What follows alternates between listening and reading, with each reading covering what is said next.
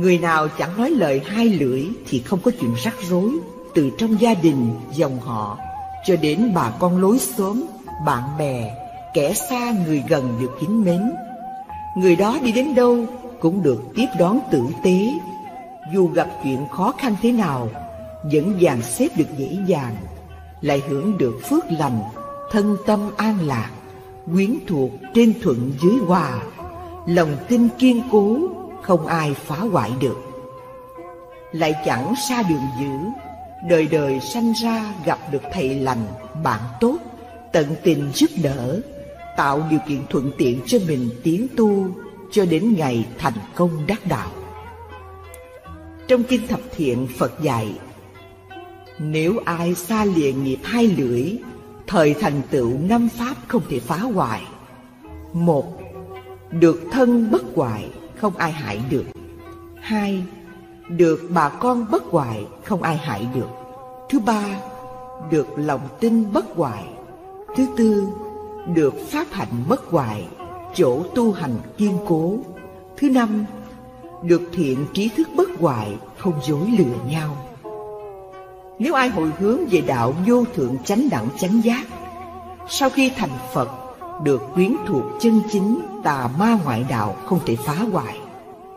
Ngược lại, Kinh Thành Thật nói, nếu ai đem lòng ác suối người gây gỗ, đánh lộn, mắc tội rất nặng. Đời đời gặp toàn quyến thuộc hung dữ, sát phạt lẫn nhau, lại bị người ngoài chăm chích, phá hoại, làm cho gia đình dòng họ chịu cảnh chia ly. Kinh Luân Chuyển Ngũ Đạo Phật dạy làm người hay nói lời đâm thọc, Tuyên truyền điều xấu của người. Chết đọa địa ngục, Bị quỷ sứ rót nước đồng sôi vào miệng rồi cắt lưỡi.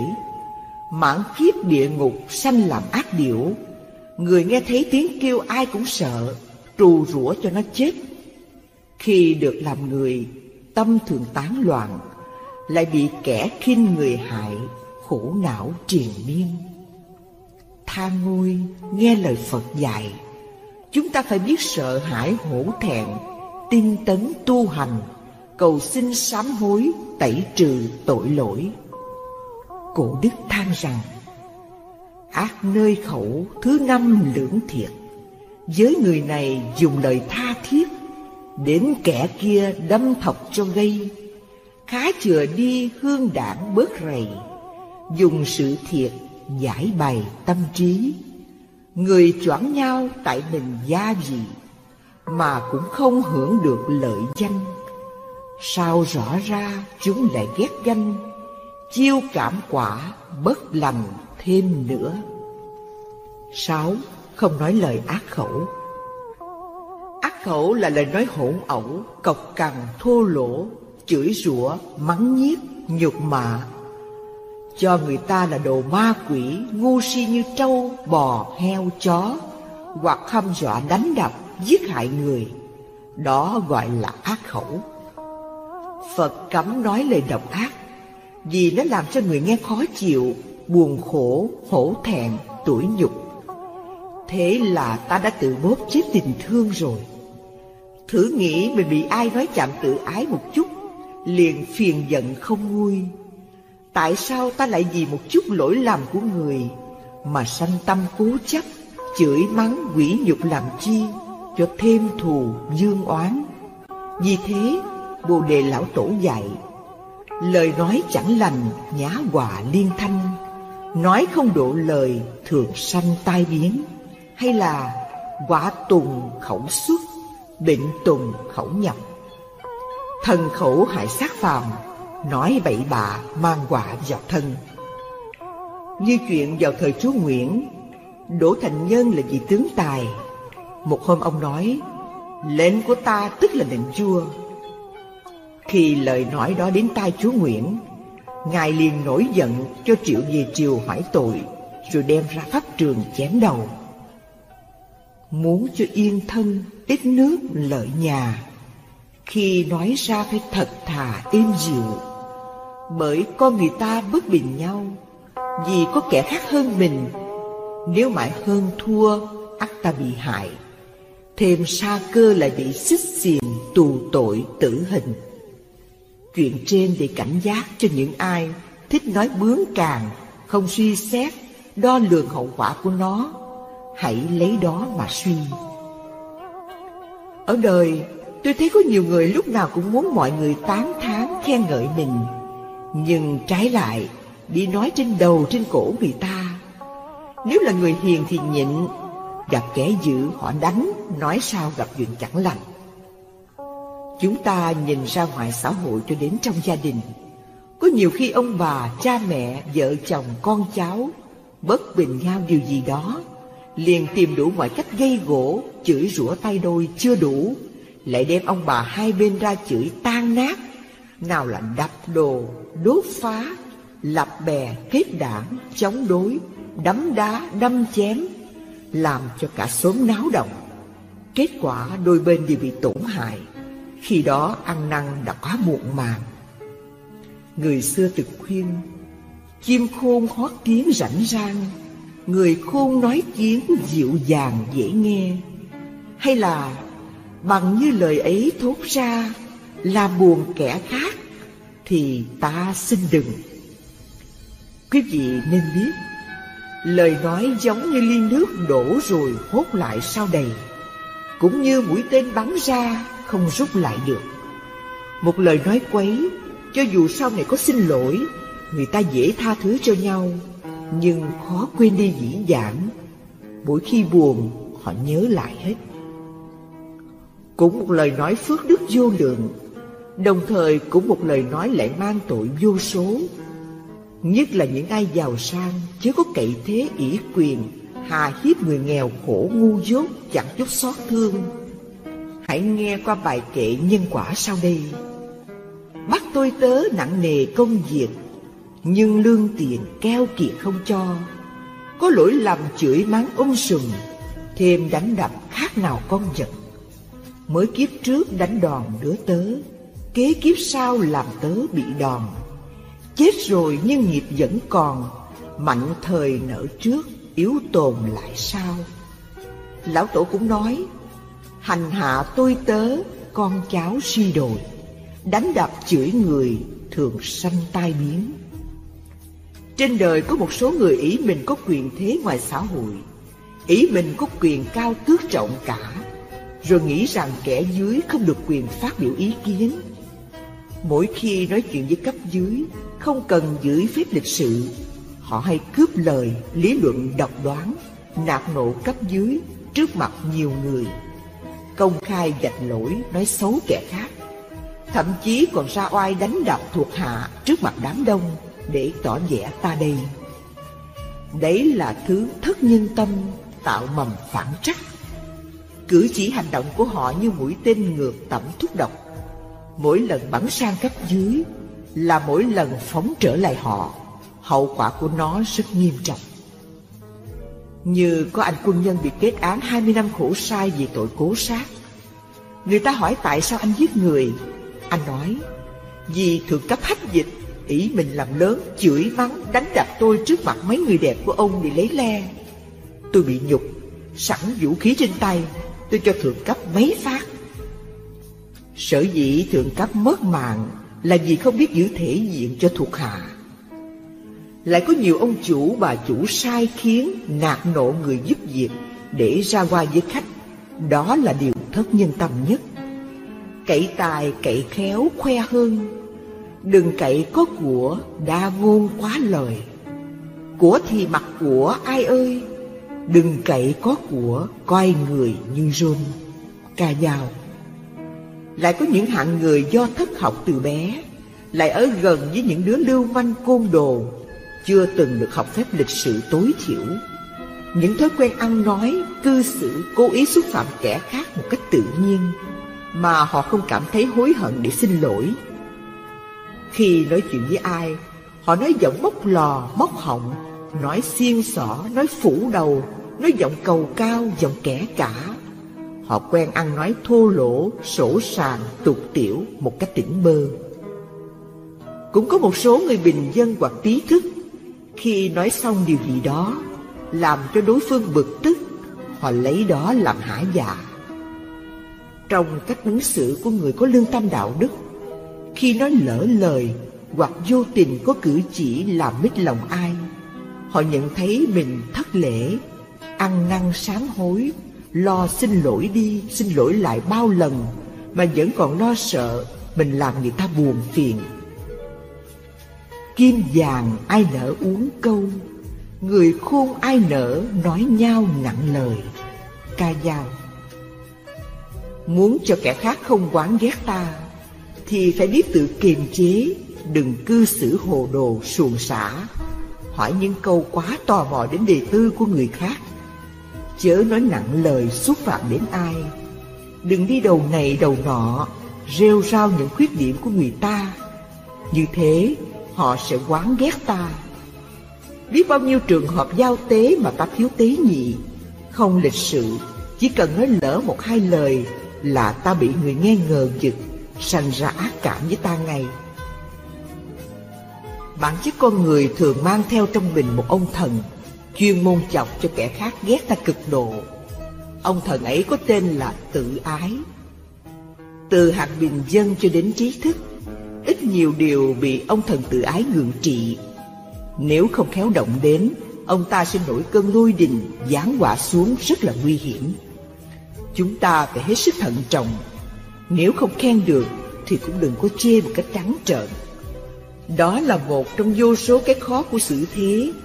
Khiến cho khổng tử than thở. Vì nhân nan Tức là làm người khó. Chúng ta thường hay chê trách những tên lưu manh giết người cướp của. Phải xử bắn nó Nếu không thì xử tù chung thân. Sau ta không nghĩ rằng Nhiều khi do hoàn cảnh đứa bé đó Đã không có ai nuôi dưỡng Phải chung sống những đứa lượm bọc, đánh giày Ban ngày thầu đồ thừa trong các tiệm ăn Ban đêm ngủ bờ, ngủ bụi Chịu đói, chịu khát Khổ quá nên chúng học cách móc túi, giật đồ, đâm thuê, chém mướn. Sinh trưởng trong hoàn cảnh bất hạnh như vậy, liệu ta có tránh khỏi những tật xấu như họ không? Nếu gặp kẻ ác nhân, thay vì vội vã đã kích họ, ta nên nói, nhờ ơn trời Phật kiếp trước độ mình, biết lo tu hành, nên kiếp này sanh ra trong hoàn cảnh tốt đẹp. Nếu không thì mình cũng giống như họ. Vậy muốn sửa lỗi người khác, Ta đừng nghĩ rằng ai cũng được may mắn như ta Hãy chịu khó tìm hiểu nguyên nhân Tại sao họ lại cư xử như thế Tạo điều kiện giúp đỡ bằng vật chất lẫn tinh thần, Rồi lần lần khéo hướng dẫn họ trở về con đường lành Trong kinh gọi đó là Bố thí và ái ngữ nhiếp. Việc làm đó phước đức quả thật vô lượng, vô biên. Trên đời có nhiều người hay than rằng, Sao tôi nói ra cái gì ai cũng không nghe, Thậm chí con cháu cũng chẳng dâng lời. Tại vì khẩu nghiệp của họ không có thanh tịnh, Mỗi khi mở miệng ra là chửi rủa, Nên tổn giảm phước đức, Nói không ai nghe là vậy. Là Phật tử phải sáng suốt thấy cho rõ tai họa của ác khẩu, Mà cố gắng quân tập lời nói thiện lành. Cho dù nói với con thú, cũng nên nhỏ nhẹ. Nếu như mình chửi con vật như thế lâu ngày thành thói quen, Sẵn trớn chửi luôn người xung quanh, Chính cái nhân đó nó đưa mình ra khỏi dữ. Trong luật nói, Có chú Sa Di chê cười vị tỳ kheo tụng kinh như tiếng chó sủa mà bị đọa làm chó năm trăm kiếp. Một lời nói dữ mắc báo biết dường nào. Khế Kinh dạy rằng Con người có búa để sẵn trong miệng. Nói lời nói dữ là tự chém lấy thân mình. Nhất là phái nữ thường hay gắt gỏng, la lối, chửi rủa ôm sòm. Họ nghĩ chửi qua rồi thôi, không có gì xảy ra Nên tha hồ chửi mắng. Không có đơn giản như thế đâu. Chúng ta hãy xem qua câu chuyện sau đây thời sẽ rõ. Chuyện kể, một hôm có mấy cô thiếu nữ đi chùa lễ Phật. Thấy đống phân chó trước chánh điện, Ai nấy bịt mũi bỏ đi. Chỉ có một cô ở lại tay vừa hốt, Miệng chửi đồ mấy con kỹ nữ không hốt phụ tao. Chỉ chửi thế thôi, Kiếp sau bị quả báo, Sanh làm gái lầu xanh. Nhưng nhờ phước hốt phân trước điện Phật, Nên thân hình cô sạch sẽ, Hai tay mịn màng xinh đẹp. Đó là nhẹ, Nặng bị đọa làm cá trăm đầu Như chuyện trong kinh hiền ngu sau đây. Thở Phật còn tại thế, Một hôm Ngài cùng chư vị Sa môn đi du quá đến Tỳ Xá Ly, Ngồi nghỉ bên dòng sông Lê Diệt. Gần đó, có một nhóm người đánh lưới kéo lên được một con cá trong mình nó mọc ra một trăm cái đầu. Thấy cá lạ ai nấy xúm lại xem. Phật cùng chư tăng đến nơi nhìn cá. Phật hỏi có phải ngươi là ca tỳ lê không? Thưa phải kiếp này làm cá kiếp sau sanh về đâu? Cá buồn bã trả lời kiếp sau sanh vào địa ngục. Ngài A Nan thấy lạ, liền hỏi Phật do nhân duyên gì gọi con cá đó là Ca Tỳ Lê. Này A Nan, trước đây vào thời Đức Phật Ca Diếp, có vợ chồng ông trưởng giả sanh ra được một cậu con trai, đặt tên là Ca Tỳ Lê, có trí thông minh hơn người. Một hôm mẹ cậu hỏi, trong nước có ai học bằng con không? Thưa mẹ, trong nước không có ai học bằng con ngoại trừ các vị sa môn sao con không đến đó học? Mẹ biết không? Muốn vào đó học phải cạo đầu đắp y mang bát mới được. Ừ, con giả làm thầy tu vô đó học xong rồi về có gì mà sợ? Nghe mẹ nói có lý liền làm theo. Do trí sẵn có không bao lâu đã thông tam tạng kinh điển. Một hôm về thăm nhà mẹ cậu hỏi Sở học của con bằng các vị sa môn chưa? Mẹ ơi, sở học của con ngang hàng chư vị sa môn. Nhưng nói đến công phu thiền định thì con thua xa. Bà ta nghe qua, nổi giận nói Sao con không học? Mẹ nên biết, thiền định là phương pháp siêu hình. Tự tu tự chứng, đâu phải học mà được. Nên mỗi khi đàm luận thua là vậy. Con chớ sợ Nếu có thua thì cứ chửi. Người ta tu hành hiền lành, Con chửi không đành. Con hãy nghe lời mẹ, Cứ chửi thì mới thắng được. Khi về chùa, Mỗi khi đàm luận với chư vị sa môn thua, Liền nổi nóng, Tự xưng ta đây học giỏi nhất trong nước, Không có ai bằng. Các người toàn là lũ ngu si, Đầu óc đần độn như trâu bò. Nói đến đây, Phật bảo, Ca tỳ lê, Vì ác tâm chửi mắng chư vị sa môn và khinh khi những người thiếu học nên bị quả báo làm cá trăm đầu như thế. Sau khi nghe lời Phật dạy, ai nấy đều rùng mình rỡn gái bi thương giao cảm, đồng thanh nói: Tất cả chúng ta đối với thân khẩu ý phải thận trọng, chớ có tác ý nói làm việc ác. Những người đánh cá thấy thế liền đến trước Phật thành kính chắp tay cầu xin xuất gia tu phạm hạnh. Phật khen thiện lai tỳ kheo, tức thời áo mặc trên mình họ quá ra cà sa, trở thành các vị sa môn, theo Phật tu học, không bao lâu đắc quả A La Hứng. Ham chi danh lợi thế thường, hơn thua lời lẽ, con đường diệt vong. Ca trì lê vì tham công, nặng lời to tiếng mắng dòng sa môn. Cho nên quả báo giặc dồn, đọa vào suốt loại, xác hồn khổ đau. Khuyên trong hiện tại cùng nhau, nghiêm thân khẩu ý, thường trao hạnh lành. Lời nói thô ác, phỉ bán những bậc tu hành, phải lãnh lấy ác báo như thế. Cho nên có câu, thà rằng khuấy đục ngàn sông chứ đừng khuấy động tấm lòng người tu. Trong kinh báo ân, Đức Phật dạy, Này A Nan, tất cả chúng sanh tai họa từ miệng sanh ra, nên giữ miệng hơn là đề phòng lửa dữ. Lửa dữ đốt cháy tiền của thế gian, miệng dữ đốt cháy bảy tài sản của bậc thánh, tính giới, tàm, quý, đa văn, trí huệ, xả ly. Quả báo của lời nói ác ghê gớm như thế, Mà có mấy ai ngán sợ. Cứ mãi hơn thua từng chút Hạch hỏi từng câu, Mỉa mai chăm biếm đủ thứ, Làm cho gia đình quyến thuộc phân ly, Nhân loại thù hằn, Xô xát lẫn nhau, Gây bao tan tóc. Nên có lời khuyên, Nhất lời nói bao giờ cũng lọc, Buông ra rồi khó hốt lại nào. Tục rằng lưỡi bén hơn dao Nói ra một tiếng đoạn bao nghĩa tình. Sự vui buồn trọng khinh thương ghét Thường do nơi mồm mép gây nên. Chỉ trong một tiếng cất lên Hoặc tan sự nghiệp Hoặc nên cửa nhà. Trong kinh Phạm Giọng nói Tất cả chúng sanh đều là ông, bà, cha, mẹ Nhiều đời chết đi và sanh trở lại. Nếu chúng ta chửi người nào đó, Tức là chửi ông bà cha mẹ của mình, Chứ không ai xa lạ. Nhưng có mấy ai nghĩ thế? Đa số cho rằng nếu mình hiền, Sẽ bị người khác ăn hiếp hoài. Phải tỏ ra hung dữ, Chửi lại cho nó ngán sợ. Quý vị nên nhớ, Mình bị người ta chửi mình, Rồi mình chửi lại. Nó có điều kiện kéo dài thời gian. Chẳng khác nào suối họ chửi thêm mà không hay. Hơn nữa, Kẻ chửi mắng là xấu rồi.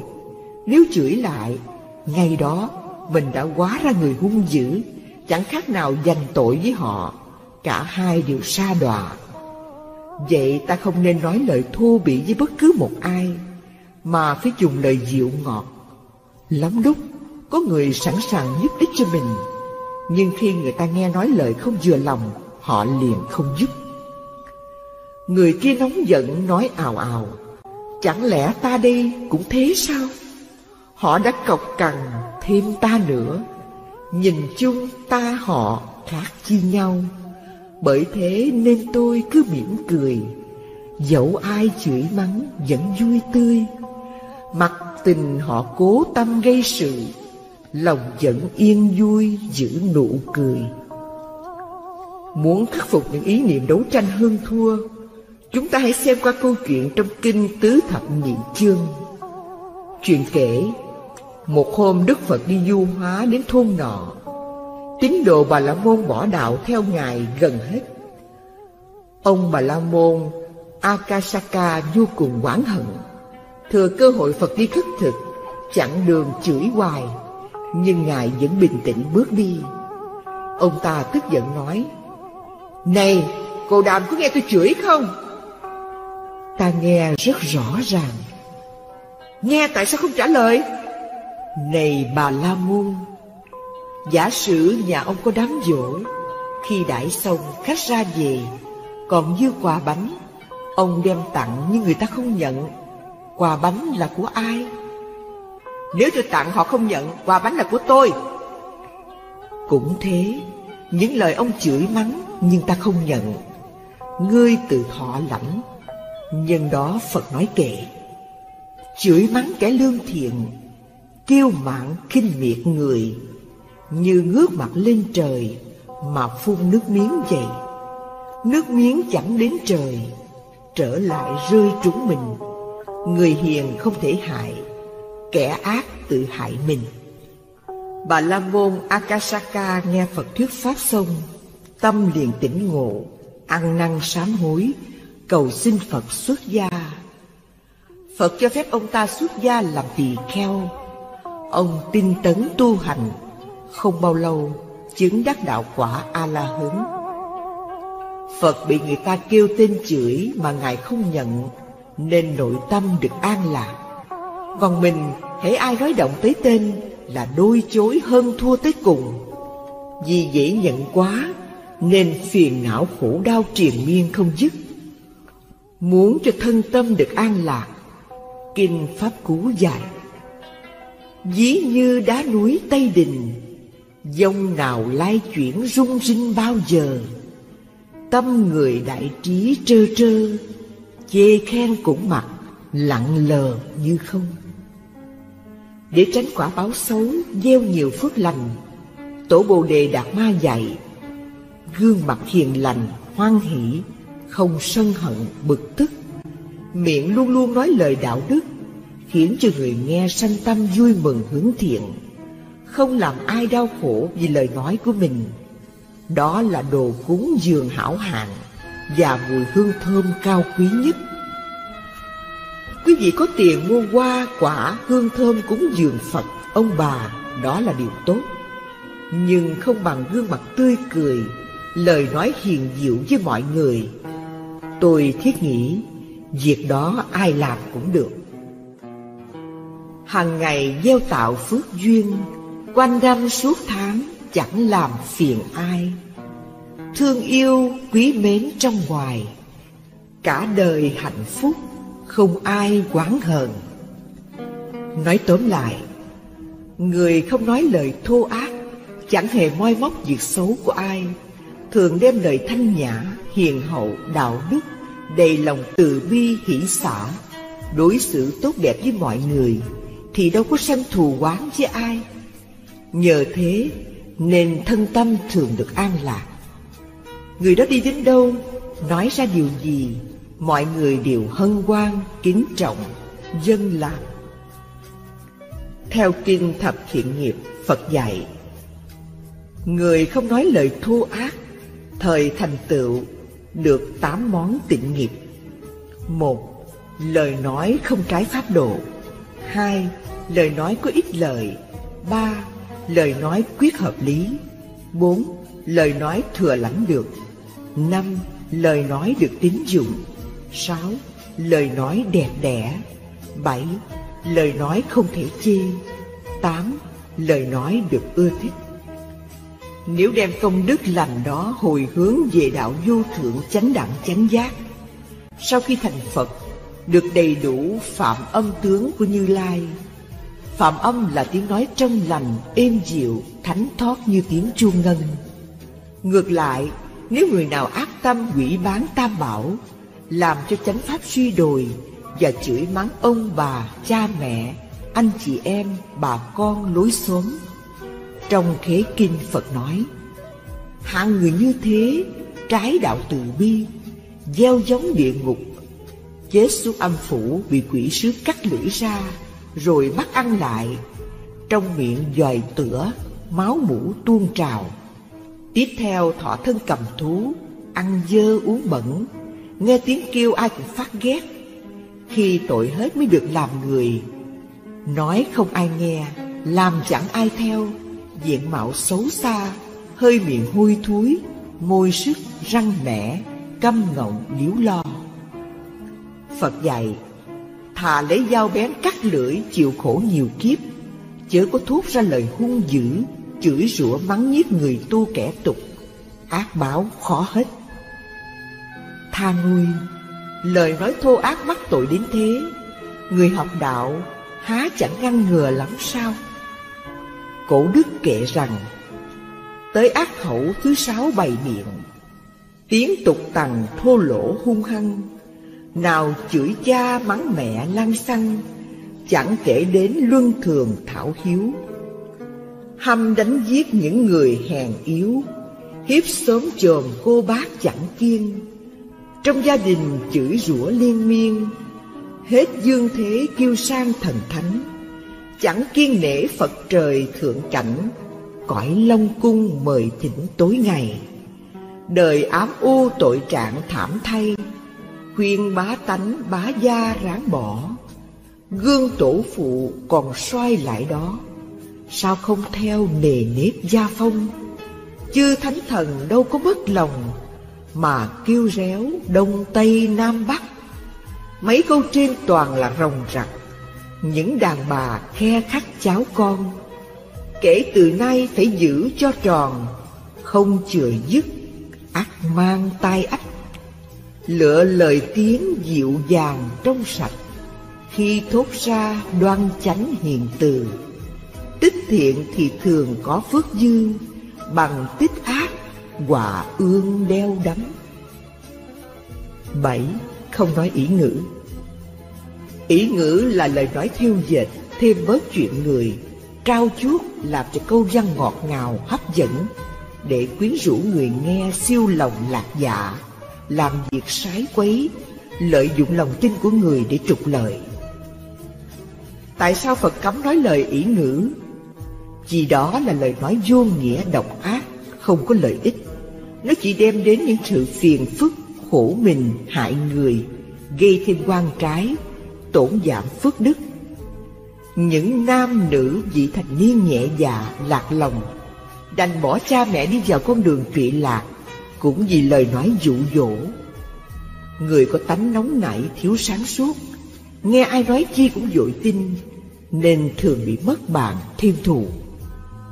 Có người rất tận tụy trung thành, Nhưng bị bỏ rơi, Cũng vì lời sàm tấu của bọn nịnh thần.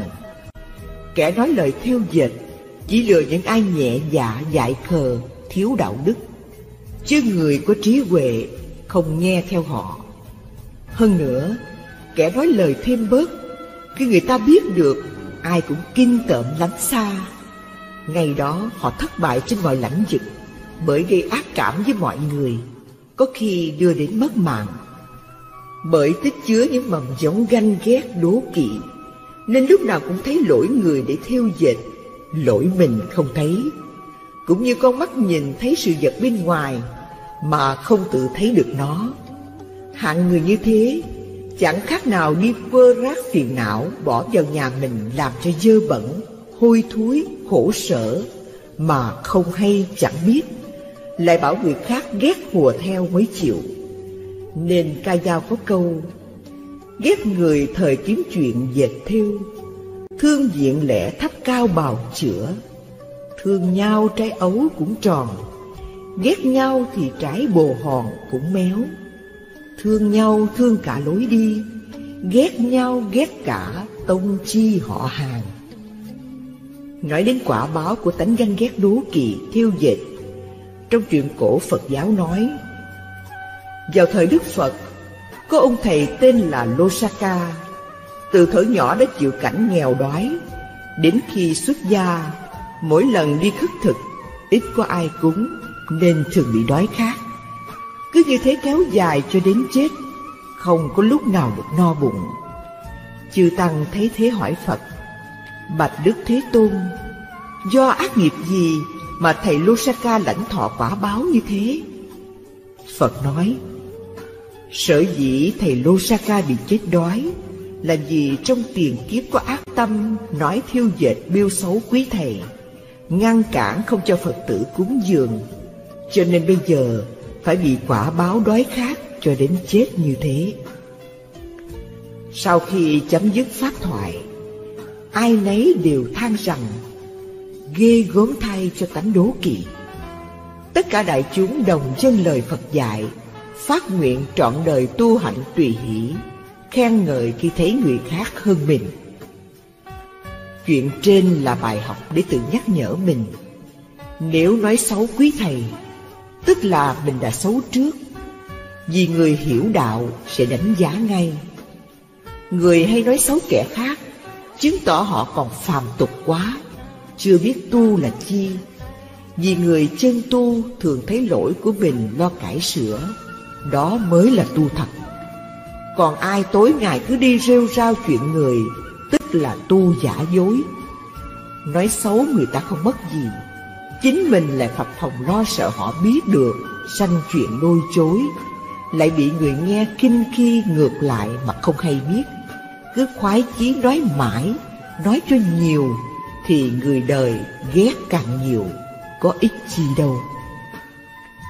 Như chuyện trong sách sử thế kể, có anh chàng tên là Nhiều, tối ngày cứ đến hết nhà này tới nhà nọ, dòm ngó, soi mói, theo dệt, chỉ trích, đã kích người khác đủ điều. Kết quả khi người ta biết được bộ mặt xảo trá, lắm mồm nhiều chuyện đó, ai cũng chán ghét. Đến lúc anh ta lâm vào cảnh nghèo đói, bệnh hoạn, tai nạn, chẳng có ai tới thăm hỏi giúp đỡ. Khi chết không có người đưa đám, cũng do cái miệng gây ra. Có nhiều người nói chuyện nghe rất đáng thương. Trên thế gian không có ai thông cảm với tôi được hết. Ở nhà cha mẹ không thương, ra ngoài xã hội chẳng có ai ưa. Thử hỏi Tại sao họ không thông cảm Có phải chăng do lòng cố chấp quá nặng Mỗi khi mở miệng ra thì đề cao mình lên Chê bai theo dệt hạ người ta xuống Thử hỏi ai thông cảm được? Những ai hay than điều đó là do thấy lỗi người Liền sân tâm ngã mạn xem thường tất cả. Khi đã tỏ ra thái độ kinh mạng hay chê bai nói xấu Thì họ không thể nào thông cảm mình được.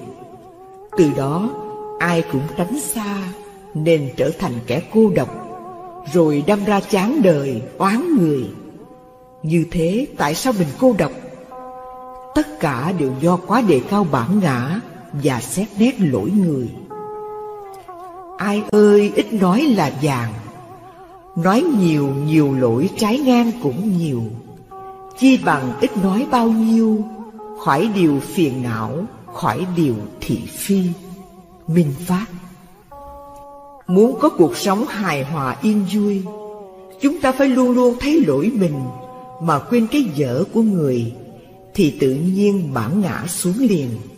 Vì thế lục tổ dạy, Nếu người thật chân tu, Không thấy người đời lỗi. Nếu thấy lỗi của người, Lỗi mình đến bên trái.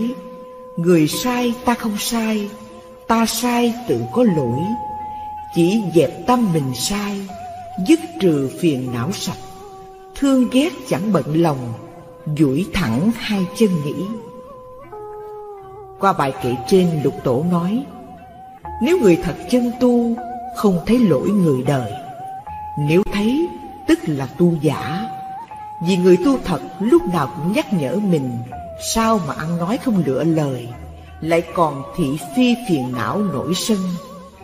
Cứ nhớ như thế, Tự khiển trách mình Và luôn luôn thấy ai cũng tốt.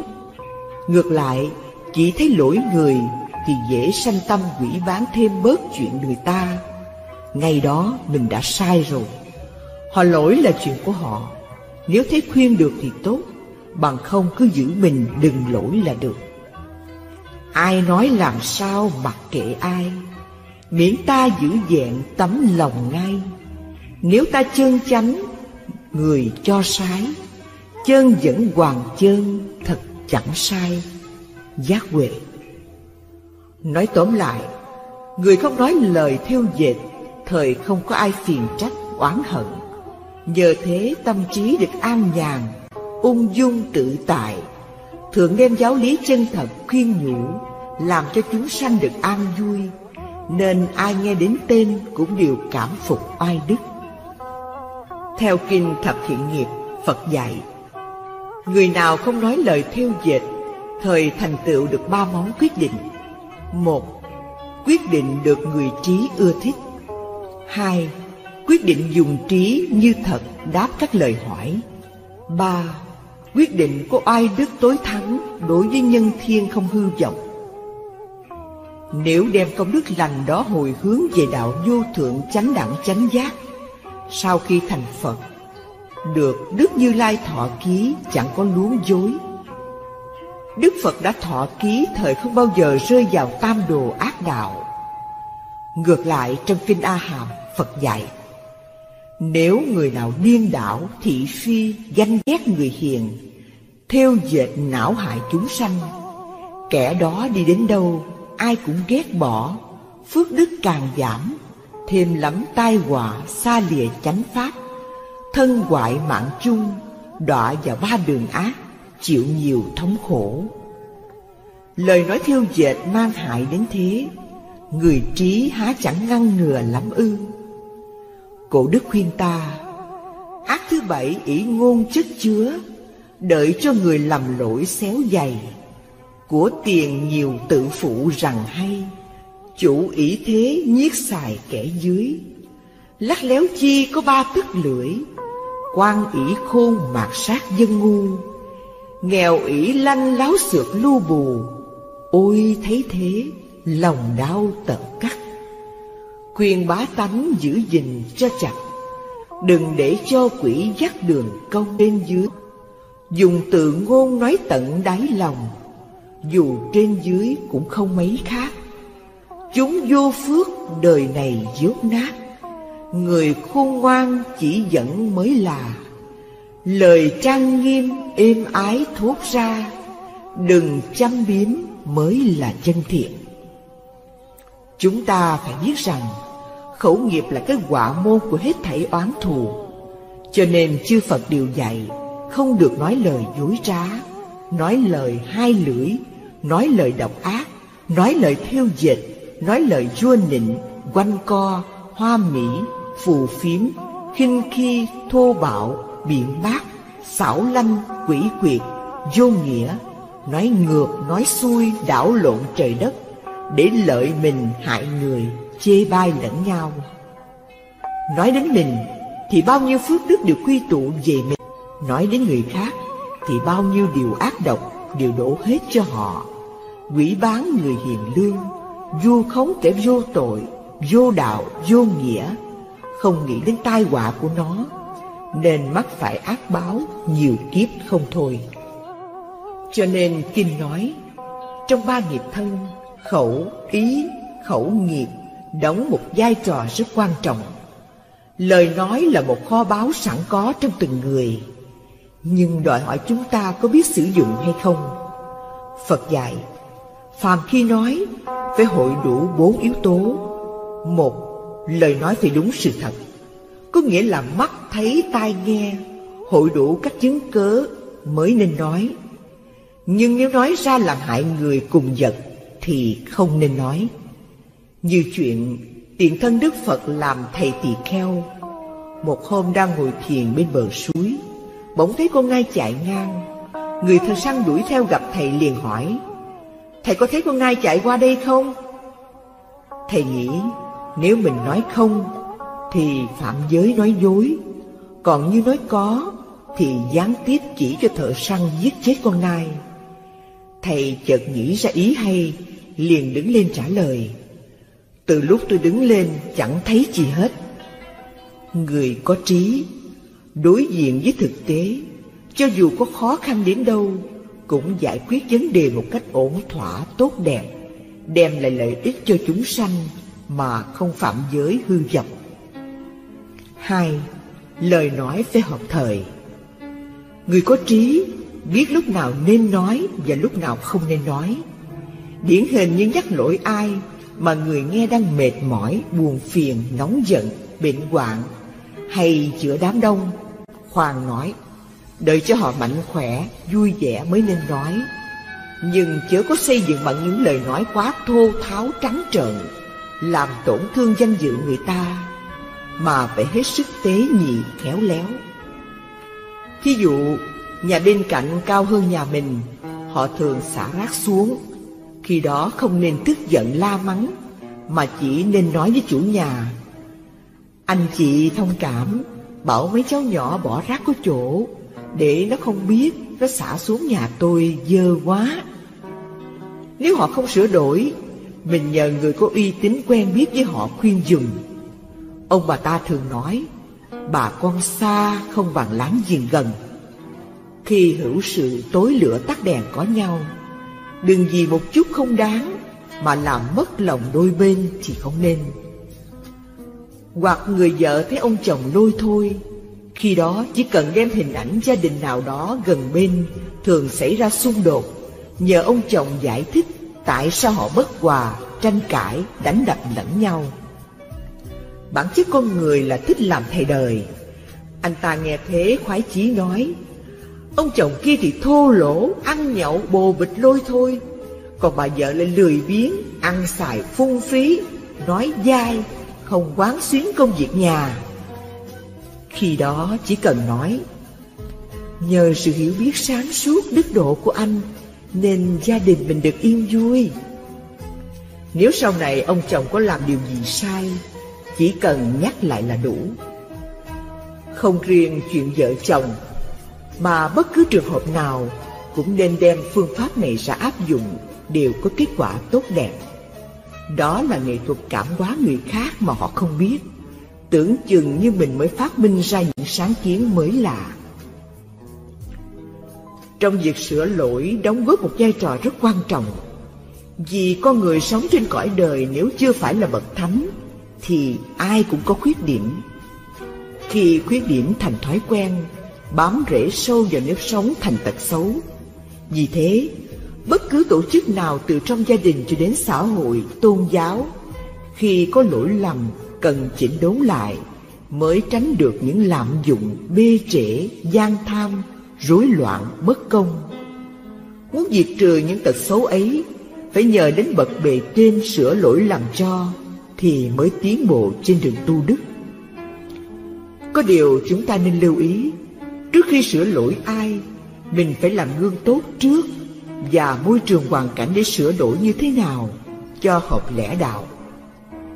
Có lắm người tuổi còn nhỏ, địa vị thấp, nhưng lại mang trong mình dòng máu làm thầy đời, ăn sâu vào tâm can. Lỗi của mình không lo tu sửa, hễ gặp ai cũng dạy luân lý, rồi cắt nghĩa chuyện đời phải quấy, lại còn la rầy lên giọng dạy đời, bắt buộc người ta phải theo ý chủ quan của mình. Sửa lỗi theo kiểu đó rất là nguy hiểm.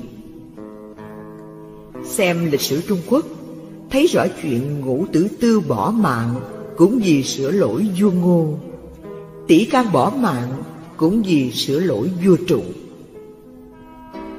lúc khổng tử đến kinh đô nhà chu vào nhà lão tử thăm khi ra về được lão tử tiễn chân bằng những lời mà người thời nay cho là kinh thánh của sử thế đại khái ông nói kẻ giàu tiễn người bằng tiền của Tôi nghèo, xin tiễn ngài bằng đôi lời nói.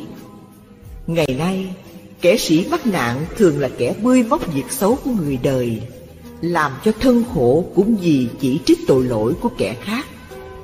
Quân tử phải cư xử như người ngu, dẹp lòng đa dục, trừ tâm khiêu khích, tránh lối ăn mặc lòe loẹt, chớ khinh ai hết.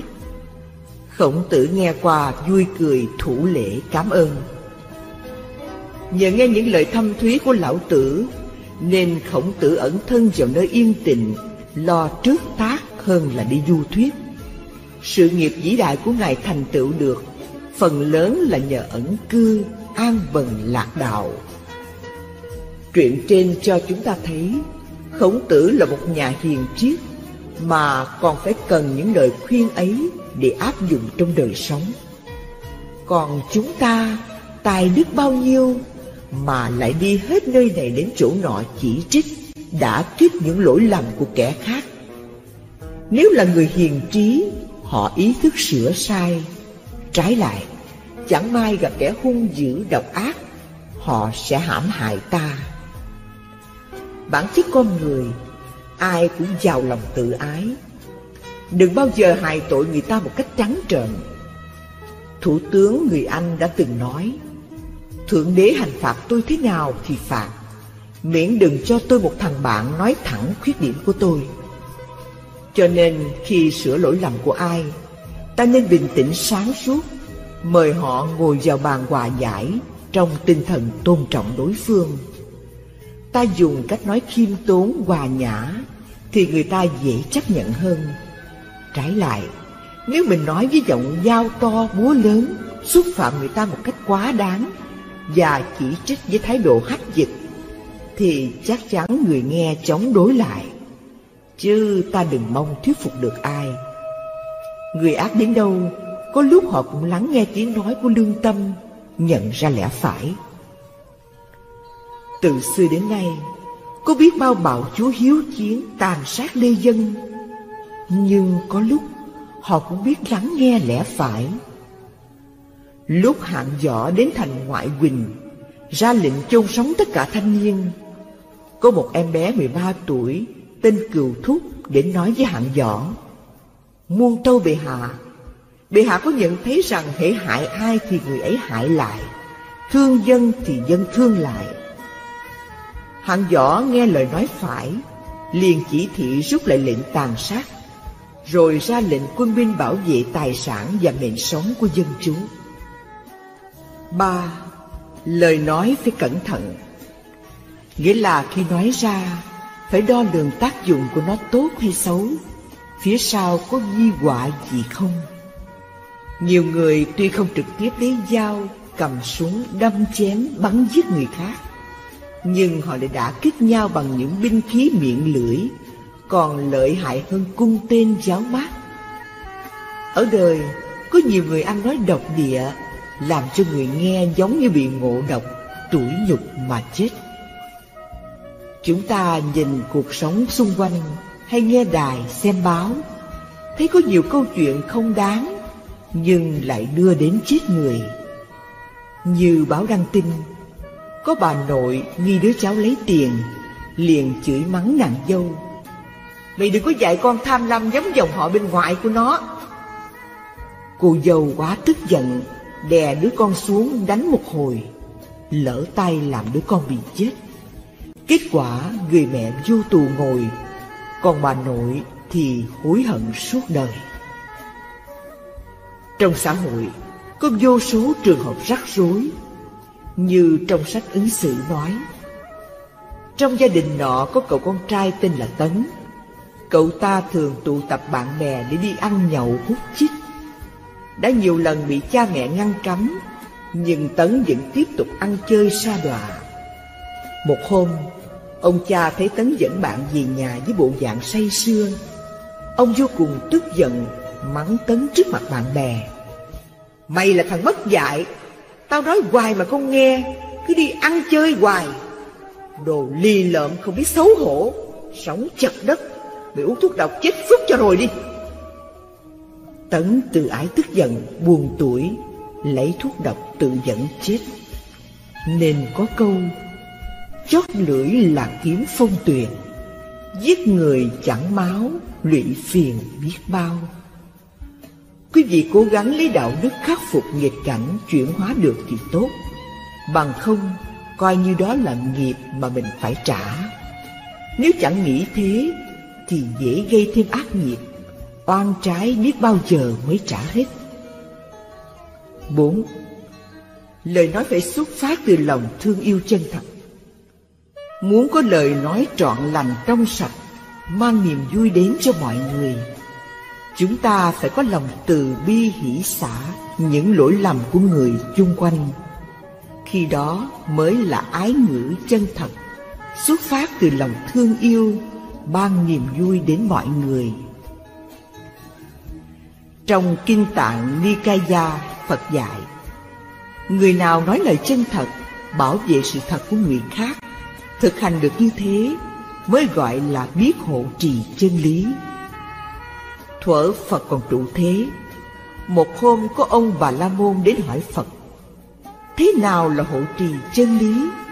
Phật đáp Người nào đối với chánh pháp có niềm tin bất động Từ bỏ lời nói dối trá, đâm thọc, thiêu dệt, thua ác Thường đem lời lành giáo hóa chúng sanh Đó là người biết hộ trì chân lý.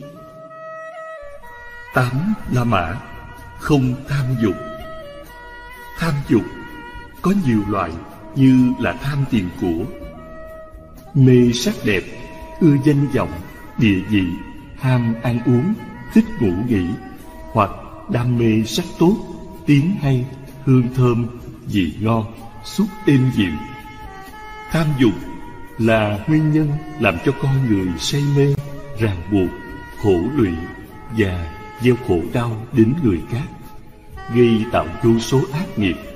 Vì thế, Phật bảo chúng ta phải tránh xa nó. Chúng ta ai cũng biết như tham tiền của, vàng ngọc, phải đầy đọa sát thân, lại thường dướng ách nạn, mất mạng. Thuở và còn tại thế, một hôm Ngài cùng chư vị tỳ kheo đang đi, bỗng thấy một túi vàng bên vệ đường. Phật bảo các thầy tỳ kheo, đó là rắn độc mau tránh xa, không khéo nó hại ta. Phật và chư tăng đi chưa bao xa. Có bốn người đi đến nhặt lên, định đem ra chia. Nhưng họ bàn với nhau, mình đang đói, nên đi mua món gì ăn cho khỏe, rồi chia cũng không muộn. Liền cử một người đi, người đó trên đường đi, tự nghĩ số vàng đem chia làm tư uổng quá. Tốt nhất là mua thuốc độc, trộn vào thức ăn cho chúng chết hết, Ta sẽ hưởng một bình Còn ba người ở lại cùng bàn tính với nhau, Đợi cho nó mua đồ ăn về, đập cho chết. Còn lại ba chúng ta chia nhau. Kết quả người đi mua thức ăn vừa về tới Đã bị đập chết. Xong ba người còn lại cùng nhau ăn mừng, Rồi bị ngộ độc chết theo. Kênh kênh quà quà. Thấy thì chết, đáp xuống cắn mổ ăn, Cũng chết luôn. Nên có câu, Nhân tham tài tắc tử, Điểu tham thực tắc vong. Chim tham ăn sa vào dòng lưới, Cá mê mồi mắc phải lưới câu. Ai ôi, phải nghĩ cho sâu, Sắc tài, danh lợi, Nó đâu có bền. Mồi phú quý như tên độc dược Bà vinh qua càng rước khổ đau. Đó là miếng mật trên dao. Ai mà tham nhiễm, Liếm vào chết ngay. Còn tham sắc đẹp thì tốn tiền, Hao sức, Tâm thần bất an, Ghen tuông, Phiền muộn Gây thù chuốc oán, Tranh giành giết hại lẫn nhau, Làm nước mất, Nhà tan, Cửa nát, Biến mình thành người hèn yếu mù quáng, Ngây khờ phải chịu sự sai khiến thúc giục Dưới mệnh lệnh của kẻ bày mưu Như vào thời nhà Chu, U Dương là người chìm đắm trong tựu sắc. Ngày đêm say mê nhan sắc tuyệt trần của bao tử, Mà dẫn tâm giam vợ, đầy con, Giết hại chuông thần. Cuối cùng mất nước. Đến vua Ngô Phụ Sai Cũng vì đam mê sắc đẹp của Tây Thiên Mà mất cả Giang Sơn. Một khi con người ta đắm mình vào sắc dục thì mất hết lý trí Trở thành kẻ si mê, độc ác Tự làm hại mình, hại người xa vào địa ngục. Suy cho cùng Sắc đẹp đó Cho dù nam hay nữ Nó chỉ là cái túi da Bên trong chứa đầy những thứ nhơ uế tanh hôi. Có gì đáng để cho chúng ta say mê? Ái dục là nguyên nhân tạo ra bản ngã Mỗi ngày lớn lên Sanh tâm kiêu căng Hống hách Tạo nhiều nghiệp chướng. Hiện tại khổ lụy. Sau khi chết, Sanh vào cõi dữ. Người đắm say sắc dục, Tự lao mình xuống hố. Người trí cắt trừ ái, Bỏ mọi dục không màng. Thấy sắc tâm mê tưởng, Chẳng xét lẽ vô thường. Người mê cho là đẹp, Giả dối lại yêu thương. Đắm mình trong dâm lạc, Tâm kéo kén khác chi? Người trí huệ dứt hẳn, Hết khổ não sầu bi, Người tâm trí buông lung, Dâm nhơ cho là sạch, Tình ân ái sâu nặng, Là lao ngục trói trăng. Người tỉnh giác trừ dâm, Bất tình quán để tâm, Nhờ đó khỏi lao ngục Và chết dứt tận mầm. Kinh Pháp Cú Tham danh vọng phải vào lòng ra cuối, Lao tâm nhọc sức. Khi được rồi, lại sợ kẻ khác hãm hại. Lúc nào cũng phập phòng lo sợ, Cho người canh gác, Chẳng khác nào kẻ tử tù. Nhưng thiên hạ nào ai biết, Cứ mãi lo tranh giành. Nên có câu, Danh tiếng lẫy lừng, Danh tiếng hại. Tuổi tên lừng lẫy, Tuổi tên trù. Bao phen bay nhảy, Bao phen dài. Mấy trận tài khôn, Mấy trận ngu. Hay là Có tài mà cậy chi tài, Chữ tài liền giới chữ tai Một dần. Nguyễn Du, Muốn khỏi bị lợi danh xiềng xích, Trói buộc, Thân tâm thanh tịnh, an vui, Chúng ta hãy xem qua mẫu chuyện Trong Kinh Tăng Chi. Chuyện kể Thuở Phật còn tại thế, Có vị hoàng tử tên là Bạc Đề xuất gia tu học Trong giáo pháp của Đức Thế Tôn. Một hôm đang hành thiền Ngài thấy rõ sự lợi ích của đời sống phạm hạnh Liền thốt lên Hạnh phúc thay, Hạnh phúc thay. Khi đó Có một vị tỳ kheo ngồi thiền gần bên Nghe thế. Hôm sau đem chuyện đó trình lên Phật. Ngài cho gọi Bạc Đề đến hỏi nguyên do.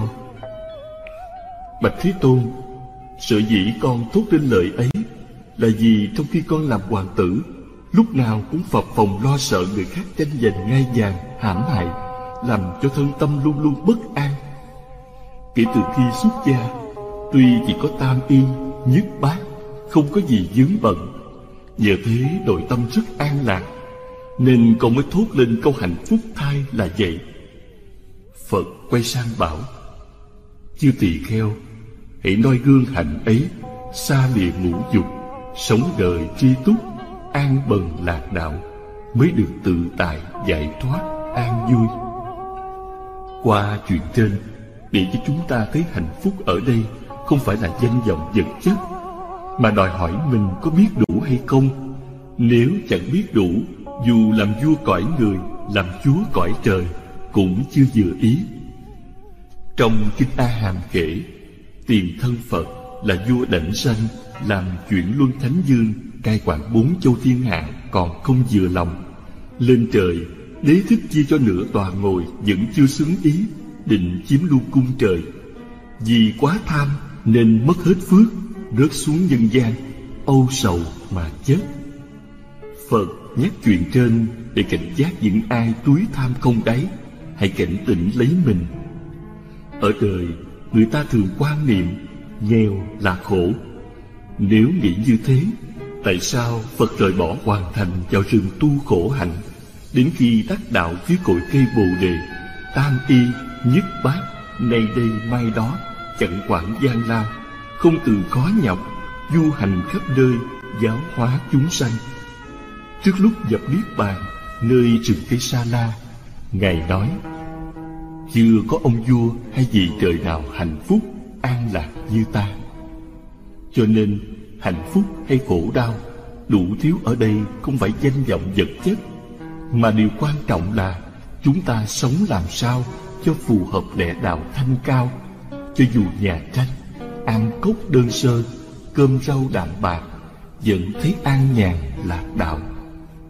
Kinh di giáo nói, tri túc thường lạc nghĩa là người biết đủ ở bất cứ hoàn cảnh nào cũng được yên vui. Tham ăn cao lương mỹ vị khó tiêu, thân thể mệt nhọc, dễ sinh ra các chứng bệnh khó trị. Kinh y nói, người bị đau có mười nguyên nhân. Một, ăn những món có phong độc. Hai, ăn chẳng tùy theo bình cử kiên. Ba, ăn uống không độ lượng bốn, ăn chẳng theo thời tiết. Năm, ăn những món khó tiêu.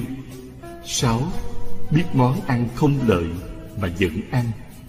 Bảy, những món ăn trước chưa tiêu mà ăn thêm vào. Tám, ăn dai không kỹ. Chín, ăn rồi ngồi lâu và làm việc liền. Mười, đến lúc đại tiện, tiểu tiện mà chẳng chịu đi người tham ăn thường bị mùi vị ràng buộc, như dùng thiếu một trái ớt là nuốt không vô, tìm cho bằng được mới chịu ăn.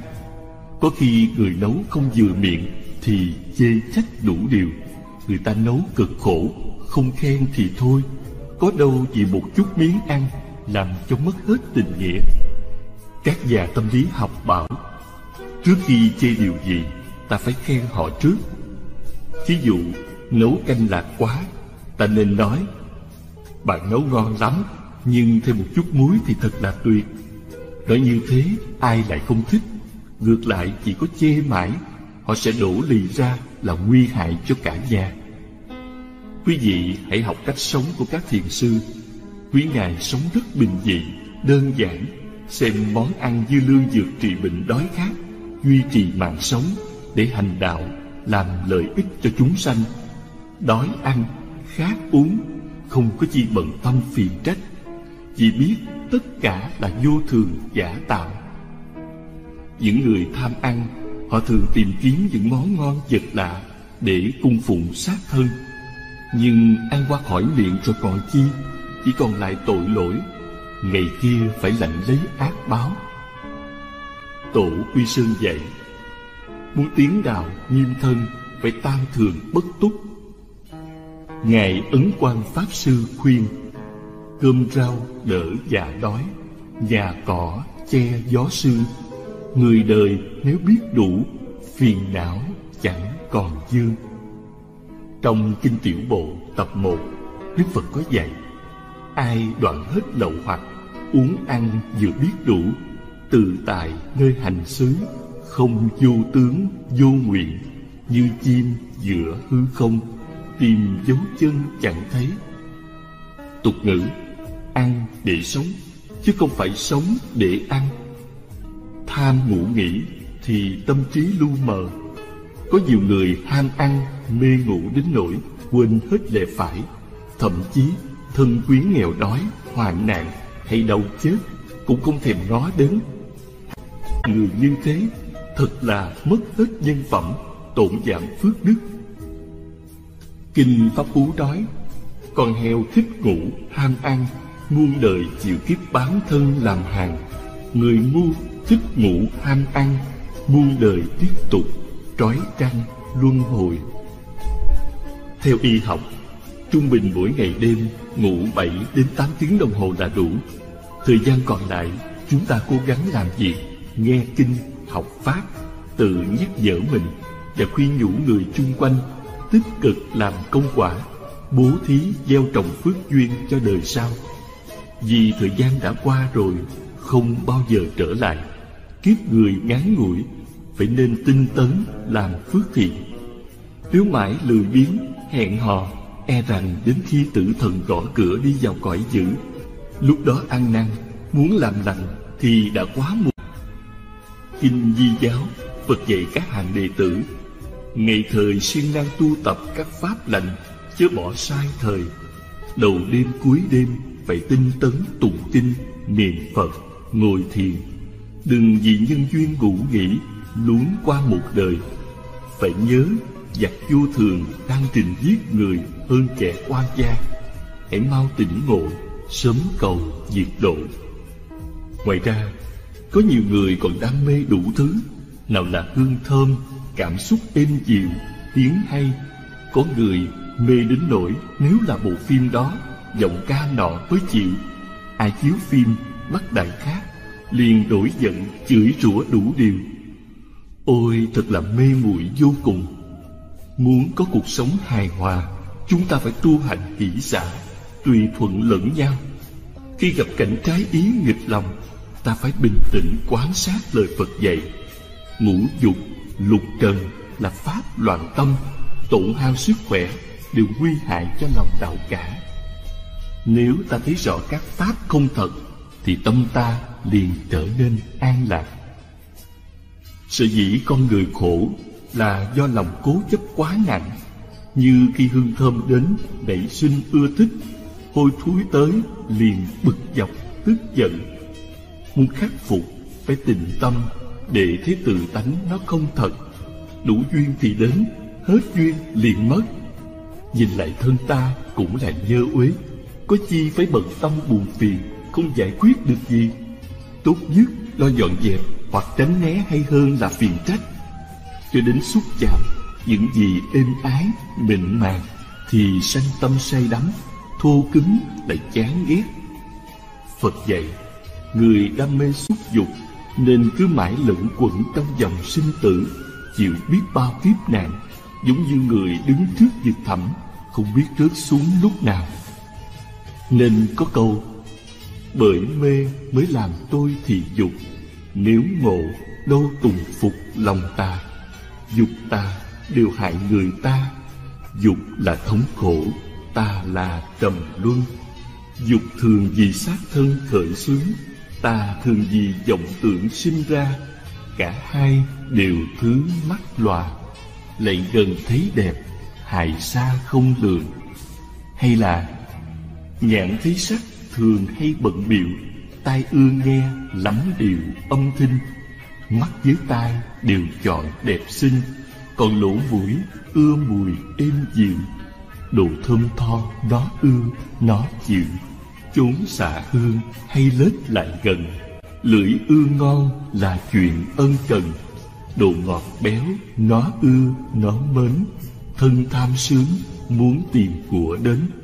Đặng ăn xài cho vị tấm tình. Ý thì ưa sửa sắc soi hình, với chức phận cho cao, cho quý. Sáu đường ấy ở trong tâm ý, ta mau mau dứt đó cho rồi. Thì tòa sen mới đặng đứng ngồi, cho thông thả, hưởng mùi sen báo cổ đức, thi văn cho chúng ta biết, nếu lục căn của mình được thanh tịnh, ngay đó là bồ đề niết bàn tịnh độ, không cần tìm ở đâu xa. Phật pháp vốn ở thế gian, trong đời giác ngộ, chớ tìm đâu xa. Bồ đề, cuộc sống quanh ta, bôn ba cầu ngộ chỉ là uổng công. Pháp bảo đàn kinh, trần nhân tông cũng nói, ở đời vui đạo hãy tùy duyên, đói đến thì ăn, mệt nghỉ liền, trong nhà có báu thôi tìm kiếm, đối cảnh vô tâm chớ hỏi thiền. Bởi trong cái vọng tâm, nó có cái chân tâm ở sẵn trong đó, không cần tìm ở đâu xa. Cho nên ngài nói trong nhà có báu, thôi tìm kiếm. Nhưng khi nào của báu đó nó mới hiện ra, chỉ khi nào lục căn đối với lục trần không sinh ra niệm nào hết, giữ tâm bình thường, đó là thiền, là kiến tánh rồi, còn tìm ở đâu nữa? Cũng như sóng không lìa nước, khi gió lặng thì sóng tự nhiên sẽ yên. Sóng gió dĩ như phiền não vô minh, nước trong yên tịnh, dĩ như niết bàn thanh tịnh chân như vậy. Người nào chẳng nói lời hai lưỡi thì không có chuyện rắc rối, từ trong gia đình, dòng họ, cho đến bà con lối xóm, bạn bè, kẻ xa người gần được kính mến. Người đó đi đến đâu cũng được tiếp đón tử tế. Dù gặp chuyện khó khăn thế nào, vẫn dàn xếp được dễ dàng, lại hưởng được phước lành, thân tâm an lạc, quyến thuộc trên thuận dưới hòa lòng tin kiên cố, không ai phá hoại được. Lại chẳng xa đường dữ, đời đời sanh ra gặp được thầy lành, bạn tốt, tận tình giúp đỡ, tạo điều kiện thuận tiện cho mình tiến tu cho đến ngày thành công đắc đạo. Trong kinh thập thiện, phật dạy, nếu ai xa lìa nghiệp hai lưỡi, thời thành tựu năm pháp không thể phá hoại. Một được thân bất hoại, không ai hại được. Hai, được bà con bất hoại, không ai hại được. Thứ ba, được lòng tin bất hoại. Thứ tư, được pháp hạnh bất hoại, chỗ tu hành kiên cố. Thứ năm, được thiện trí thức bất hoại, không dối lừa nhau. Nếu ai hồi hướng về đạo vô thượng chánh đẳng chánh giác, sau khi thành phật được quyến thuộc chân chính tà ma ngoại đạo không thể phá hoại. Ngược lại, kinh thành thật nói, nếu ai đem lòng ác suối người gây gỗ, đánh lộn, mắc tội rất nặng. Đời đời gặp toàn quyến thuộc hung dữ, sát phạt lẫn nhau, lại bị người ngoài chăm chích, phá hoại, làm cho gia đình dòng họ chịu cảnh chia ly. Kinh luân chuyển ngũ đạo phật dạy làm người hay nói lời đâm thọc, tuyên truyền điều xấu của người. Chết đọa địa ngục, bị quỷ sứ rót nước đồng sôi vào miệng rồi cắt lưỡi. Mãn kiếp địa ngục sanh làm ác điểu. Người nghe thấy tiếng kêu ai cũng sợ, trù rủa cho nó chết. Khi được làm người, tâm thường tán loạn, lại bị kẻ khinh người hại, khổ não triền miên tha ngôi, nghe lời phật dạy. Chúng ta phải biết sợ hãi hổ thẹn, tinh tấn tu hành, cầu xin sám hối, tẩy trừ tội lỗi. Cổ đức than rằng, ác nơi khẩu, thứ năm lưỡng thiệt. Với người này dùng lời tha thiết, đến kẻ kia đâm thọc cho gây. Khá chừa đi hương đảng bớt rầy, dùng sự thiệt giải bày tâm trí. Người chọn nhau tại mình gia gì mà cũng không hưởng được lợi danh. Sao rõ ra chúng lại ghét danh, chiêu cảm quả bất lành thêm nữa. Sáu, không nói lời ác khẩu. Ác khẩu là lời nói hỗn ẩu, cộc cằn, thô lỗ, chửi rủa, mắng nhiếc, nhục mạ cho người ta là đồ ma quỷ, ngu si như trâu, bò, heo, chó, hoặc hăm dọa đánh đập, giết hại người. Đó gọi là ác khẩu. Phật cấm nói lời độc ác, vì nó làm cho người nghe khó chịu, buồn khổ, hổ thẹn, tủi nhục. Thế là ta đã tự bóp chết tình thương rồi. Thử nghĩ mình bị ai nói chạm tự ái một chút, liền phiền giận không nguôi tại sao ta lại vì một chút lỗi lầm của người Mà sanh tâm cố chấp, Chửi mắng quỷ nhục làm chi Cho thêm thù dương oán? Vì thế, Bồ Đề Lão Tổ dạy, Lời nói chẳng lành nhã hòa liên thanh, Nói không độ lời thường sanh tai biến.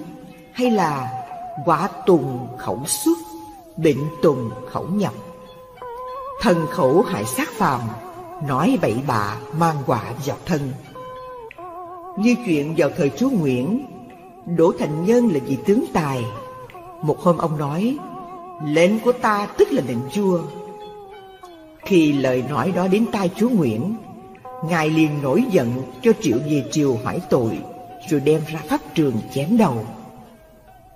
Muốn cho yên thân, ít nước, lợi nhà Khi nói ra phải thật thà, êm dịu bởi con người ta bất bình nhau Vì có kẻ khác hơn mình Nếu mãi hơn thua, ắt ta bị hại Thêm sa cơ lại bị xích xiềng tù tội tử hình Chuyện trên để cảnh giác cho những ai thích nói bướng càng, không suy xét, đo lường hậu quả của nó. Hãy lấy đó mà suy. Ở đời, tôi thấy có nhiều người lúc nào cũng muốn mọi người tán thán khen ngợi mình. Nhưng trái lại, đi nói trên đầu trên cổ người ta. Nếu là người hiền thì nhịn, gặp kẻ dữ họ đánh, nói sao gặp chuyện chẳng lành. Chúng ta nhìn ra ngoài xã hội cho đến trong gia đình. Có nhiều khi ông bà, cha mẹ, vợ chồng, con cháu bất bình nhau điều gì đó, liền tìm đủ mọi cách gây gỗ, chửi rủa tay đôi chưa đủ, lại đem ông bà hai bên ra chửi tan nát, nào là đập đồ, đốt phá, lập bè, kết đảng, chống đối, đấm đá, đâm chém, làm cho cả xóm náo động. Kết quả đôi bên đều bị tổn hại. Khi đó ăn năn đã quá muộn màng Người xưa từng khuyên Chim khôn hót tiếng rảnh rang Người khôn nói tiếng dịu dàng dễ nghe Hay là bằng như lời ấy thốt ra là buồn kẻ khác thì ta xin đừng. Quý vị nên biết, Lời nói giống như ly nước đổ rồi hốt lại sau đầy, Cũng như mũi tên bắn ra không rút lại được. Một lời nói quấy, Cho dù sau này có xin lỗi, Người ta dễ tha thứ cho nhau, Nhưng khó quên đi dĩ dãn Mỗi khi buồn, họ nhớ lại hết. Cũng một lời nói phước đức vô lượng Đồng thời cũng một lời nói lại mang tội vô số. Nhất là những ai giàu sang Chứ có cậy thế ỷ quyền, Hà hiếp người nghèo khổ ngu dốt, Chẳng chút xót thương. Hãy nghe qua bài kệ nhân quả sau đây. Bắt tôi tớ nặng nề công việc, Nhưng lương tiền keo kiệt không cho. Có lỗi lầm chửi mắng ông sùm, Thêm đánh đập khác nào con vật. Mới kiếp trước đánh đòn đứa tớ. Kế kiếp sau làm tớ bị đòn Chết rồi nhưng nghiệp vẫn còn Mạnh thời nở trước Yếu tồn lại sau Lão Tổ cũng nói hành hạ tôi tớ, con cháu suy đồi, đánh đập chửi người thường sanh tai biến. Trên đời có một số người ý mình có quyền thế ngoài xã hội, ý mình có quyền cao tước trọng cả, rồi nghĩ rằng kẻ dưới không được quyền phát biểu ý kiến. Mỗi khi nói chuyện với cấp dưới, không cần giữ phép lịch sự, họ hay cướp lời, lý luận độc đoán, nạt nộ cấp dưới trước mặt nhiều người. Công khai gạch lỗi nói xấu kẻ khác. Thậm chí còn ra oai đánh đập thuộc hạ trước mặt đám đông để tỏ vẻ ta đây. Đấy là thứ thất nhân tâm tạo mầm phản trắc. Cử chỉ hành động của họ như mũi tên ngược tẩm thuốc độc mỗi lần bắn sang cấp dưới là mỗi lần phóng trở lại họ hậu quả của nó rất nghiêm trọng như có anh quân nhân bị kết án 20 năm khổ sai vì tội cố sát. Người ta hỏi tại sao anh giết người. Anh nói, vì thượng cấp hách dịch, ý mình làm lớn, chửi mắng, đánh đập tôi trước mặt mấy người đẹp của ông để lấy le. Tôi bị nhục, sẵn vũ khí trên tay, tôi cho thượng cấp mấy phát. Sở dĩ thượng cấp mất mạng là vì không biết giữ thể diện cho thuộc hạ. Lại có nhiều ông chủ bà chủ sai khiến nạt nộ người giúp việc để ra qua với khách. Đó là điều thất nhân tâm nhất. Cậy tài cậy khéo khoe hơn. Đừng cậy có của đa ngôn quá lời. Của thì mặc của ai ơi, đừng cậy có của coi người như rôn. Ca dao lại có những hạng người do thất học từ bé, lại ở gần với những đứa lưu manh côn đồ, chưa từng được học phép lịch sự tối thiểu. Những thói quen ăn nói, cư xử, cố ý xúc phạm kẻ khác một cách tự nhiên mà họ không cảm thấy hối hận để xin lỗi. Khi nói chuyện với ai, họ nói giọng móc lò móc họng, nói xiên xỏ, nói phủ đầu, nói giọng cầu cao, giọng kẻ cả. Họ quen ăn nói thô lỗ, sổ sàng, tục tiểu một cách tỉnh bơ. Cũng có một số người bình dân hoặc trí thức Khi nói xong điều gì đó Làm cho đối phương bực tức Họ lấy đó làm hả dạ Trong cách ứng xử của người có lương tâm đạo đức Khi nói lỡ lời Hoặc vô tình có cử chỉ làm mít lòng ai Họ nhận thấy mình thất lễ Ăn năn sám hối Lo xin lỗi đi, xin lỗi lại bao lần Mà vẫn còn lo sợ Mình làm người ta buồn phiền. Kim vàng ai nỡ uống câu Người khôn ai nỡ nói nhau nặng lời. Ca dao Muốn cho kẻ khác không quán ghét ta Thì phải biết tự kiềm chế Đừng cư xử hồ đồ xuồng xả Hỏi những câu quá tò mò đến đề tư của người khác. Chớ nói nặng lời xúc phạm đến ai. Đừng đi đầu này đầu nọ, Rêu rao những khuyết điểm của người ta. Như thế, họ sẽ quán ghét ta. Biết bao nhiêu trường hợp giao tế mà ta thiếu tế nhị? Không lịch sự, Chỉ cần nói lỡ một hai lời Là ta bị người nghe ngờ giật Sanh ra ác cảm với ta ngay. Bản chất con người thường mang theo trong mình một ông thần chuyên môn chọc cho kẻ khác ghét ta cực độ. Ông thần ấy có tên là tự ái. Từ hạt bình dân cho đến trí thức, ít nhiều điều bị ông thần tự ái ngượng trị. Nếu không khéo động đến, ông ta sẽ nổi cơn lôi đình, giáng quả xuống rất là nguy hiểm. Chúng ta phải hết sức thận trọng. Nếu không khen được, thì cũng đừng có chê một cách trắng trợn. Đó là một trong vô số cái khó của sự thế khiến cho khổng tử than thở. Vì nhân nan, tức là làm người khó. Chúng ta thường hay chê trách những tên lưu manh giết người cướp của.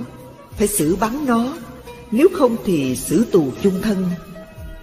Sau ta không nghĩ rằng, nhiều khi do hoàn cảnh đứa bé đó đã không có ai nuôi dưỡng, phải chung sống những đứa lượm bọc, đánh giày, ban ngày thầu đồ thừa trong các tiệm ăn ban đêm ngủ bờ ngủ bụi, chịu đói chịu khát, khổ quá nên chúng học cách móc túi, giật đồ, đâm thuê, chém mướn.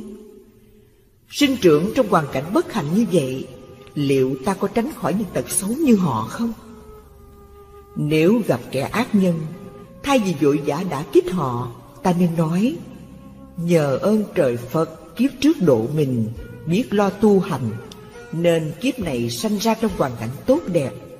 Nếu không thì mình cũng giống như họ. Vậy muốn sửa lỗi người khác, Ta đừng nghĩ rằng ai cũng được may mắn như ta. Hãy chịu khó tìm hiểu nguyên nhân Tại sao họ lại cư xử như thế. Tạo điều kiện giúp đỡ bằng vật chất lẫn tinh thần, Rồi lần lần khéo hướng dẫn họ trở về con đường lành. Trong kinh gọi đó là bố thí và ái ngữ nhiếp. Việc làm đó phước đức quả thật vô lượng, vô biên.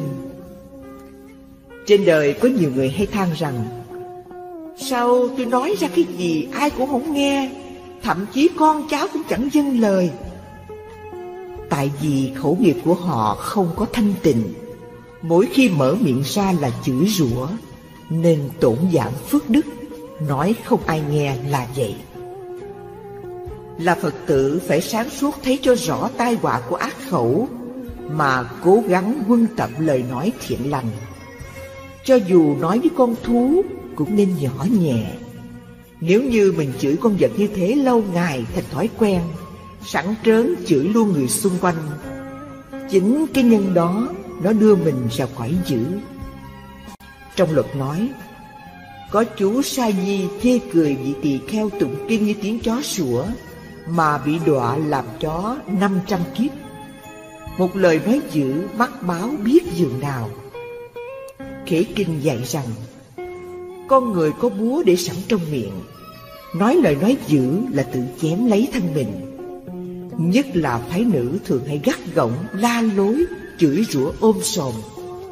Họ nghĩ chửi qua rồi thôi, không có gì xảy ra Nên tha hồ chửi mắng. Không có đơn giản như thế đâu. Chúng ta hãy xem qua câu chuyện sau đây thời sẽ rõ. Chuyện kể, Một hôm có mấy cô thiếu nữ đi chùa lễ Phật. Thấy đống phân chó trước chánh điện, Ai nấy bịt mũi bỏ đi. Chỉ có một cô ở lại tay vừa hốt, Miệng chửi đồ mấy con kỹ nữ không hốt phụ tao. Chỉ chửi thế thôi, Kiếp sau bị quả báo, Sanh làm gái lầu xanh. Nhưng nhờ phước hốt phân trước điện Phật, Nên thân hình cô sạch sẽ, Hai tay mịn màng xinh đẹp. Đó là nhẹ. Nặng bị đọa làm cá trăm đầu Như chuyện trong Kinh Hiền Ngu sau đây. Thuở Phật còn tại thế. Một hôm Ngài cùng chư vị Sa môn đi du quá đến Tỳ Xá Ly, Ngồi nghỉ bên dòng sông Lê Việt. Gần đó, có một nhóm người đánh lưới Kéo lên được một con cá. Trong mình nó mọc ra một trăm cái đầu. Thấy cá lạ, Ai nấy súng lại xem. Phật cùng chư Tăng đến nơi nhìn cá. Phật hỏi, Có phải ngươi là ca tỳ lê không? Thưa phải, Kiếp này làm cá, Kiếp sau sanh về đâu? Cá buồn bã trả lời, Kiếp sau sanh vào địa ngục. Ngài A Nan thấy lạ Liền hỏi Phật do nhân duyên gì Gọi con cá đó là ca tỳ lê Này A Nan Trước đây vào thời Đức Phật Ca Diếp Có vợ chồng ông trưởng giả sanh ra được một cậu con trai đặt tên là Ca Tỳ Lê, có trí thông minh hơn người. Một hôm mẹ cậu hỏi, trong nước có ai học bằng con không? Thưa mẹ, trong nước không có ai học bằng con, ngoại trừ các vị sa môn. Sao con không đến đó học? Mẹ biết không, muốn vào đó học phải cạo đầu, đắp y, mang bát mới được. Ừ, con giả làm thầy tu, vô đó học xong rồi về, có gì mà sợ? Nghe mẹ nói có lý liền làm theo Do trí sẵn có Không bao lâu Đã thông tam tạng kinh điển Một hôm về thăm nhà Mẹ cậu hỏi Sở học của con bằng các vị sa môn chưa? Mẹ ơi, sở học của con ngang hàng chư vị sa môn. Nhưng nói đến công phu thiền định thì con thua xa. Bà ta nghe qua, nổi giận nói Sao con không học? Mẹ nên biết thiền định là phương pháp siêu hình. Tự tu tự chứng Đâu phải học mà được. Nên mỗi khi đàm luận thua là vậy. Còn chớ sợ. Nếu có thua thì cứ chửi. Người ta tu hành hiền lành, Con chửi không đành. Con hãy nghe lời mẹ, Cứ chửi thì mới thắng được. Khi về chùa, Mỗi khi đàm luận với chư vị sa môn thua, Liền nổi nóng, Tự xưng ta đây học giỏi nhất trong nước, không có ai bằng. Các người toàn là lũ ngu si, Đầu óc đần độn như trâu bò. Nói đến đây, Phật bảo, Ca tỳ lê, Vì ác tâm chửi mắng chư vị sa môn và khinh khi những người thiếu học, Nên bị quả báo Làm cá trăm đầu như thế. Sau khi nghe lời Phật dạy, Ai nấy đều rùng mình rỡn gái Bi thương giao cảm, Đồng thanh nói, Tất cả chúng ta đối với thân, khẩu, ý phải thận trọng, Chớ có tác ý, Nói làm diệt ác. Những người đánh cá thấy thế, Liền đến trước Phật Thành kính chắp tay cầu xin xuất gia tu phạm hạnh. Phật khen thiện lai tỳ kheo, Tức thời áo mặc trên mình họ Quá ra cà sa, Trở thành các vị sa môn, Theo Phật tu học, không bao lâu đắc quả a la hứng ham chi danh lợi thế thường, hơn thua lời lẽ con đường diệt vong. Ca trì lê vì tham công Nặng lời to tiếng mắng dòng sa môn. Cho nên quả báo dập dồn Đọa vào suốt loại xác hồn khổ đau. Khuyên trong hiện tại cùng nhau Nghiêm thân khẩu ý thường trao hạnh lành. Lời nói thô ác, phỉ bán những bậc tu hành Phải lạnh lấy ác báo như thế. Cho nên có câu Thà rằng khuấy đục ngàn sông Chứ đừng khuấy động tấm lòng người tu. Trong Kinh Báo Ân Đức Phật dạy Này A Nan Tất cả chúng sanh tai họa từ miệng sanh ra Nên giữ miệng hơn là đề phòng lửa dữ. Lửa dữ đốt cháy tiền của thế gian Miệng dữ đốt cháy bảy tài sản của bậc thánh Tính, giới, tàm, quý, đa văn, trí huệ, xả ly. Quả báo của lời nói ác ghê gớm như thế, Mà có mấy ai ngán sợ. Cứ mãi hơn thua từng chút Hạch hỏi từng câu, Mỉa mai chăm biếm đủ thứ, Làm cho gia đình quyến thuộc phân ly. Nhân loại thù hằn, Xô sát lẫn nhau, Gây bao tan tóc. Nên có lời khuyên, Nhất lời nói bao giờ cũng lọc, Buông ra rồi khó hốt lại nào. Tục rằng lưỡi bén hơn dao Nói ra một tiếng đoạn bao nghĩa tình. Sự vui buồn trọng khinh thương ghét Thường do nơi mồm mép gây nên. Chỉ trong một tiếng cất lên Hoặc tan sự nghiệp Hoặc nên cửa nhà. Trong kinh Phạm Giọng nói Tất cả chúng sanh đều là ông, bà, cha, mẹ Nhiều đời chết đi và sanh trở lại.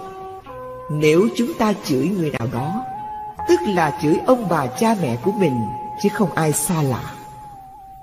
Nhưng có mấy ai nghĩ thế? Đa số cho rằng nếu mình hiền, Sẽ bị người khác ăn hiếp hoài. Phải tỏ ra hung dữ, Chửi lại cho nó ngán sợ. Quý vị nên nhớ, mình bị người ta chửi mình, Rồi mình chửi lại. Nó có điều kiện kéo dài thời gian. Chẳng khác nào suối họ chửi thêm mà không hay. Hơn nữa, Kẻ chửi mắng là xấu rồi. Nếu chửi lại, Ngay đó mình đã quá ra người hung dữ, Chẳng khác nào dành tội với họ. Cả hai đều xa đọa. Vậy ta không nên nói lời thô bỉ với bất cứ một ai, Mà phải dùng lời dịu ngọt. Lắm lúc, có người sẵn sàng giúp ích cho mình, Nhưng khi người ta nghe nói lời không vừa lòng, Họ liền không giúp. Người kia nóng giận nói ào ào, Chẳng lẽ ta đây cũng thế sao? Họ đã cọc cằn thêm ta nữa. Nhìn chung ta họ khác chi nhau. Bởi thế nên tôi cứ mỉm cười. Dẫu ai chửi mắng vẫn vui tươi. Mặc tình họ cố tâm gây sự, Lòng vẫn yên vui giữ nụ cười. Muốn khắc phục những ý niệm đấu tranh hơn thua Chúng ta hãy xem qua câu chuyện trong Kinh Tứ Thập Nhị Chương. Chuyện kể, Một hôm Đức Phật đi du hóa đến thôn nọ. Tín đồ Bà La Môn bỏ đạo theo Ngài gần hết. Ông Bà La Môn, Akasaka, vô cùng oán hận. Thừa cơ hội Phật đi khất thực, Chặn đường chửi hoài, nhưng Ngài vẫn bình tĩnh bước đi. Ông ta tức giận nói, Này, cô đàm có nghe tôi chửi không? Ta nghe rất rõ ràng. Nghe tại sao không trả lời? Này bà La Môn, Giả sử nhà ông có đám dỗ, Khi đãi xong khách ra về, Còn dư quà bánh, Ông đem tặng nhưng người ta không nhận. Quà bánh là của ai? Nếu tôi tặng họ không nhận, Quà bánh là của tôi. Cũng thế, Những lời ông chửi mắng Nhưng ta không nhận. Ngươi tự thọ lãnh Nhân đó Phật nói kệ Chửi mắng kẻ lương thiện Kêu mạng khinh miệt người Như ngước mặt lên trời Mà phun nước miếng vậy Nước miếng chẳng đến trời Trở lại rơi trúng mình Người hiền không thể hại kẻ ác tự hại mình. Bà La Môn Akasaka nghe Phật thuyết Pháp xong, tâm liền tỉnh ngộ, ăn năn sám hối, cầu xin Phật xuất gia. Phật cho phép ông ta xuất gia làm tỳ kheo. Ông tinh tấn tu hành, không bao lâu chứng đắc đạo quả A-la-hấn. Phật bị người ta kêu tên chửi mà Ngài không nhận, nên nội tâm được an lạc. Còn mình, hễ ai nói động tới tên là đôi chối hơn thua tới cùng. Vì dễ nhận quá, nên phiền não khổ đau triền miên không dứt. Muốn cho thân tâm được an lạc, Kinh Pháp Cú dạy dí như đá núi Tây Đình Dông nào lai chuyển rung rinh bao giờ? Tâm người đại trí trơ trơ Chê khen cũng mặc Lặng lờ như không. Để tránh quả báo xấu Gieo nhiều phước lành Tổ Bồ Đề Đạt Ma dạy Gương mặt hiền lành Hoan hỷ không sân hận bực tức. Miệng luôn luôn nói lời đạo đức Khiến cho người nghe sanh tâm vui mừng hướng thiện. Không làm ai đau khổ vì lời nói của mình. Đó là đồ cúng dường hảo hạng Và mùi hương thơm cao quý nhất. Quý vị có tiền mua hoa, quả, hương thơm cúng dường Phật, ông bà Đó là điều tốt. Nhưng không bằng gương mặt tươi cười Lời nói hiền diệu với mọi người. Tôi thiết nghĩ, Việc đó ai làm cũng được. Hàng ngày gieo tạo phước duyên, Quanh năm suốt tháng chẳng làm phiền ai. Thương yêu quý mến trong ngoài, Cả đời hạnh phúc không ai quán hờn. Nói tóm lại, Người không nói lời thô ác Chẳng hề moi móc việc xấu của ai. Thường đem lời thanh nhã, hiền hậu, đạo đức Đầy lòng từ bi hỷ xả Đối xử tốt đẹp với mọi người thì đâu có sanh thù oán với ai. Nhờ thế nên thân tâm thường được an lạc. Người đó đi đến đâu, nói ra điều gì, mọi người đều hân hoan, kính trọng, dân lạc.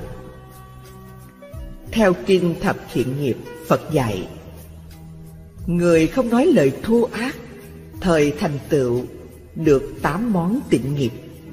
Một, lời nói không trái pháp độ. Hai, lời nói có ích lợi. ba Lời nói quyết hợp lý.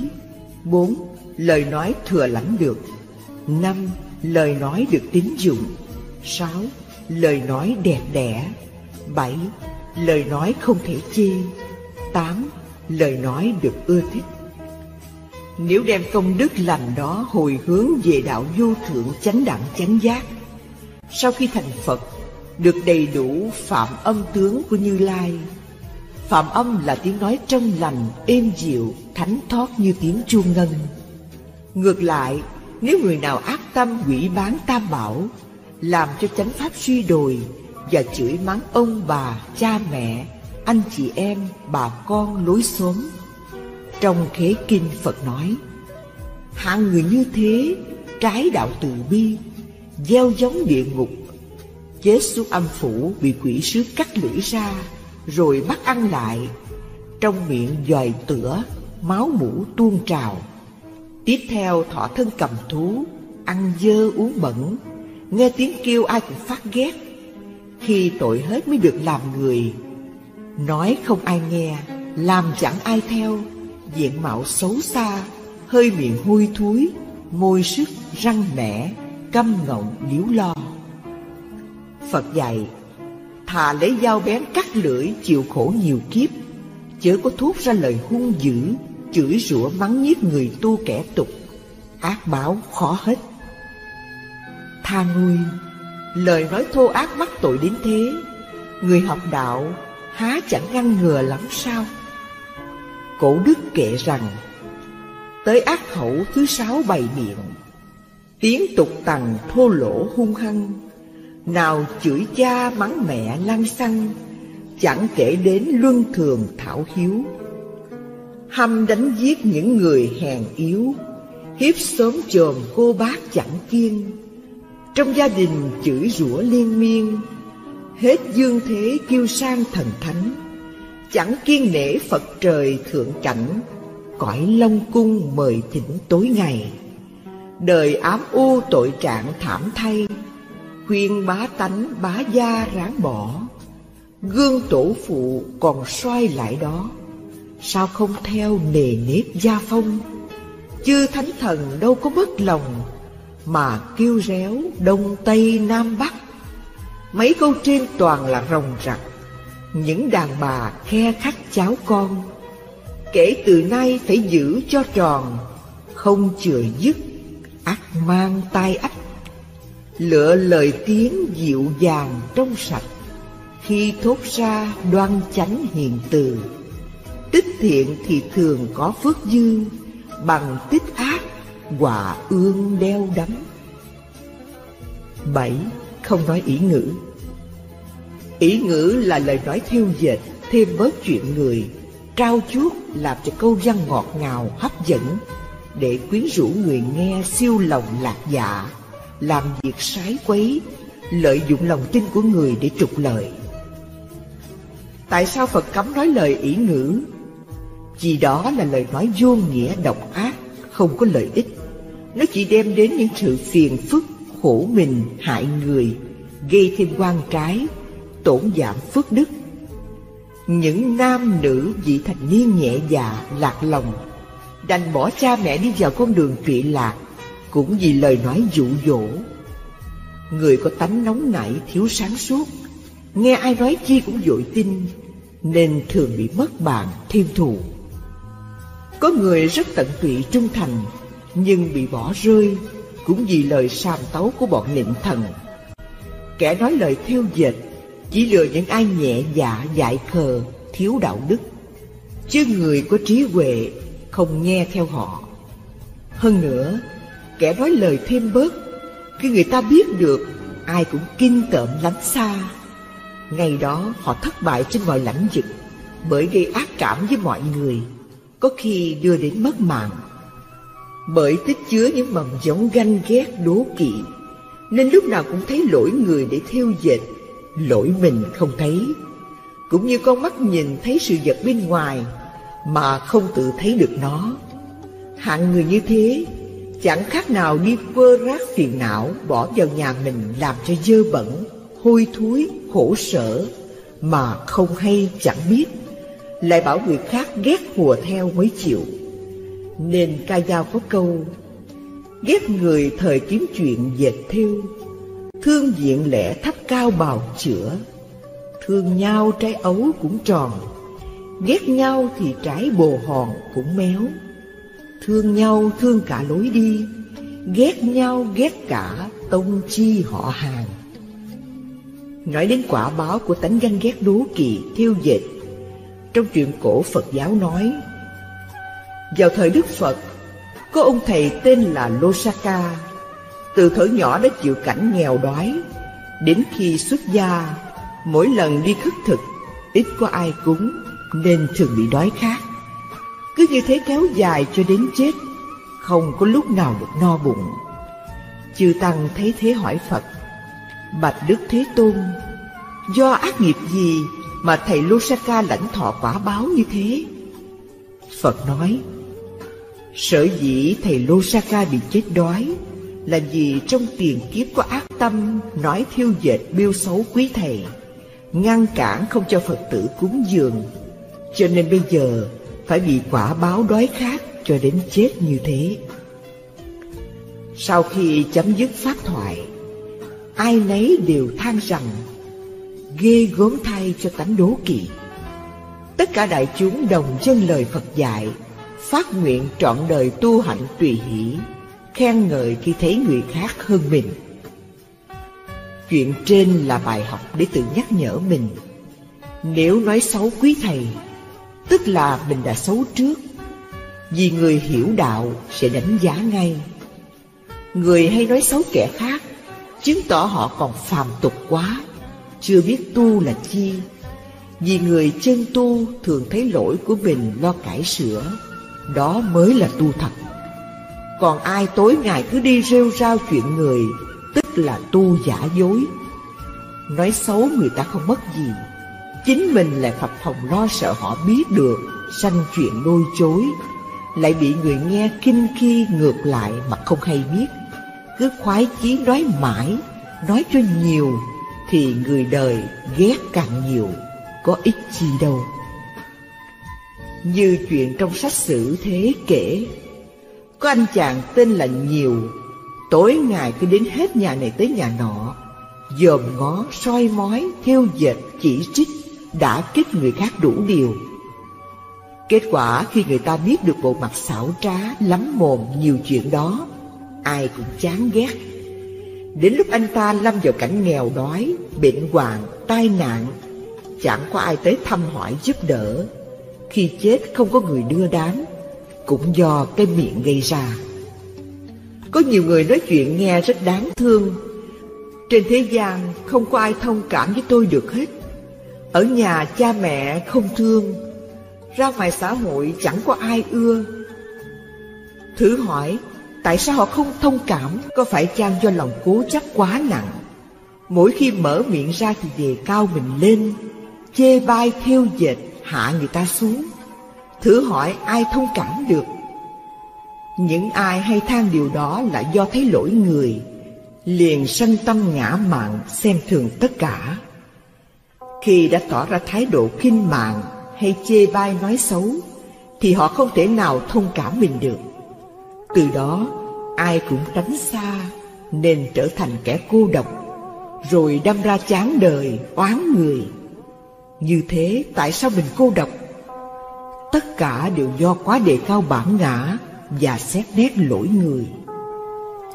Ai ơi, ít nói là vàng, nói nhiều nhiều lỗi trái ngang cũng nhiều. Chi bằng ít nói bao nhiêu, khỏi điều phiền não, khỏi điều thị phi. Minh Pháp Muốn có cuộc sống hài hòa yên vui, chúng ta phải luôn luôn thấy lỗi mình mà quên cái dở của người, thì tự nhiên bản ngã xuống liền. Vì thế lục tổ dạy, nếu người thật chân tu, không thấy người đời lỗi, nếu thấy lỗi của người, lỗi mình đến bên trái, người sai ta không sai, ta sai tự có lỗi, chỉ dẹp tâm mình sai, dứt trừ phiền não sạch, thương ghét chẳng bận lòng, duỗi thẳng hai chân nghĩ.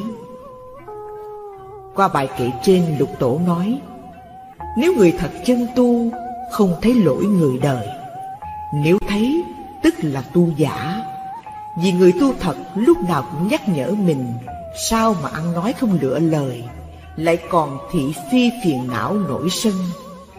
Cứ nhớ như thế Tự khiển trách mình Và luôn luôn thấy ai cũng tốt. Ngược lại Chỉ thấy lỗi người thì dễ sanh tâm quỷ bán thêm bớt chuyện người ta. Ngày đó mình đã sai rồi. Họ lỗi là chuyện của họ. Nếu thấy khuyên được thì tốt, Bằng không cứ giữ mình đừng lỗi là được.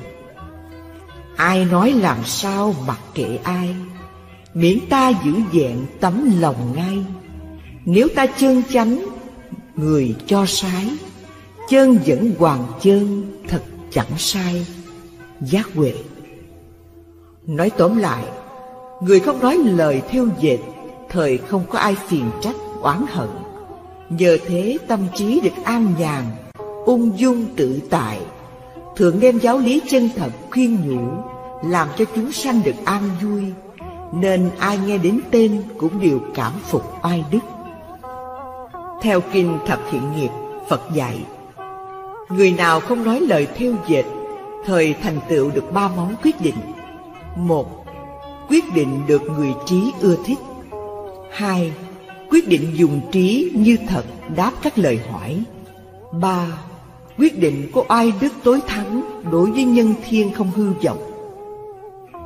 Nếu đem công đức lành đó hồi hướng về đạo vô thượng chánh đẳng chánh giác, sau khi thành Phật, được Đức Như Lai thọ ký chẳng có luống dối.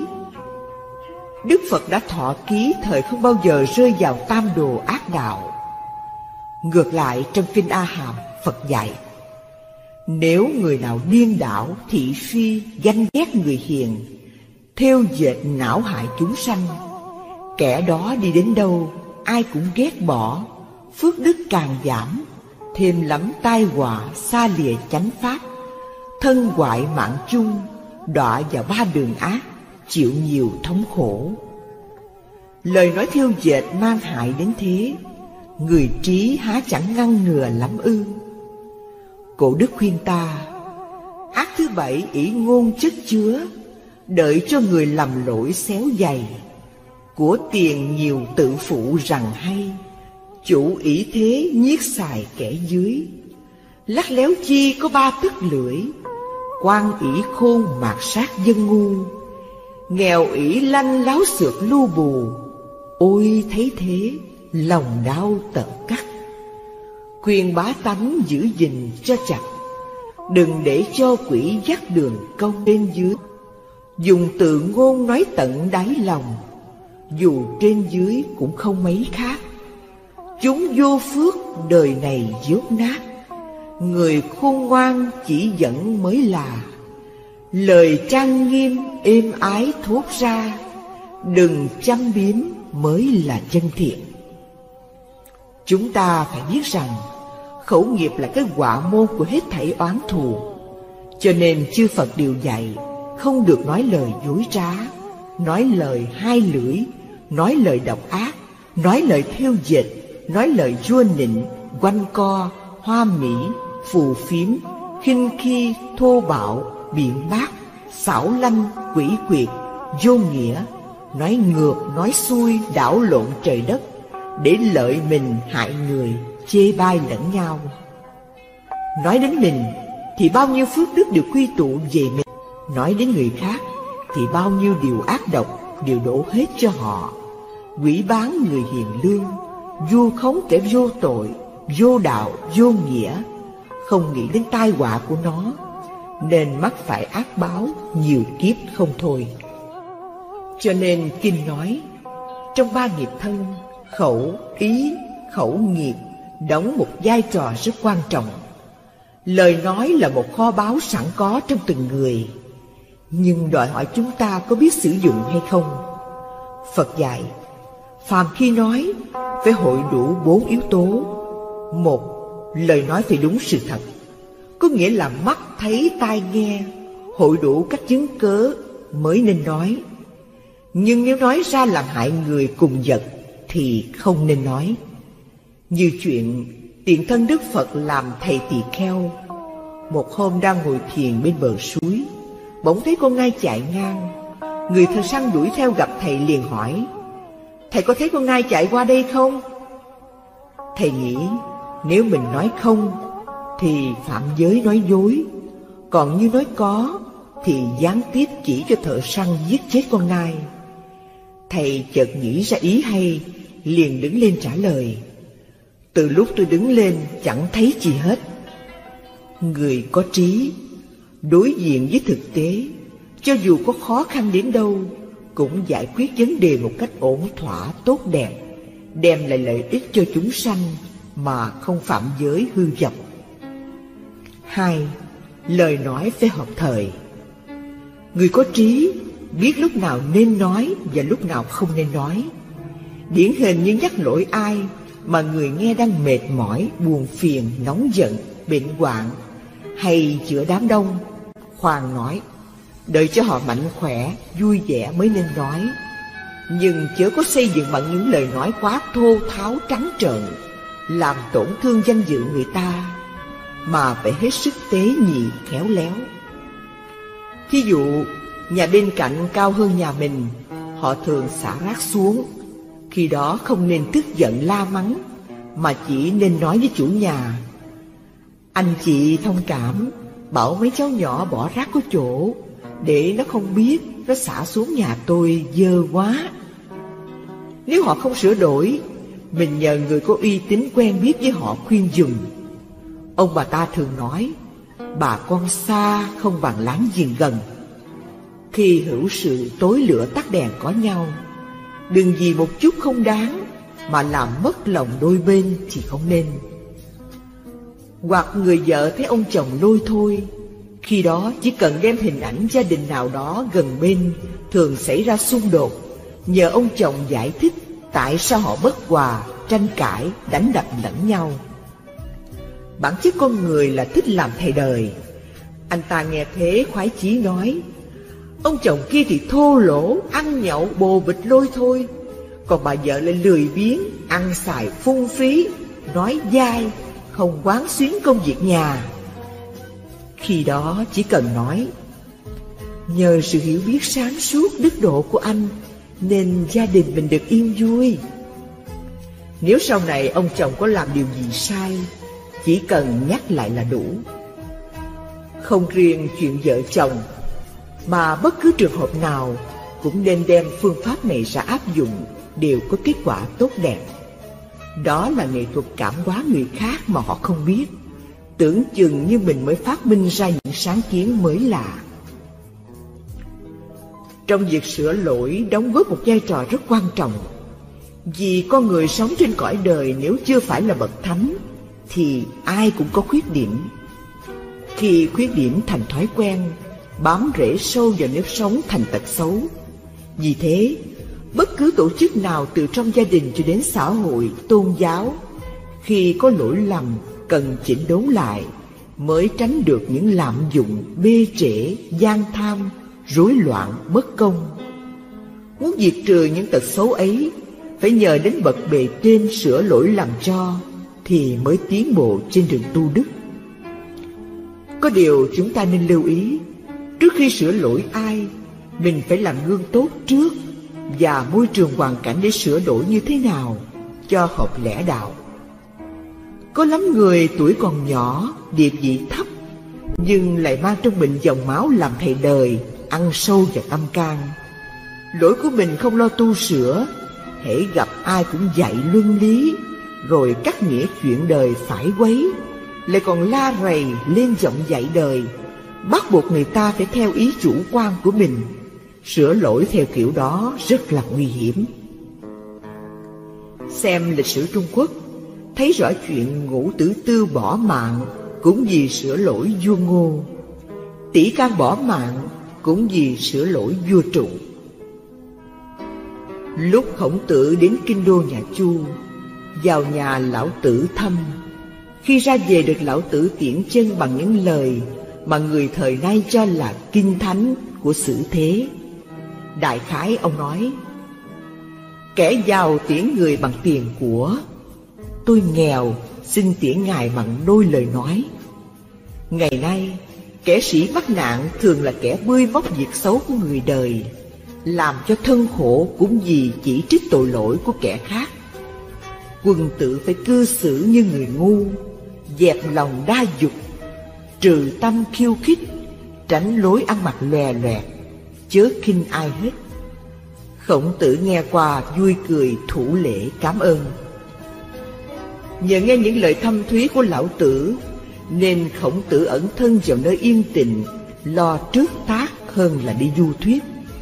Sự nghiệp vĩ đại của Ngài thành tựu được Phần lớn là nhờ ẩn cư, an vần lạc đạo Truyện trên cho chúng ta thấy Khổng tử là một nhà hiền triết Mà còn phải cần những lời khuyên ấy Để áp dụng trong đời sống Còn chúng ta tài đức bao nhiêu mà lại đi hết nơi này đến chỗ nọ chỉ trích, đã kích những lỗi lầm của kẻ khác. Nếu là người hiền trí, họ ý thức sửa sai. Trái lại, chẳng may gặp kẻ hung dữ độc ác, họ sẽ hãm hại ta. Bản chất con người, ai cũng giàu lòng tự ái. Đừng bao giờ hại tội người ta một cách trắng trợn. Thủ tướng người Anh đã từng nói, Thượng đế hành phạt tôi thế nào thì phạt Miễn đừng cho tôi một thằng bạn nói thẳng khuyết điểm của tôi Cho nên khi sửa lỗi lầm của ai Ta nên bình tĩnh sáng suốt Mời họ ngồi vào bàn hòa giải Trong tinh thần tôn trọng đối phương. Ta dùng cách nói khiêm tốn, hòa nhã Thì người ta dễ chấp nhận hơn. Trái lại, Nếu mình nói với giọng dao to, búa lớn, Xúc phạm người ta một cách quá đáng và chỉ trích với thái độ hách dịch, thì chắc chắn người nghe chống đối lại. Chứ ta đừng mong thuyết phục được ai. Người ác đến đâu có lúc họ cũng lắng nghe tiếng nói của lương tâm nhận ra lẽ phải từ xưa đến nay có biết bao bạo chúa hiếu chiến tàn sát lê dân Nhưng có lúc họ cũng biết lắng nghe lẽ phải. Lúc hạng võ đến thành ngoại quỳnh, ra lệnh chôn sống tất cả thanh niên. Có một em bé 13 tuổi tên Cừu Thúc đến nói với hạng võ. Muôn tâu bệ hạ, bệ hạ có nhận thấy rằng hễ hại ai thì người ấy hại lại, thương dân thì dân thương lại. Hạng võ nghe lời nói phải, liền chỉ thị rút lại lệnh tàn sát, rồi ra lệnh quân binh bảo vệ tài sản và mệnh sống của dân chúng. Ba, lời nói phải cẩn thận. Nghĩa là khi nói ra, phải đo lường tác dụng của nó tốt hay xấu, phía sau có di họa gì không. Nhiều người tuy không trực tiếp lấy dao, cầm súng, đâm chém, bắn giết người khác, nhưng họ lại đã kích nhau bằng những binh khí miệng lưỡi, còn lợi hại hơn cung tên giáo mát. Ở đời, có nhiều người ăn nói độc địa, làm cho người nghe giống như bị ngộ độc, tủi nhục mà chết. Chúng ta nhìn cuộc sống xung quanh hay nghe đài, xem báo, thấy có nhiều câu chuyện không đáng, nhưng lại đưa đến chết người. Như báo đăng tin, có bà nội nghi đứa cháu lấy tiền, liền chửi mắng nàng dâu. Mày đừng có dạy con tham lam giống dòng họ bên ngoại của nó.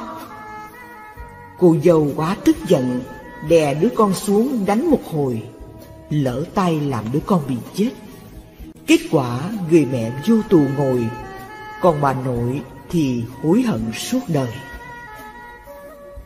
Trong xã hội, có vô số trường hợp rắc rối, như trong sách ứng xử nói. Trong gia đình nọ có cậu con trai tên là Tấn. Cậu ta thường tụ tập bạn bè để đi ăn nhậu hút chích. Đã nhiều lần bị cha mẹ ngăn cấm, nhưng Tấn vẫn tiếp tục ăn chơi xa đọa. Một hôm, ông cha thấy Tấn dẫn bạn về nhà với bộ dạng say sưa. Ông vô cùng tức giận, mắng Tấn trước mặt bạn bè. Mày là thằng mất dạy, tao nói hoài mà không nghe, cứ đi ăn chơi hoài. Đồ ly lợm không biết xấu hổ, sống chật đất, mày uống thuốc độc chết phúc cho rồi đi.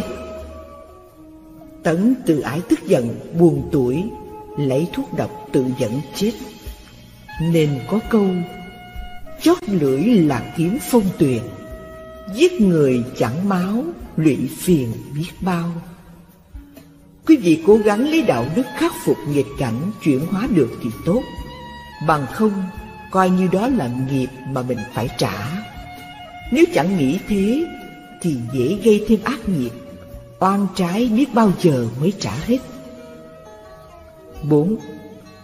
Lời nói phải xuất phát từ lòng thương yêu chân thật. Muốn có lời nói trọn lành trong sạch, Mang niềm vui đến cho mọi người Chúng ta phải có lòng từ bi hỷ xả Những lỗi lầm của người chung quanh Khi đó mới là ái ngữ chân thật, Xuất phát từ lòng thương yêu, Ban niềm vui đến mọi người Trong Kinh Tạng Nikaya, Phật dạy, Người nào nói lời chân thật, Bảo vệ sự thật của người khác, Thực hành được như thế, mới gọi là biết hộ trì chân lý. Thuở Phật còn trụ thế, một hôm có ông Bà La Môn đến hỏi Phật, thế nào là hộ trì chân lý? Phật đáp, người nào đối với chánh pháp có niềm tin bất động, từ bỏ lời nói dối trá, đâm thọc, theo dệt, thu ác, thường đem lời lành giáo hóa chúng sanh đó là người biết hộ trì chân lý. Tám La Mã Không tham dục. Tham dục.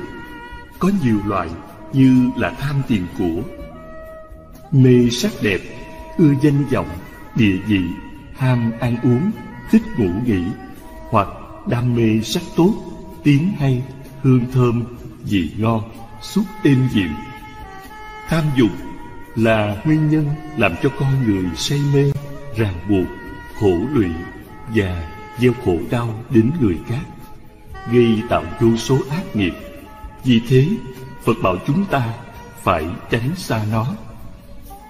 Chúng ta ai cũng biết như tham tiền của, vàng ngọc, phải đầy đọa sát thân, lại thường dướng ách nạn, mất mạng thuở và còn tại thế một hôm ngài cùng chưa gì tỳ kheo đang đi bỗng thấy một túi vàng bên vệ đường phật bảo các thầy tỳ kheo đó là rắn độc.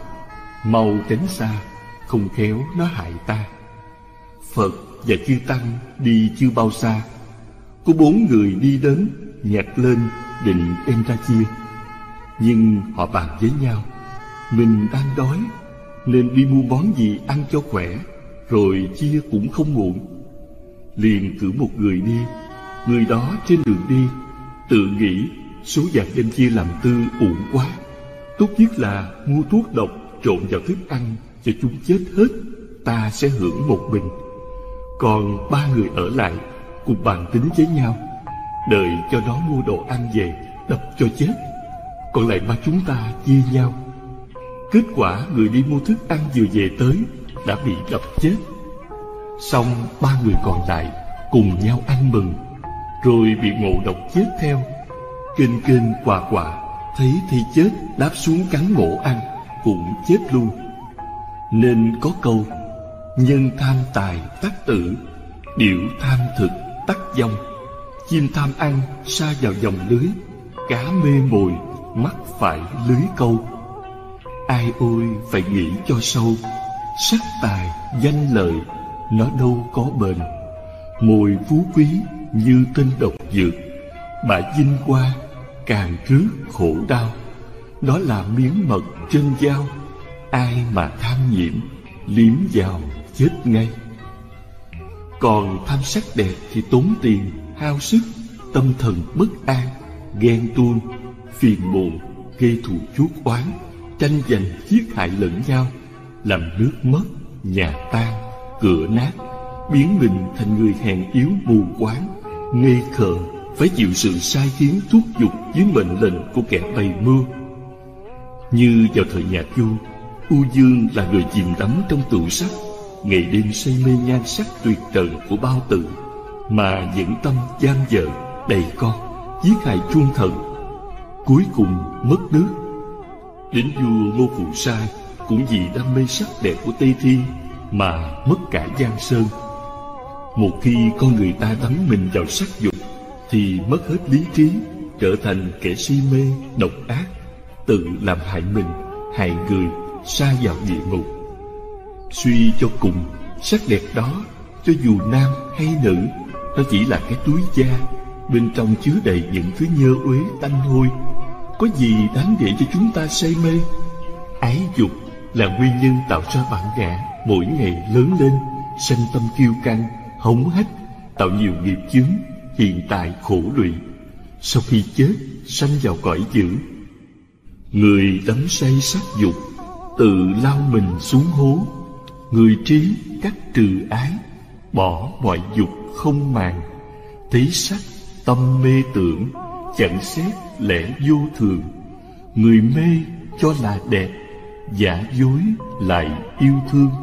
Đắm mình trong dâm lạc, tâm kéo kén khác chi người trí huệ dứt hẳn, hết khổ não sầu bi, người tâm trí buông lung, dâm nhơ cho là sạch, tình ân ái sâu nặng, là lao ngục trói trăng. Người tỉnh giác trừ dâm, bất tình quán để tâm, nhờ đó khỏi lao ngục và chết dứt tận mầm. Kinh pháp cú tham danh vọng phải vào lòng ra cuối, lao tâm nhọc sức. Khi được rồi, lại sợ kẻ khác hãm hại. Lúc nào cũng phập phòng lo sợ, cho người canh gác, chẳng khác nào kẻ tử tù. Nhưng thiên hạ nào ai biết, cứ mãi lo tranh giành. Nên có câu, danh tiếng lẫy lừng, danh tiếng hại. Tuổi tên lừng lẫy, tuổi tên trù. Bao phen bay nhảy, bao phen dài mấy trận tài khôn, mấy trận ngu. Hay là có tài mà cậy chi tài, chữ tài liền với chữ tai một dần. Nguyễn du, muốn khỏi bị lợi danh xiềng xích, trói buộc, thân tâm thanh tịnh, an vui, chúng ta hãy xem qua mẫu chuyện trong kinh tăng chi. Chuyện kể Thuở Phật còn tại thế, Có vị hoàng tử tên là Bạc Đề xuất gia tu học Trong giáo pháp của Đức Thế Tôn. Một hôm đang hành thiền, Ngài thấy rõ sự lợi ích của đời sống phạm hạnh, Liền thốt lên.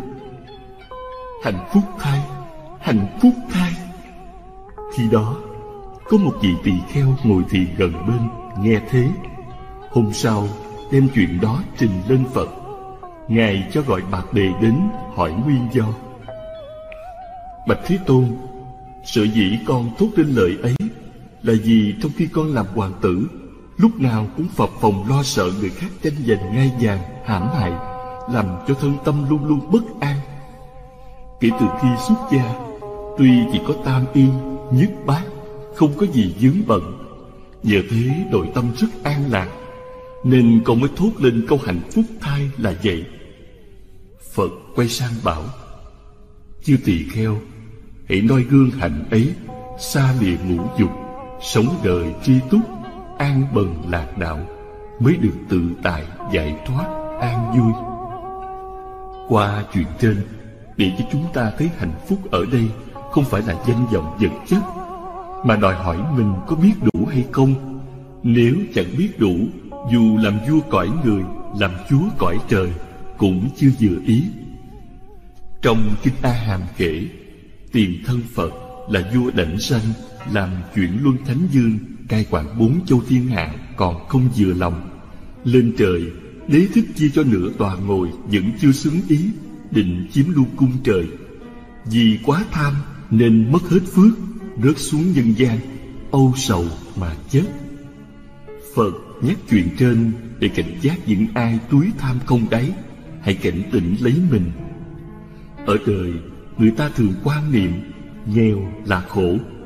Nếu nghĩ như thế, tại sao phật rời bỏ hoàn thành vào rừng tu khổ hạnh? Đến khi đắc đạo dưới cội cây bồ đề, tam y, nhất bát, nay đây mai đó, chẳng quản gian lao, không từ khó nhọc, du hành khắp nơi, giáo hóa chúng sanh. Trước lúc nhập niết bàn, nơi rừng cây sa la, ngài nói chưa có ông vua hay gì trời nào hạnh phúc, an lạc như ta. Cho nên, hạnh phúc hay khổ đau, đủ thiếu ở đây không phải danh vọng vật chất, mà điều quan trọng là chúng ta sống làm sao cho phù hợp lẽ đạo thanh cao, cho dù nhà tranh, ăn cốc đơn sơ, cơm rau đạm bạc, vẫn thấy an nhàn lạc đạo. Kinh di giáo nói, tri túc thường lạc nghĩa là người biết đủ ở bất cứ hoàn cảnh nào cũng được yên vui. Tham ăn cao lương mỹ vị khó tiêu, thân thể mệt nhọc, dễ sinh ra các chứng bệnh khó trị. Kinh y nói, người bị đau có mười nguyên nhân.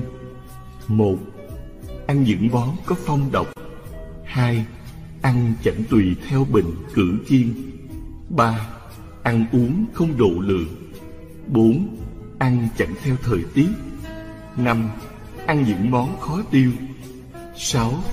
Biết món ăn không lợi mà vẫn ăn 7. Những món ăn trước chưa tiêu mà ăn thêm vào 8. Ăn dai không kỹ 9. Ăn rồi ngồi lâu và làm việc liền 10. Đến lúc đại tiện, tiểu tiện mà chẳng chịu đi Người tham ăn thường bị mùi vị ràng buộc, Như dùng thiếu một trái ớt là nuốt không vô. Tìm cho bằng được mới chịu ăn. Có khi người nấu không vừa miệng Thì chê trách đủ điều. Người ta nấu cực khổ, Không khen thì thôi. Có đâu vì một chút miếng ăn Làm cho mất hết tình nghĩa. Các nhà tâm lý học bảo, Trước khi chê điều gì, Ta phải khen họ trước. Thí dụ Nấu canh lạc quá Ta nên nói Bạn nấu ngon lắm Nhưng thêm một chút muối thì thật là tuyệt. Nói như thế ai lại không thích? Ngược lại chỉ có chê mãi Họ sẽ đổ lì ra là nguy hại cho cả nhà. Quý vị hãy học cách sống của các thiền sư. Quý ngài sống rất bình dị, đơn giản Xem món ăn dư lương dược trị bệnh đói khát Duy trì mạng sống để hành đạo Làm lợi ích cho chúng sanh đói ăn, khát uống, không có chi bận tâm phiền trách chỉ biết tất cả là vô thường giả tạo. Những người tham ăn họ thường tìm kiếm những món ngon vật lạ để cung phụng sát thân. Nhưng ăn qua khỏi miệng rồi còn chi chỉ còn lại tội lỗi. Ngày kia phải lãnh lấy ác báo. Tổ quy sơn dạy muốn tiến đạo nghiêm thân phải tam thường bất túc ngài ấn quan pháp sư khuyên, cơm rau đỡ già đói, nhà cỏ che gió sương người đời nếu biết đủ, phiền não chẳng còn dư. Trong kinh tiểu bộ tập 1 đức phật có dạy, ai đoạn hết lậu hoặc, uống ăn vừa biết đủ, từ tại nơi hành xứ, không vô tướng vô nguyện, như chim giữa hư không tìm dấu chân chẳng thấy. Tục ngữ, ăn để sống, chứ không phải sống để ăn. Tham ngủ nghỉ thì tâm trí lu mờ. Có nhiều người ham ăn, mê ngủ đến nỗi quên hết lệ phải, thậm chí thân quyến nghèo đói, hoạn nạn hay đau chết cũng không thèm ngó đến. Người như thế thật là mất hết nhân phẩm, tổn giảm phước đức kinh pháp cú nói, con heo thích ngủ ham ăn muôn đời chịu kiếp bán thân làm hàng. Người ngu thích ngủ ham ăn muôn đời tiếp tục trói trăng luân hồi. Theo y học, trung bình mỗi ngày đêm ngủ 7 đến 8 tiếng đồng hồ là đủ. Thời gian còn lại, chúng ta cố gắng làm việc nghe kinh, học pháp, tự nhắc nhở mình và khuyên nhủ người chung quanh tích cực làm công quả, bố thí gieo trồng phước duyên cho đời sau. Vì thời gian đã qua rồi, không bao giờ trở lại. Kiếp người ngắn ngủi, phải nên tinh tấn làm phước thiện. Nếu mãi lười biếng, hẹn hò e rằng đến khi tử thần gõ cửa đi vào cõi dữ. Lúc đó ăn năn, muốn làm lành thì đã quá muộn. Kinh di giáo, phật dạy các hàng đệ tử ngày thời siêng năng tu tập các pháp lành, chớ bỏ sai thời. Đầu đêm cuối đêm, phải tinh tấn tụng kinh, niệm phật, ngồi thiền. Đừng vì nhân duyên ngủ nghỉ, luống qua một đời. Phải nhớ, giặc vô thường đang trình giết người hơn kẻ oan gia. Hãy mau tỉnh ngộ, sớm cầu diệt độ. Ngoài ra, có nhiều người còn đam mê đủ thứ. Nào là hương thơm cảm xúc êm dịu, tiếng hay. Có người mê đến nỗi nếu là bộ phim đó, giọng ca nọ mới chịu ai chiếu phim bắt đại khác, liền đổi giận chửi rủa đủ điều. Ôi, thật là mê muội vô cùng. Muốn có cuộc sống hài hòa, chúng ta phải tu hành hỷ xả tùy thuận lẫn nhau. Khi gặp cảnh trái ý nghịch lòng, ta phải bình tĩnh quán sát lời phật dạy. Ngũ dục lục trần là pháp loạn tâm, tổn hao sức khỏe, đều nguy hại cho lòng đạo cả. Nếu ta thấy rõ các pháp không thật, thì tâm ta liền trở nên an lạc. Sở dĩ con người khổ là do lòng cố chấp quá nặng, như khi hương thơm đến nảy sinh ưa thích, hôi thối tới liền bực dọc, tức giận. Muốn khắc phục phải tình tâm để thấy tự tánh nó không thật, đủ duyên thì đến, hết duyên liền mất. Nhìn lại thân ta cũng là nhơ uế, có chi phải bận tâm buồn phiền, không giải quyết được gì. Tốt nhất lo dọn dẹp hoặc tránh né hay hơn là phiền trách. Cho đến xúc chạm, những gì êm ái, mịn màng thì sanh tâm say đắm, thô cứng lại chán ghét. Phật dạy, người đam mê xúc dục nên cứ mãi lẫn quẩn trong dòng sinh tử, chịu biết bao kiếp nạn, giống như người đứng trước vực thẳm, không biết rớt xuống lúc nào. Nên có câu, bởi mê mới làm tôi thì dục, nếu ngộ đâu tùng phục lòng ta. Dục ta đều hại người ta, dục là thống khổ, ta là trầm luân. Dục thường vì sát thân khởi xướng ta thường vì vọng tưởng sinh ra, cả hai đều thứ mắt loà lại gần thấy đẹp hại xa không lường. Hay là, Nhãn thấy sắc thường hay bận biệu Tai ưa nghe lắm điều âm thanh. Mắt với tai đều chọn đẹp xinh, Còn lỗ mũi ưa mùi êm dịu. Đồ thơm tho nó ưa, nó chịu Chốn xạ hương hay lết lại gần. Lưỡi ưa ngon là chuyện ân cần. Đồ ngọt béo, nó ưa nó mến. Thân tham sướng, muốn tìm của đến. Đặng ăn xài cho vị tấm tình. Ý thì ưa sửa sắc soi hình, Với chức phận cho cao, cho quý. Sáu đường ấy ở trong tâm ý, Ta mau mau dứt đó cho rồi. Thì tòa sen mới đặng đứng ngồi Cho thông thả hưởng mùi sen báo Cổ đức thi văn cho chúng ta biết Nếu lục căn của mình được thanh tịnh Ngay đó là Bồ Đề, Niết Bàn, tịnh độ Không cần tìm ở đâu xa. Phật Pháp vốn ở thế gian Trong đời giác ngộ Chớ tìm đâu xa.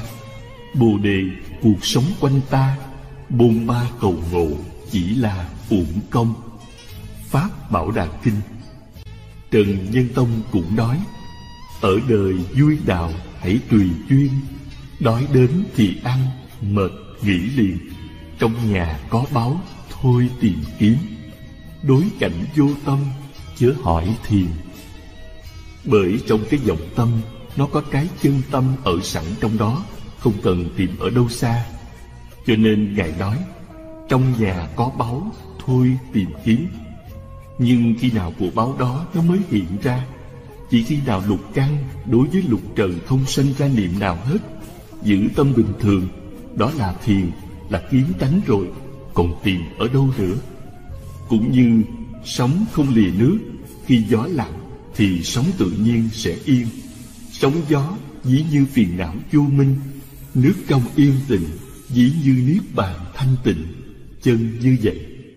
Người nào chẳng nói lời hai lưỡi thì không có chuyện rắc rối.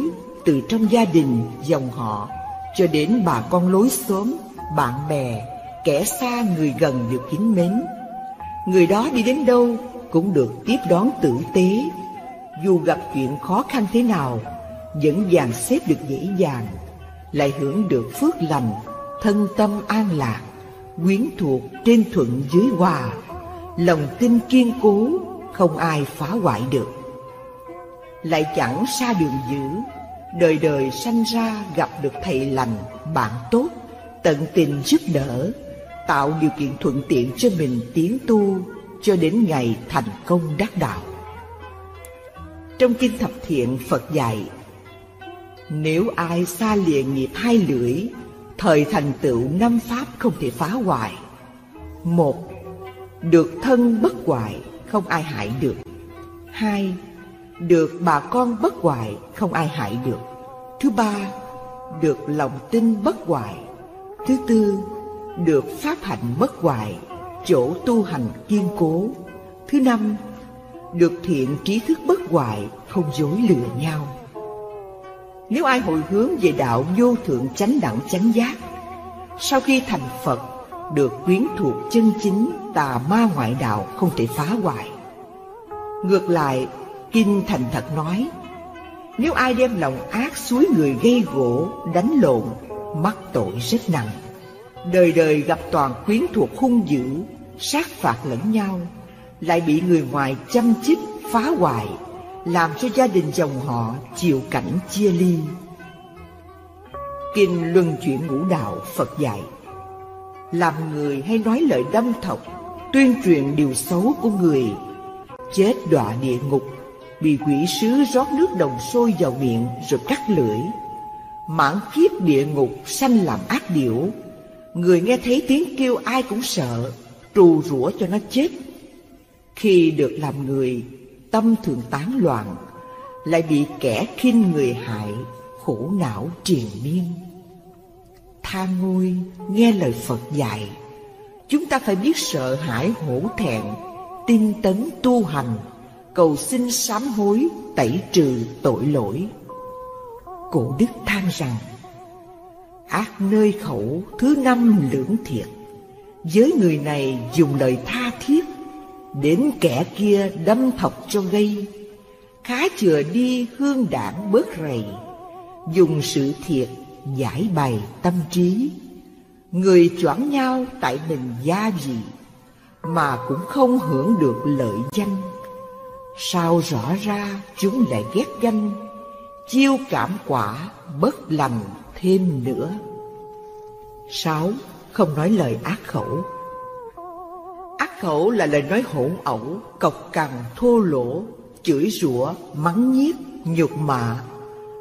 Cho người ta là đồ ma quỷ, ngu si như trâu, bò, heo, chó, hoặc hăm dọa đánh đập, giết hại người. Đó gọi là ác khẩu. Phật cấm nói lời độc ác, vì nó làm cho người nghe khó chịu, buồn khổ, hổ thẹn, tủi nhục. Thế là ta đã tự bóp chết tình thương rồi. Thử nghĩ mình bị ai nói chạm tự ái một chút, liền phiền giận không nguôi. Tại sao ta lại vì một chút lỗi lầm của người mà sanh tâm cố chấp, chửi mắng quỷ nhục làm chi cho thêm thù dương oán? Vì thế, Bồ Đề Lão Tổ dạy, lời nói chẳng lành nhá hòa liên thanh, nói không độ lời thường sanh tai biến, hay là quả tùng khẩu xuất bệnh tùng khẩu nhập. Thần khẩu hại sát phàm nói bậy bạ, mang quả vào thân. Như chuyện vào thời chúa nguyễn, đỗ thành nhân là vị tướng tài. Một hôm ông nói, lệnh của ta tức là lệnh vua.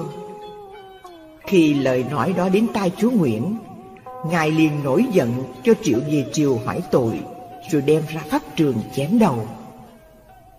Muốn cho yên thân ít nước, lợi nhà.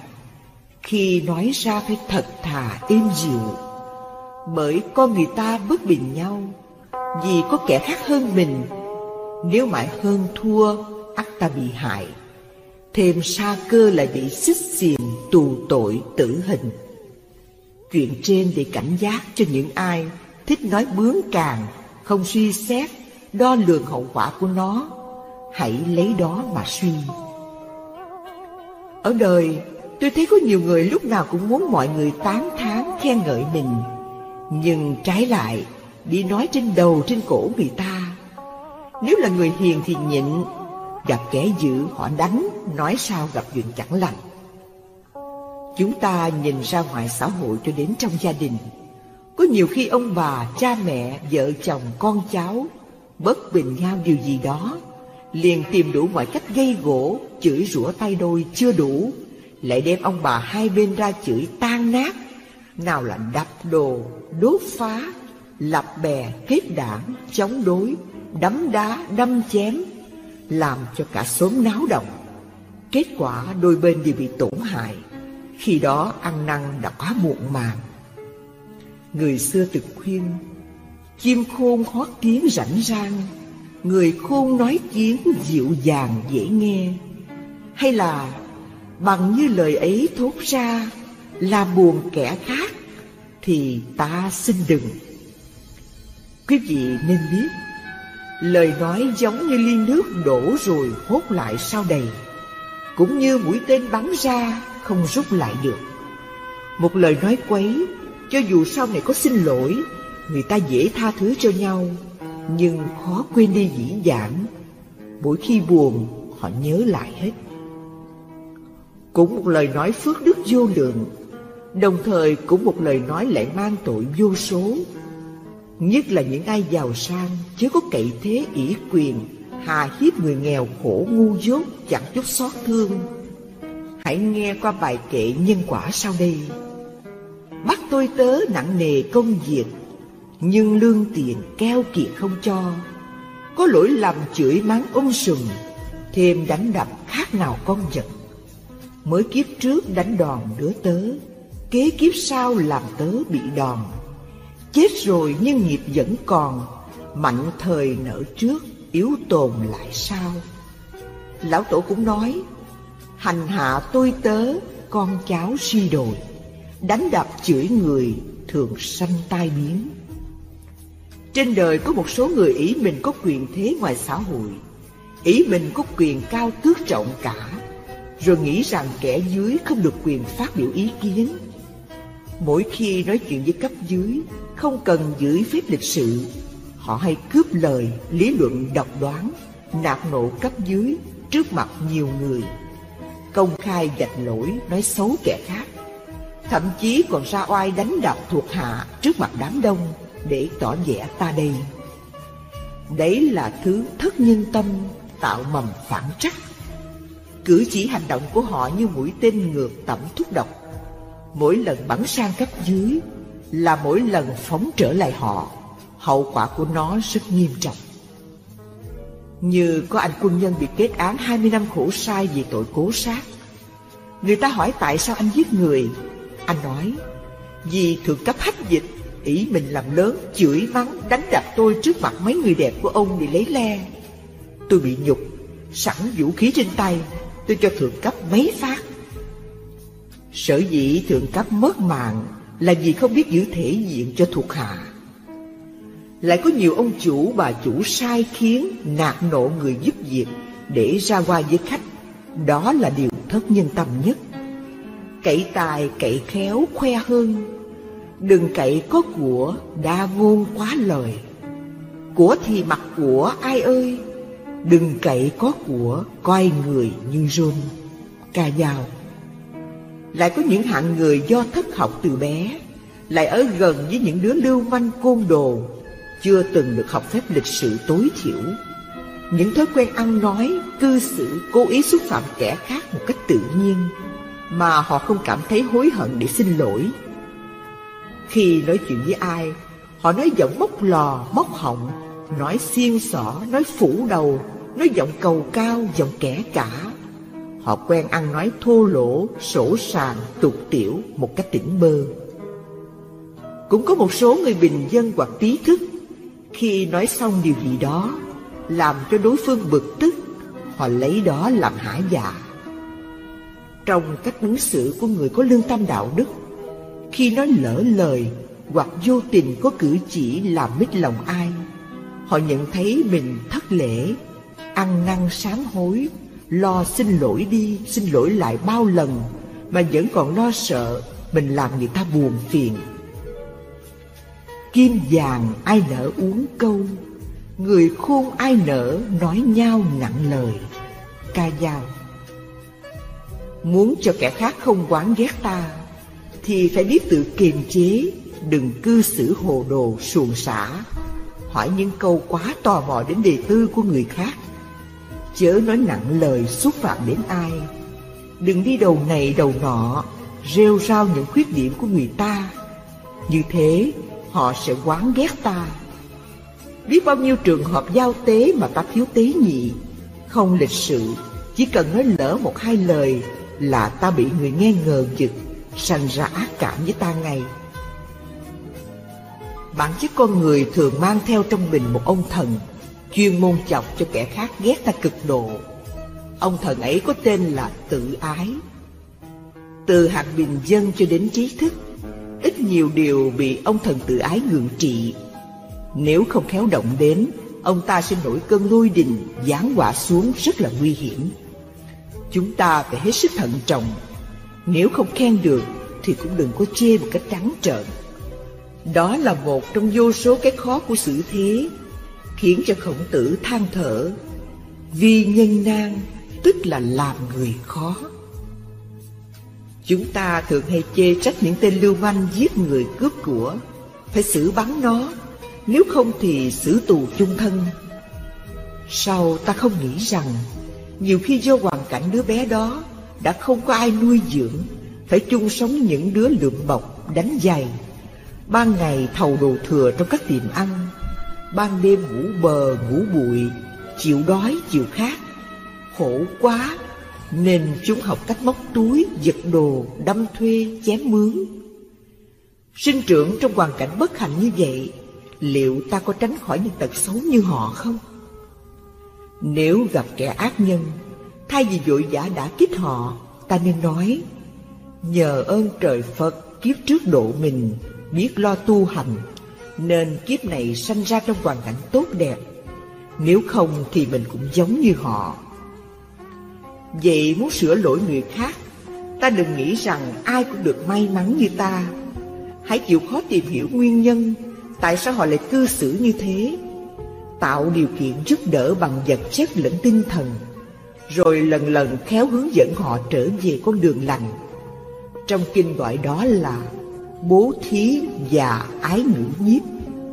Việc làm đó phước đức quả thật vô lượng, vô biên. Trên đời có nhiều người hay than rằng, Sao tôi nói ra cái gì ai cũng không nghe, Thậm chí con cháu cũng chẳng dâng lời. Tại vì khẩu nghiệp của họ không có thanh tịnh, Mỗi khi mở miệng ra là chửi rủa, Nên tổn giảm phước đức, Nói không ai nghe là vậy. Là Phật tử phải sáng suốt thấy cho rõ tai họa của ác khẩu, Mà cố gắng quân tập lời nói thiện lành. Cho dù nói với con thú, cũng nên nhỏ nhẹ. Nếu như mình chửi con vật như thế lâu ngày thành thói quen, Sẵn trớn chửi luôn người xung quanh, Chính cái nhân đó, Nó đưa mình ra khỏi dữ. Trong luật nói, Có chú Sa Di chê cười vị tỳ kheo tụng kinh như tiếng chó sủa mà bị đọa làm chó năm trăm kiếp Một lời nói dữ mắc báo biết dường nào Khế kinh dạy rằng Con người có búa để sẵn trong miệng Nói lời nói dữ là tự chém lấy thân mình Nhất là phái nữ thường hay gắt gỏng, la lối, chửi rủa ôm sòm. Họ nghĩ chửi qua rồi thôi, không có gì xảy ra, nên tha hồ chửi mắng. Không có đơn giản như thế đâu. Chúng ta hãy xem qua câu chuyện sau đây thời sẽ rõ. Chuyện kể, một hôm có mấy cô thiếu nữ đi chùa lễ Phật. Thấy đống phân chó trước chánh điện, ai nấy bịt mũi bỏ đi. Chỉ có một cô ở lại tay vừa hốt miệng chửi đồ mấy con kỹ nữ không hốt phụ tao chỉ chửi thế thôi kiếp sau bị quả báo sanh làm gái lầu xanh nhưng nhờ phước hốt phân trước điện phật, nên thân hình cô sạch sẽ, hai tay mịn màng xinh đẹp. Đó là nhẹ, nặng bị đọa làm cá trăm đầu như chuyện trong kinh hiền ngu sau đây. Thuở phật còn tại thế, một hôm Ngài cùng chư vị Sa môn đi du quá đến Tỳ Xá Ly, Ngồi nghỉ bên dòng sông Lê Diệt Gần đó, có một nhóm người đánh lưới Kéo lên được một con cá. Trong mình nó mọc ra một trăm cái đầu. Thấy cá lạ, Ai nấy xuống lại xem. Phật cùng chư Tăng đến nơi nhìn cá. Phật hỏi, Có phải ngươi là ca tỳ lê không? Thưa phải, Kiếp này làm cá, Kiếp sau sanh gì đâu? Cá buồn bã trả lời, Kiếp sau sanh vào địa ngục. Ngài A Nan thấy lạ liền hỏi Phật do nhân duyên gì gọi con cá đó là ca tỳ lê này A Nan trước đây vào thời Đức Phật Ca Diếp có vợ chồng ông trưởng giả sanh ra được một cậu con trai đặt tên là Ca Tỳ Lê có trí thông minh hơn người. Một hôm mẹ cậu hỏi, Trong nước có ai học bằng con không? Thưa mẹ, trong nước không có ai học bằng con, ngoại trừ các vị sa môn. Sao con không đến đó học? Mẹ biết không, muốn vào đó học phải cạo đầu, đắp y, mang bát mới được. Ừ, con giả làm thầy tu, vô đó học xong rồi về, có gì mà sợ? Nghe mẹ nói có lý liền làm theo Do trí sẵn có Không bao lâu Đã thông tam tạng kinh điển Một hôm về thăm nhà Mẹ cậu hỏi Sở học của con bằng các vị sa môn chưa? Mẹ ơi, sở học của con ngang hàng chư vị sa môn. Nhưng nói đến công phu thiền định thì con thua xa. Bà ta nghe qua, nổi giận nói Sao con không học? Mẹ nên biết thiền định là phương pháp siêu hình. Tự tu tự chứng đâu phải học mà được. Nên mỗi khi đàm luận thua là vậy. Còn chớ sợ. Nếu có thua thì cứ chửi người ta tu hành hiền lành, con chửi không đành. Con hãy nghe lời mẹ, cứ chửi thì mới thắng được. Khi về chùa, mỗi khi đàm luận với chư vị sa môn thua, liền nổi nóng, tự xưng ta đây học giỏi nhất trong nước, không có ai bằng. Các người toàn là lũ ngu si, Đầu óc đần độn như trâu bò. Nói đến đây, Phật bảo, Ca tỳ lê, Vì ác tâm chửi mắng chư vị sa môn và khinh khi những người thiếu học, Nên bị quả báo Làm cá trăm đầu như thế. Sau khi nghe lời Phật dạy, Ai nấy đều rùng mình rỡn gái Bi thương giao cảm, Đồng thanh nói, Tất cả chúng ta đối với thân, khẩu, ý Phải thận trọng, Chớ có tác ý, Nói làm việc ác. Những người đánh cá thấy thế, Liền đến trước Phật Thành kính chắp tay cầu xin xuất gia tu phạm hạnh. Phật khen thiện lai tỳ kheo, Tức thời áo mặc trên mình họ quá ra cà sa, Trở thành các vị sa môn, Theo Phật tu học, Không bao lâu đắc quả A-la-hứng Ham chi danh lợi thế thường, hơn thua lời lẽ, con đường diệt vong. Ca trì lê vì tham công nặng lời to tiếng mắng dòng sa môn. Cho nên quả báo giặc dồn, đọa vào suốt loại, xác hồn khổ đau. Khuyên trong hiện tại cùng nhau, nghiêm thân khẩu ý thường trao hạnh lành. Lời nói thô ác, phỉ bán những bậc tu hành, phải lãnh lấy ác báo như thế. Cho nên có câu, thà rằng khuấy đục ngàn sông chứ đừng khuấy động tấm lòng người tu. Trong kinh báo ân, đức phật dạy này a nan tất cả chúng sanh tai họa từ miệng sanh ra, nên giữ miệng hơn là đề phòng lửa dữ. Lửa dữ đốt cháy tiền của thế gian, miệng dữ đốt cháy bảy tài sản của bậc thánh, tính, giới, tàm, quý, đa văn, trí huệ, xả ly quả báo của lời nói ác ghê gớm như thế, mà có mấy ai ngán sợ. Cứ mãi hơn thua từng chút hạch hỏi từng câu, mỉa mai chăm biếm đủ thứ, làm cho gia đình quyến thuộc phân ly, nhân loại thù hằn, xô xát lẫn nhau, gây bao tan tóc. Nên có lời khuyên, Nhất lời nói bao giờ cũng lọc, Buông ra rồi khó hốt lại nào. Tục rằng lưỡi bén hơn dao Nói ra một tiếng đoạn bao nghĩa tình.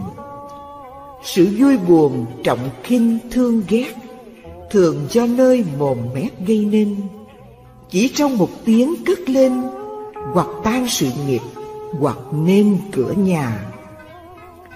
Trong kinh Phạm Giọng nói Tất cả chúng sanh đều là ông, bà, cha, mẹ Nhiều đời chết đi và sanh trở lại. Nếu chúng ta chửi người nào đó, Tức là chửi ông bà cha mẹ của mình, Chứ không ai xa lạ. Nhưng có mấy ai nghĩ thế? Đa số cho rằng nếu mình hiền, Sẽ bị người khác ăn hiếp hoài. Phải tỏ ra hung dữ, Chửi lại cho nó ngán sợ. Quý vị nên nhớ, mình bị người ta chửi mình, Rồi mình chửi lại. Nó có điều kiện kéo dài thời gian. Chẳng khác nào suối họ chửi thêm mà không hay. Hơn nữa, Kẻ chửi mắng là xấu rồi. Nếu chửi lại, Ngay đó mình đã quá ra người hung dữ, Chẳng khác nào dành tội với họ. Cả hai đều xa đọa. Vậy ta không nên nói lời thô bỉ với bất cứ một ai, Mà phải dùng lời dịu ngọt.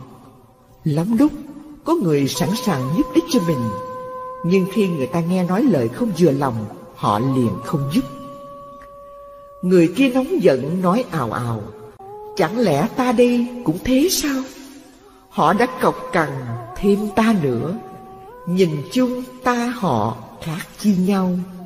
Bởi thế nên tôi cứ mỉm cười. Dẫu ai chửi mắng vẫn vui tươi. Mặt tình họ cố tâm gây sự lòng vẫn yên vui giữ nụ cười. Muốn khắc phục những ý niệm đấu tranh hơn thua, chúng ta hãy xem qua câu chuyện trong kinh Tứ Thập Nhị Chương. Chuyện kể, một hôm Đức Phật đi du hóa đến thôn nọ, tín đồ Bà La Môn bỏ đạo theo Ngài gần hết.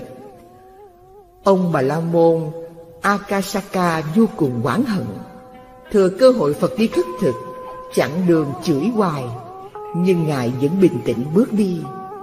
Ông ta tức giận nói, Này, cô đàm có nghe tôi chửi không? Ta nghe rất rõ ràng. Nghe tại sao không trả lời? Này bà La Môn, giả sử nhà ông có đám dỗ, khi đãi xong khách ra về, còn dư quà bánh, ông đem tặng nhưng người ta không nhận, quà bánh là của ai? Nếu tôi tặng họ không nhận, quà bánh là của tôi. Cũng thế, những lời ông chửi mắng nhưng ta không nhận. Ngươi tự thọ lãnh, nhân đó Phật nói kệ. Chửi mắng kẻ lương thiện, kiêu mạn khinh miệt người, như ngước mặt lên trời mà phun nước miếng vậy. Nước miếng chẳng đến trời, trở lại rơi trúng mình. Người hiền không thể hại, kẻ ác tự hại mình. Bà La Môn Akasaka nghe Phật thuyết pháp xong, tâm liền tỉnh ngộ, ăn năn sám hối, cầu xin Phật xuất gia. Phật cho phép ông ta xuất gia làm tỳ kheo. Ông tinh tấn tu hành, không bao lâu chứng đắc đạo quả A La Hứng. Phật bị người ta kêu tên chửi mà ngài không nhận, nên nội tâm được an lạc. Còn mình, hễ ai nói động tới tên là đôi chối hơn thua tới cùng. Vì dễ nhận quá, nên phiền não khổ đau triền miên không dứt. Muốn cho thân tâm được an lạc, Kinh Pháp Cú dạy. Ví như đá núi Tây Đình, Dông nào lai chuyển rung rinh bao giờ, Tâm người đại trí trơ trơ, Chê khen cũng mặc, lặng lờ như không. Để tránh quả báo xấu, gieo nhiều phước lành, Tổ Bồ Đề Đạt Ma dạy, Gương mặt hiền lành, hoan hỷ, không sân hận, bực tức, miệng luôn luôn nói lời đạo đức, khiến cho người nghe sanh tâm vui mừng hướng thiện, không làm ai đau khổ vì lời nói của mình. Đó là đồ cúng dường hảo hạng và mùi hương thơm cao quý nhất. Quý vị có tiền mua hoa, quả, hương thơm cúng dường Phật, ông bà, đó là điều tốt. Nhưng không bằng gương mặt tươi cười, lời nói hiền diệu với mọi người. Tôi thiết nghĩ, việc đó ai làm cũng được. Hằng ngày gieo tạo phước duyên, quanh năm suốt tháng chẳng làm phiền ai. Thương yêu quý mến trong ngoài, cả đời hạnh phúc không ai quán hờn. Nói tóm lại, người không nói lời thô ác, chẳng hề moi móc việc xấu của ai, thường đem lời thanh nhã, hiền hậu, đạo đức, đầy lòng từ bi hỷ xả, đối xử tốt đẹp với mọi người, thì đâu có sanh thù oán với ai. Nhờ thế nên thân tâm thường được an lạc. Người đó đi đến đâu, nói ra điều gì, mọi người đều hân hoan, kính trọng, dân lạc. Theo kinh thập thiện nghiệp, Phật dạy, người không nói lời thô ác, thời thành tựu được tám món tịnh nghiệp. Một, lời nói không trái pháp độ. Hai, lời nói có ích lợi. Ba, lời nói quyết hợp lý. Bốn, lời nói thừa lãnh được. Năm, lời nói được tín dụng. Sáu, lời nói đẹp đẽ. Bảy, lời nói không thể chê. Tám, lời nói được ưa thích. Nếu đem công đức lành đó hồi hướng về đạo vô thượng chánh đẳng chánh giác, sau khi thành Phật, được đầy đủ phạm âm tướng của Như Lai. Phạm âm là tiếng nói trong lành, êm dịu, thánh thoát như tiếng chuông ngân. Ngược lại, nếu người nào ác tâm quỷ bán tam bảo, làm cho chánh pháp suy đồi và chửi mắng ông bà, cha mẹ, anh chị em, bà con lối xóm, trong khế kinh Phật nói, Hạng người như thế, Trái đạo từ bi, Gieo giống địa ngục. Chết xuống âm phủ Bị quỷ sứ cắt lưỡi ra, Rồi bắt ăn lại. Trong miệng dòi tửa, Máu mũ tuôn trào. Tiếp theo thọ thân cầm thú, Ăn dơ uống bẩn Nghe tiếng kêu ai cũng phát ghét. Khi tội hết mới được làm người. Nói không ai nghe, Làm chẳng ai theo. Diện mạo xấu xa Hơi miệng hôi thối Môi sức răng nẻ Căm ngọng liếu lo. Phật dạy Thà lấy dao bén cắt lưỡi Chịu khổ nhiều kiếp Chớ có thốt ra lời hung dữ Chửi rủa mắng nhiếc người tu kẻ tục Ác báo khó hết. Tha nguyên, Lời nói thô ác mắc tội đến thế Người học đạo há chẳng ngăn ngừa lắm sao? Cổ đức kệ rằng Tới ác khẩu thứ sáu bày biện, Tiếng tục tằng thô lỗ hung hăng Nào chửi cha mắng mẹ lăng xăng Chẳng kể đến luân thường thảo hiếu. Hăm đánh giết những người hèn yếu Hiếp sớm chồm cô bác chẳng kiên. Trong gia đình chửi rủa liên miên Hết dương thế kêu sang thần thánh. Chẳng kiên nể Phật trời thượng cảnh, Cõi Long Cung mời thỉnh tối ngày. Đời ám u tội trạng thảm thay, Khuyên bá tánh bá gia ráng bỏ. Gương tổ phụ còn soi lại đó, Sao không theo nề nếp gia phong? Chư thánh thần đâu có mất lòng, Mà kêu réo đông tây nam bắc. Mấy câu trên toàn là rồng rặc những đàn bà khe khắc cháu con, Kể từ nay phải giữ cho tròn, Không chừa dứt ắt mang tai ách. Lựa lời tiếng dịu dàng trong sạch, Khi thốt ra đoan chánh hiền từ. Tích thiện thì thường có phước dư, Bằng tích ác quả ương đeo đắm. Bảy, Không nói ý ngữ. Ý ngữ là lời nói thiêu dệt Thêm bớt chuyện người. Trao chuốt làm cho câu văn ngọt ngào hấp dẫn. Để quyến rũ người nghe siêu lòng lạc dạ. Làm việc sái quấy Lợi dụng lòng tin của người để trục lợi. Tại sao Phật cấm nói lời ý ngữ? Vì đó là lời nói vô nghĩa độc ác, không có lợi ích. Nó chỉ đem đến những sự phiền phức, khổ mình, hại người, gây thêm quan trái, tổn giảm phước đức. Những nam nữ vị thành niên nhẹ dạ, lạc lòng, đành bỏ cha mẹ đi vào con đường trụy lạc, cũng vì lời nói dụ dỗ. Người có tánh nóng nảy, thiếu sáng suốt, nghe ai nói chi cũng dội tin, nên thường bị mất bạn, thêm thù. Có người rất tận tụy trung thành Nhưng bị bỏ rơi Cũng vì lời sàm tấu của bọn nịnh thần Kẻ nói lời theo dệt chỉ lừa những ai nhẹ dạ dại khờ Thiếu đạo đức. Chứ người có trí huệ Không nghe theo họ. Hơn nữa Kẻ nói lời thêm bớt Khi người ta biết được Ai cũng kinh tởm lánh xa. Ngày đó họ thất bại trên mọi lãnh vực Bởi gây ác cảm với mọi người có khi đưa đến mất mạng. Bởi tích chứa những mầm giống ganh ghét đố kỵ, nên lúc nào cũng thấy lỗi người để theo dệt, lỗi mình không thấy. Cũng như con mắt nhìn thấy sự vật bên ngoài mà không tự thấy được nó.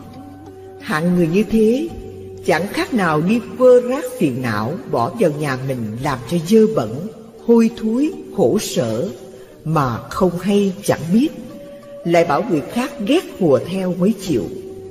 Nên ca dao có câu Ghét người thời kiếm chuyện dệt thêu Thương diện lẽ thấp cao bào chữa. Thương nhau trái ấu cũng tròn.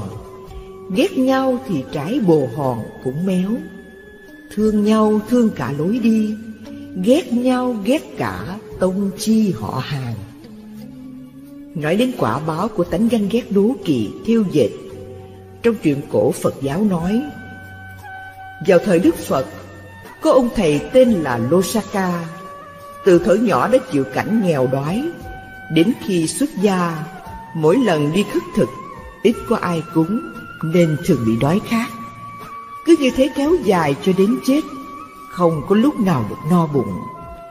Chư Tăng thấy thế hỏi Phật Bạch Đức Thế Tôn Do ác nghiệp gì mà thầy Lusaka lãnh thọ quả báo như thế? Phật nói, sở dĩ thầy Lusaka bị chết đói là vì trong tiền kiếp có ác tâm nói thiêu dệt biêu xấu quý thầy, ngăn cản không cho Phật tử cúng dường, cho nên bây giờ phải bị quả báo đói khát cho đến chết như thế. Sau khi chấm dứt pháp thoại, ai nấy đều than rằng ghê gớm thay cho tánh đố kỵ.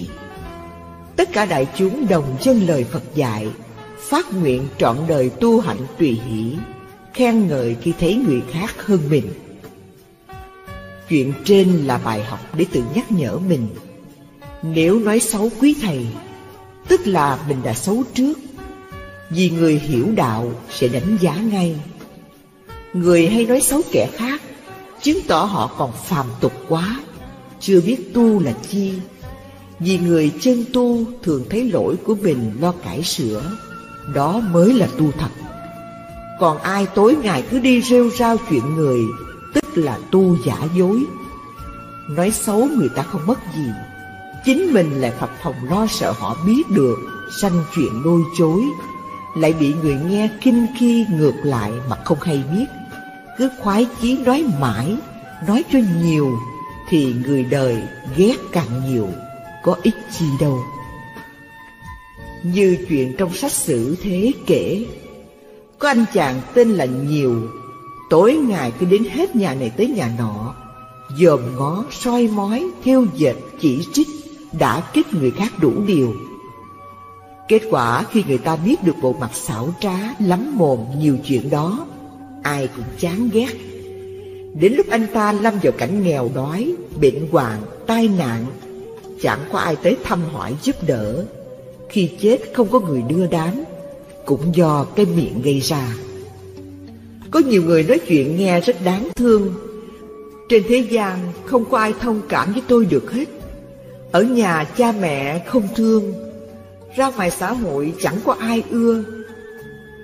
Thử hỏi, tại sao họ không thông cảm? Có phải chăng do lòng cố chấp quá nặng? Mỗi khi mở miệng ra thì đề cao mình lên, chê bai theo dệt hạ người ta xuống. Thử hỏi ai thông cảm được? Những ai hay than điều đó là do thấy lỗi người Liền sân tâm ngã mạn xem thường tất cả. Khi đã tỏ ra thái độ kinh mạng hay chê bai nói xấu Thì họ không thể nào thông cảm mình được. Từ đó ai cũng tránh xa Nên trở thành kẻ cô độc Rồi đâm ra chán đời, oán người. Như thế tại sao mình cô độc? Tất cả đều do quá đề cao bản ngã Và xét nét lỗi người. Ai ơi, ít nói là vàng. Nói nhiều nhiều lỗi trái ngang cũng nhiều. Chi bằng ít nói bao nhiêu, Khỏi điều phiền não, Khỏi điều thị phi. Minh Pháp. Muốn có cuộc sống hài hòa yên vui, Chúng ta phải luôn luôn thấy lỗi mình Mà quên cái dở của người thì tự nhiên bản ngã xuống liền. Vì thế lục tổ dạy, nếu người thật chân tu, không thấy người đời lỗi, nếu thấy lỗi của người, lỗi mình đến bên trái, người sai ta không sai, ta sai tự có lỗi, chỉ dẹp tâm mình sai, dứt trừ phiền não sạch, thương ghét chẳng bận lòng, duỗi thẳng hai chân nghĩ. Qua bài kể trên lục tổ nói, Nếu người thật chân tu, Không thấy lỗi người đời. Nếu thấy, tức là tu giả. Vì người tu thật lúc nào cũng nhắc nhở mình, Sao mà ăn nói không lựa lời, Lại còn thị phi phiền não nổi sân. Cứ nhớ như thế, Tự khiển trách mình Và luôn luôn thấy ai cũng tốt. Ngược lại, Chỉ thấy lỗi người thì dễ sanh tâm quỷ bán thêm bớt chuyện người ta. Ngày đó mình đã sai rồi. Họ lỗi là chuyện của họ. Nếu thấy khuyên được thì tốt, bằng không cứ giữ mình đừng lỗi là được. Ai nói làm sao mặc kệ ai, miễn ta giữ vẹn tấm lòng ngay. Nếu ta chân chánh, người cho sái, chân vẫn hoàng chân, thật chẳng sai. Giác huệ Nói tóm lại, người không nói lời theo dệt, thời không có ai phiền trách, oán hận. Nhờ thế tâm trí được an nhàn, ung dung tự tại, thường đem giáo lý chân thật khuyên nhủ, làm cho chúng sanh được an vui, nên ai nghe đến tên cũng đều cảm phục oai đức. Theo kinh Thập Thiện Nghiệp, Phật dạy, người nào không nói lời theo dệt, thời thành tựu được ba món quyết định. Một, quyết định được người trí ưa thích. Hai, quyết định dùng trí như thật đáp các lời hỏi. Ba, quyết định có ai đức tối thắng đối với nhân thiên không hư vọng. Nếu đem công đức lành đó hồi hướng về đạo vô thượng chánh đẳng chánh giác, sau khi thành Phật, được Đức Như Lai thọ ký chẳng có luống dối. Đức Phật đã thọ ký thời không bao giờ rơi vào tam đồ ác đạo. Ngược lại trong Kinh A Hàm, Phật dạy, nếu người nào điên đảo, thị phi, ganh ghét người hiền, theo dệt não hại chúng sanh, kẻ đó đi đến đâu, ai cũng ghét bỏ, phước đức càng giảm, thêm lắm tai họa xa lìa chánh pháp, thân hoại mạng chung, đọa vào ba đường ác, chịu nhiều thống khổ. Lời nói thiêu dệt mang hại đến thế, người trí há chẳng ngăn ngừa lắm ư. Cổ đức khuyên ta, ác thứ bảy ỷ ngôn chất chứa, đợi cho người lầm lỗi xéo dày. Của tiền nhiều tự phụ rằng hay, chủ ý thế nhiếc xài kẻ dưới. Lắc léo chi có ba tức lưỡi, quan ỷ khôn mạt sát dân ngu, nghèo ỷ lanh láo xược lu bù, ôi thấy thế lòng đau tận cắt. Khuyên bá tánh giữ gìn cho chặt, đừng để cho quỷ dắt đường công bên dưới. Dùng từ ngôn nói tận đáy lòng, dù trên dưới cũng không mấy khác. Chúng vô phước đời này dốt nát, người khôn ngoan chỉ dẫn mới là lời trang nghiêm êm ái thốt ra, đừng chăm biếm mới là chân thiện. Chúng ta phải biết rằng khẩu nghiệp là cái quả môn của hết thảy oán thù. Cho nên chư Phật đều dạy không được nói lời dối trá, nói lời hai lưỡi, nói lời độc ác, nói lời theo dệt, nói lời vua nịnh, quanh co, hoa mỹ, phù phiếm, khinh khi, thô bạo, biện bác, xảo lanh, quỷ quyệt, vô nghĩa, nói ngược, nói xuôi, đảo lộn trời đất, để lợi mình hại người, chê bai lẫn nhau. Nói đến mình thì bao nhiêu phước đức đều quy tụ về mình. Nói đến người khác thì bao nhiêu điều ác độc đều đổ hết cho họ. Quỷ bán người hiền lương, vu khống kẻ vô tội, vô đạo, vô nghĩa, không nghĩ đến tai họa của nó, nên mắc phải ác báo nhiều kiếp không thôi. Cho nên Kinh nói, trong ba nghiệp thân, khẩu, ý, khẩu nghiệp đóng một vai trò rất quan trọng. Lời nói là một kho báu sẵn có trong từng người, nhưng đòi hỏi chúng ta có biết sử dụng hay không. Phật dạy, phàm khi nói phải hội đủ bốn yếu tố. Một, lời nói phải đúng sự thật, có nghĩa là mắt thấy tai nghe, hội đủ các chứng cớ mới nên nói. Nhưng nếu nói ra làm hại người cùng vật thì không nên nói. Như chuyện tiện thân Đức Phật làm thầy tỳ kheo. Một hôm đang ngồi thiền bên bờ suối, bỗng thấy con ngai chạy ngang. Người thợ săn đuổi theo gặp thầy liền hỏi, Thầy có thấy con ngai chạy qua đây không? Thầy nghĩ nếu mình nói không thì phạm giới nói dối, còn như nói có thì gián tiếp chỉ cho thợ săn giết chết con nai. Thầy chợt nghĩ ra ý hay, liền đứng lên trả lời. Từ lúc tôi đứng lên chẳng thấy gì hết. Người có trí, đối diện với thực tế, cho dù có khó khăn đến đâu, cũng giải quyết vấn đề một cách ổn thỏa tốt đẹp, đem lại lợi ích cho chúng sanh mà không phạm giới hư vọng. Hai, lời nói phải hợp thời. Người có trí biết lúc nào nên nói và lúc nào không nên nói. Điển hình như nhắc lỗi ai mà người nghe đang mệt mỏi, buồn phiền, nóng giận, bệnh hoạn hay giữa đám đông, khoan nói, đợi cho họ mạnh khỏe, vui vẻ mới nên nói.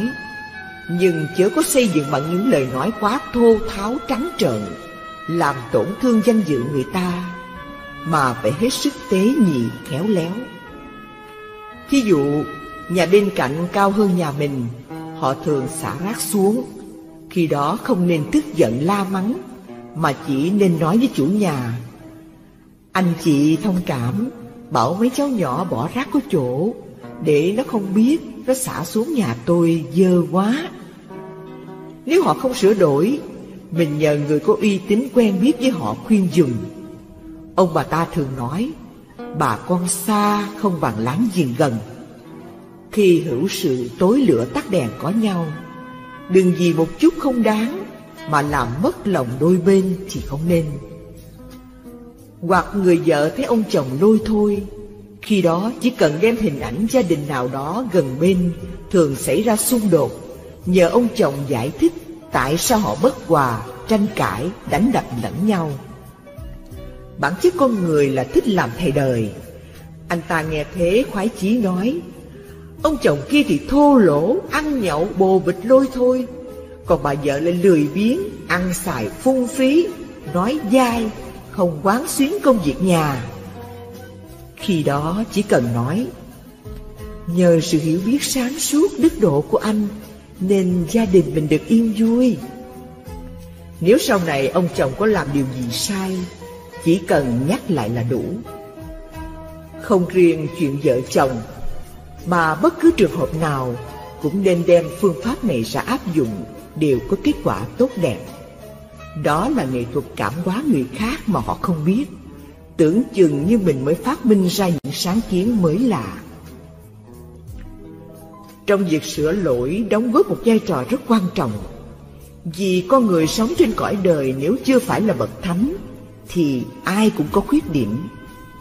Khi khuyết điểm thành thói quen, bám rễ sâu vào nếp sống thành tật xấu.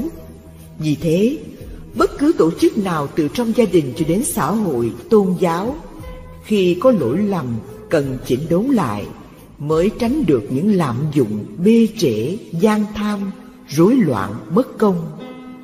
Muốn diệt trừ những tật xấu ấy, phải nhờ đến bậc bề trên sửa lỗi lầm cho, thì mới tiến bộ trên đường tu đức.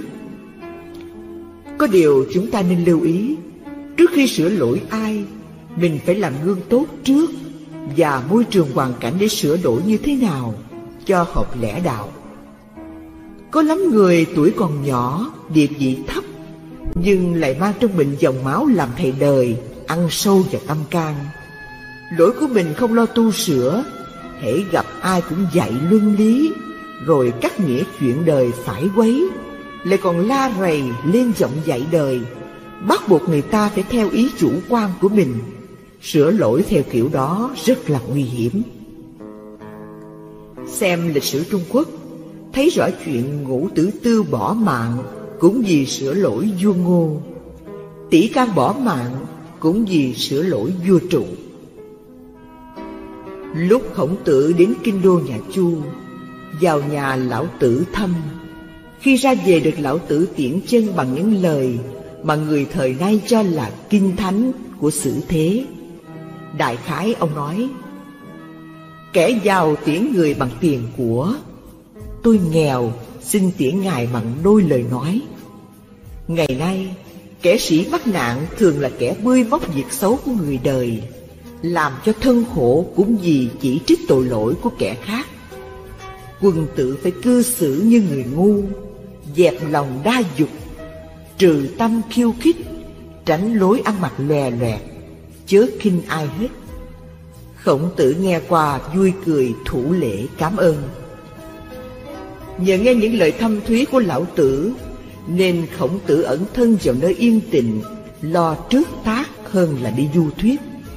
Sự nghiệp vĩ đại của ngài thành tựu được phần lớn là nhờ ẩn cư an bần lạc đạo truyện trên cho chúng ta thấy Khổng tử là một nhà hiền triết mà còn phải cần những lời khuyên ấy để áp dụng trong đời sống. Còn chúng ta tài đức bao nhiêu mà lại đi hết nơi này đến chỗ nọ chỉ trích, đã kích những lỗi lầm của kẻ khác. Nếu là người hiền trí, họ ý thức sửa sai, Trái lại, chẳng may gặp kẻ hung dữ độc ác, họ sẽ hãm hại ta.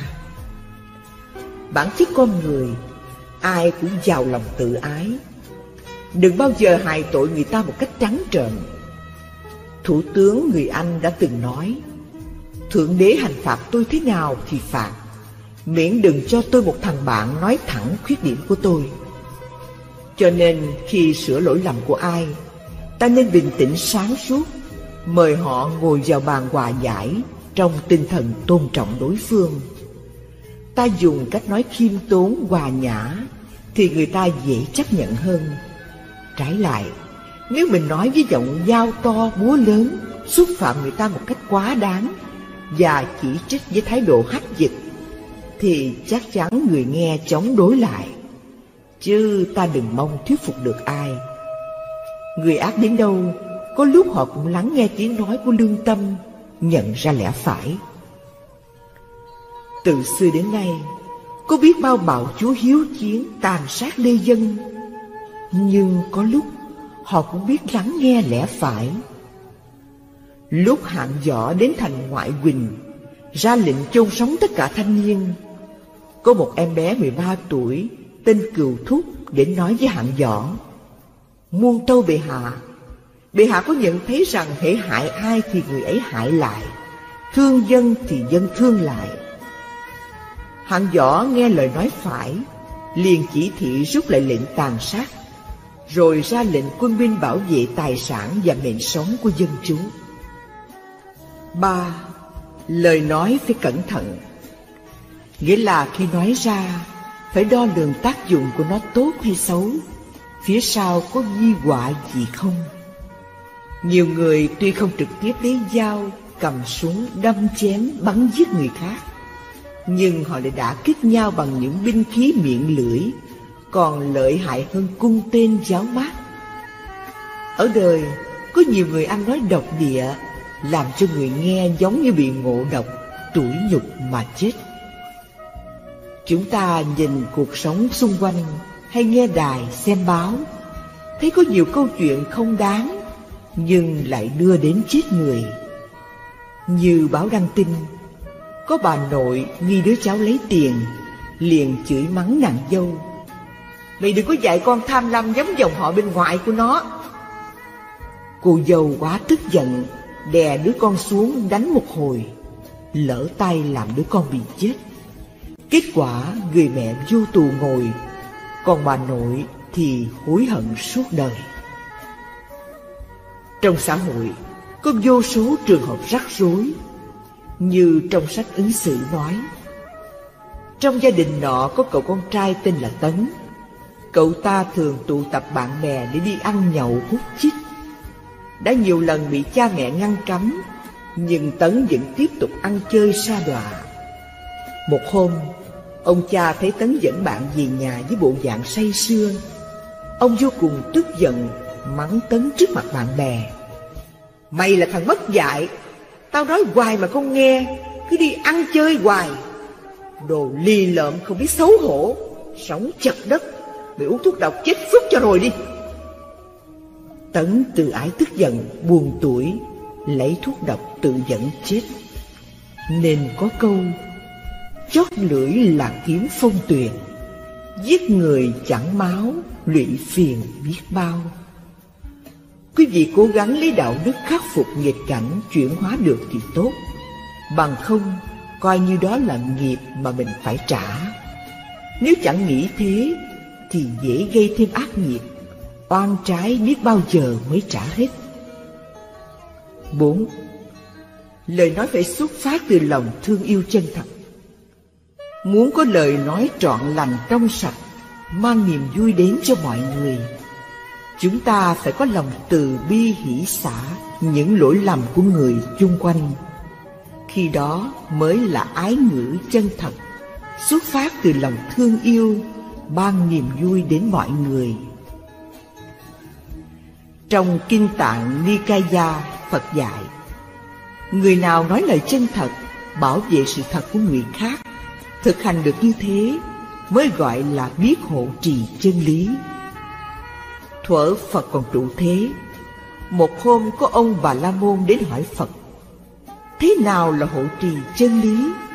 Phật đáp Người nào đối với chánh pháp có niềm tin bất động Từ bỏ lời nói dối trá, đâm thọc, thiêu dệt, thu ác Thường đem lời lành giáo hóa chúng sanh Đó là người biết hộ trì chân lý. Tám La Mã Không tham dục. Tham dục. Có nhiều loại như là tham tiền của.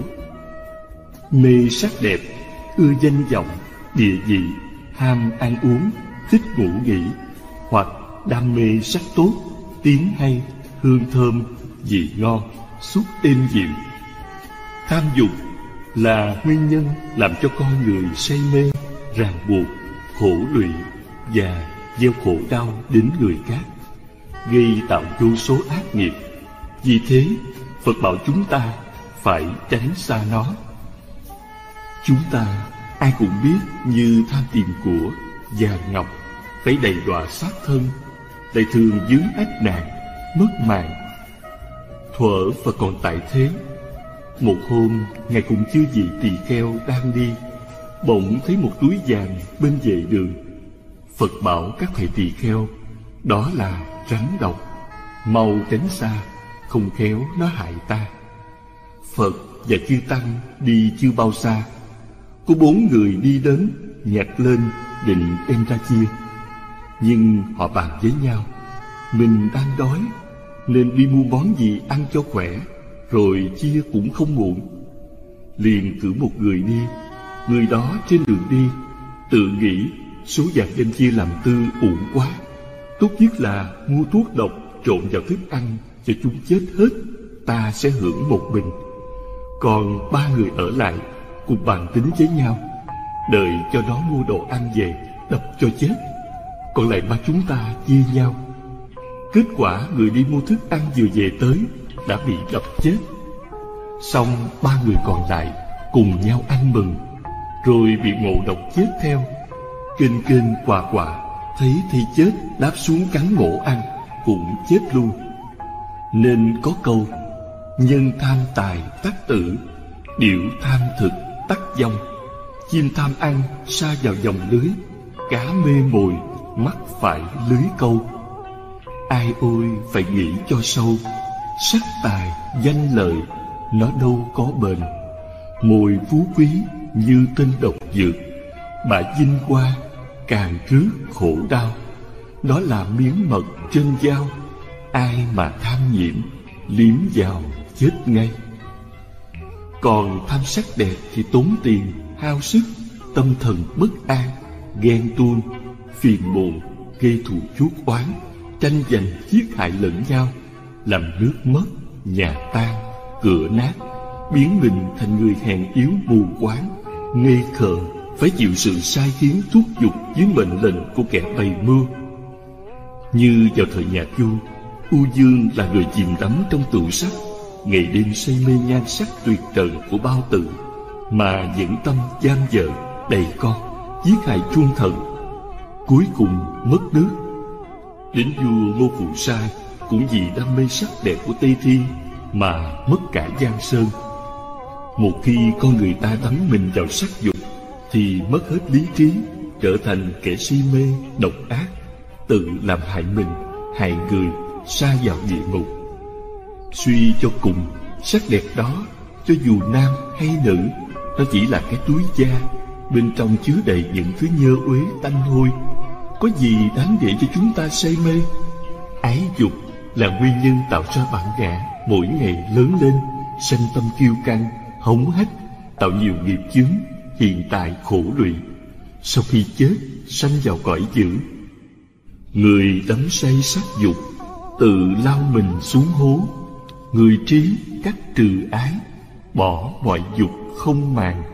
Thấy sắc tâm mê tưởng, chẳng xét lẽ vô thường.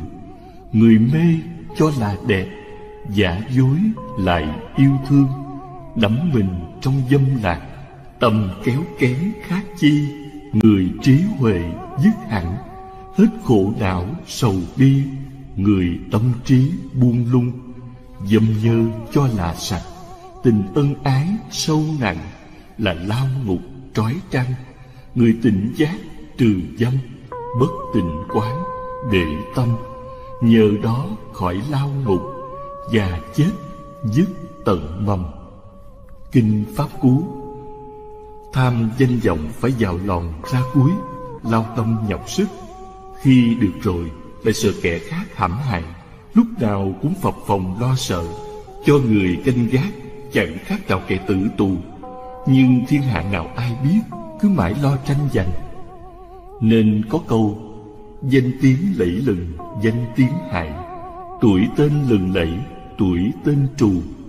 Bao phen bay nhảy, bao phen dài mấy trận tài khôn, mấy trận ngu. Hay là có tài mà cậy chi tài, chữ tài liền giới chữ tai một dần. Nguyễn du, muốn khỏi bị lợi danh xiềng xích, trói buộc, thân tâm thanh tịnh, an vui, chúng ta hãy xem qua mẫu chuyện trong kinh tăng chi.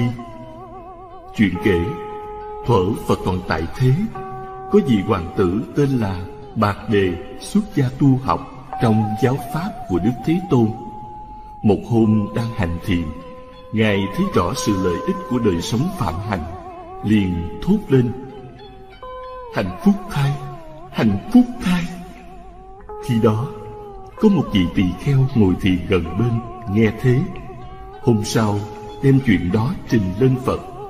Ngài cho gọi bạc đề đến hỏi nguyên do bạch thế tôn, sở dĩ con thốt lên lời ấy là vì trong khi con làm hoàng tử, lúc nào cũng phập phòng lo sợ người khác tranh giành ngai vàng, hãm hại, làm cho thân tâm luôn luôn bất an. Kể từ khi xuất gia, tuy chỉ có tam y, nhất bát, không có gì dướng bận, nhờ thế nội tâm rất an lạc, nên con mới thốt lên câu hạnh phúc thai là vậy. Phật quay sang bảo, chư tỳ kheo hãy noi gương hạnh ấy, xa lìa ngũ dục, sống đời tri túc, an bần lạc đạo, mới được tự tại giải thoát an vui. Qua chuyện trên, để cho chúng ta thấy hạnh phúc ở đây không phải là danh vọng vật chất, mà đòi hỏi mình có biết đủ hay không. Nếu chẳng biết đủ, dù làm vua cõi người, làm chúa cõi trời cũng chưa vừa ý. Trong kinh a hàm kể tiền thân phật là vua đảnh sanh làm chuyển luân thánh dương, cai quản bốn châu thiên hạ còn không vừa lòng. Lên trời, đế thích chia cho nửa tòa ngồi vẫn chưa xứng ý, định chiếm luôn cung trời. Vì quá tham nên mất hết phước, rớt xuống nhân gian, âu sầu mà chết. Phật nhắc chuyện trên để cảnh giác những ai túi tham không đáy, hãy cảnh tỉnh lấy mình. Ở đời người ta thường quan niệm, nghèo là khổ. Nếu nghĩ như thế, tại sao phật rời bỏ hoàn thành vào rừng tu khổ hạnh? Đến khi đắc đạo dưới cội cây bồ đề, tam y, nhất bát, nay đây mai đó, chẳng quản gian lao, không từ khó nhọc, du hành khắp nơi, giáo hóa chúng sanh. Trước lúc dập niết bàn, nơi rừng cây sa la ngài nói chưa có ông vua hay vị trời nào hạnh phúc, an lạc như ta. Cho nên, hạnh phúc hay khổ đau, đủ thiếu ở đây không phải danh vọng vật chất, mà điều quan trọng là chúng ta sống làm sao cho phù hợp lẽ đạo thanh cao, cho dù nhà tranh, ăn cốc đơn sơ, cơm rau đạm bạc, vẫn thấy an nhàn lạc đạo. Kinh di giáo nói, tri túc thường lạc nghĩa là người biết đủ ở bất cứ hoàn cảnh nào cũng được yên vui. Tham ăn cao lương mỹ vị, khó tiêu, thân thể mệt nhọc, dễ sinh ra các chứng bệnh khó trị. Kinh y nói, người bị đau có mười nguyên nhân. Một, ăn những món có phong độc. Hai, ăn chẳng tùy theo bình cử kiên. Ba, ăn uống không độ lượng bốn, ăn chẳng theo thời tiết. Năm, ăn những món khó tiêu. Sáu, biết món ăn không lợi mà vẫn ăn. Bảy, những món ăn trước chưa tiêu mà ăn thêm vào. Tám, ăn dai không kỹ. Chín, ăn rồi ngồi lâu và làm việc liền. Mười, đến lúc đại tiện, tiểu tiện mà chẳng chịu đi người tham ăn thường bị mùi vị ràng buộc, như dùng thiếu một trái ớt là nuốt không vô, tìm cho bằng được mới chịu ăn. Có khi người nấu không vừa miệng thì chê trách đủ điều. Người ta nấu cực khổ, không khen thì thôi. Có đâu vì một chút miếng ăn làm cho mất hết tình nghĩa. Các nhà tâm lý học bảo, trước khi chê điều gì, ta phải khen họ trước. Thí dụ nấu canh lạc quá, ta nên nói, bạn nấu ngon lắm, nhưng thêm một chút muối thì thật là tuyệt. Nói như thế, ai lại không thích? Ngược lại, chỉ có chê mãi, họ sẽ đổ lì ra là nguy hại cho cả nhà. Quý vị hãy học cách sống của các thiền sư. Quý ngài sống rất bình dị, đơn giản, xem món ăn dư lương dược trị bệnh đói khát, duy trì mạng sống để hành đạo, làm lợi ích cho chúng sanh đói ăn, khát uống, không có chi bận tâm phiền trách, chỉ biết tất cả là vô thường giả tạo. Những người tham ăn, họ thường tìm kiếm những món ngon vật lạ để cung phụng sát thân. Nhưng ăn qua khỏi miệng rồi còn chi, chỉ còn lại tội lỗi, ngày kia phải lãnh lấy ác báo. Tổ quy sơn dạy, muốn tiến đạo nghiêm thân phải tam thường bất túc ngài ấn quan pháp sư khuyên, cơm rau đỡ dạ đói, nhà cỏ che gió sương người đời nếu biết đủ, phiền não chẳng còn dư. Trong kinh tiểu bộ tập 1 đức phật có dạy, ai đoạn hết lậu hoặc, uống ăn vừa biết đủ tự tại nơi hành xứ, không vô tướng vô nguyện, như chim giữa hư không tìm dấu chân chẳng thấy. Tục ngữ, ăn để sống, chứ không phải sống để ăn. Tham ngủ nghỉ thì tâm trí lu mờ. Có nhiều người ham ăn, mê ngủ đến nỗi quên hết lẽ phải, thậm chí thân quyến nghèo đói, hoạn nạn hay đau chết cũng không thèm ngó đến. Người như thế thật là mất hết nhân phẩm, tổn giảm phước đức kinh pháp cú nói, con heo thích ngủ, ham ăn, muôn đời chịu kiếp bán thân làm hàng. Người ngu thích ngủ, ham ăn, muôn đời tiếp tục trói trăng luân hồi. Theo y học, trung bình mỗi ngày đêm ngủ 7 đến 8 tiếng đồng hồ là đủ. Thời gian còn lại, chúng ta cố gắng làm việc nghe kinh, học pháp, tự nhắc nhở mình và khuyên nhủ người chung quanh tích cực làm công quả, bố thí gieo trồng phước duyên cho đời sau. Vì thời gian đã qua rồi, không bao giờ trở lại. Kiếp người ngắn ngủi, phải nên tinh tấn làm phước thiện. Nếu mãi lười biếng, hẹn hò e rằng đến khi tử thần gõ cửa đi vào cõi dữ. Lúc đó ăn năn, muốn làm lành thì đã quá muộn. Kinh di giáo, phật dạy các hàng đệ tử ngày thời siêng năng tu tập các pháp lành, chớ bỏ sai thời. Đầu đêm cuối đêm, phải tinh tấn tụng kinh, niệm phật, ngồi thiền. Đừng vì nhân duyên ngủ nghỉ, luống qua một đời. Phải nhớ, giặc vô thường đang trình giết người hơn kẻ oan gia. Hãy mau tỉnh ngộ, sớm cầu diệt độ. Ngoài ra, có nhiều người còn đam mê đủ thứ, nào là hương thơm cảm xúc êm dịu, tiếng hay. Có người mê đến nỗi nếu là bộ phim đó, giọng ca nọ mới chịu ai chiếu phim bắt đại khác, liền đổi giận chửi rủa đủ điều. Ôi, thật là mê muội vô cùng. Muốn có cuộc sống hài hòa, chúng ta phải tu hành hỷ xã tùy thuận lẫn nhau. Khi gặp cảnh trái ý nghịch lòng, ta phải bình tĩnh quan sát lời phật dạy. Ngũ dục lục trần là pháp loạn tâm, tổn hao sức khỏe, đều nguy hại cho lòng đạo cả. Nếu ta thấy rõ các pháp không thật, thì tâm ta liền trở nên an lạc. Sở dĩ con người khổ là do lòng cố chấp quá nặng, như khi hương thơm đến đẩy sinh ưa thích, hôi thối tới liền bực dọc, tức giận. Muốn khắc phục phải tình tâm để thấy tự tánh nó không thật. Đủ duyên thì đến, hết duyên liền mất. Nhìn lại thân ta cũng là nhơ uế. Có chi phải bận tâm buồn phiền, không giải quyết được gì. Tốt nhất lo dọn dẹp hoặc tránh né hay hơn là phiền trách. Cho đến xúc chạm, những gì êm ái, mịn màng thì sanh tâm say đắm, thô cứng lại chán ghét. Phật dạy, người đam mê xúc dục nên cứ mãi lẫn quẩn trong dòng sinh tử, chịu biết bao kiếp nạn, giống như người đứng trước vực thẳm, không biết rớt xuống lúc nào. Nên có câu, bởi mê mới làm tôi thị dục, nếu ngộ, đâu tùng phục lòng ta. Dục ta đều hại người ta, dục là thống khổ, ta là trầm luân. Dục thường vì sát thân khởi xướng ta thường vì vọng tưởng sinh ra, cả hai đều thứ mắt loà lại gần thấy đẹp, hài xa không lường. Hay là, nhãn thấy sắc thường hay bận biểu, tai ưa nghe lắm điều âm thanh, mắt với tai đều chọn đẹp xinh, còn lỗ mũi ưa mùi êm dịu.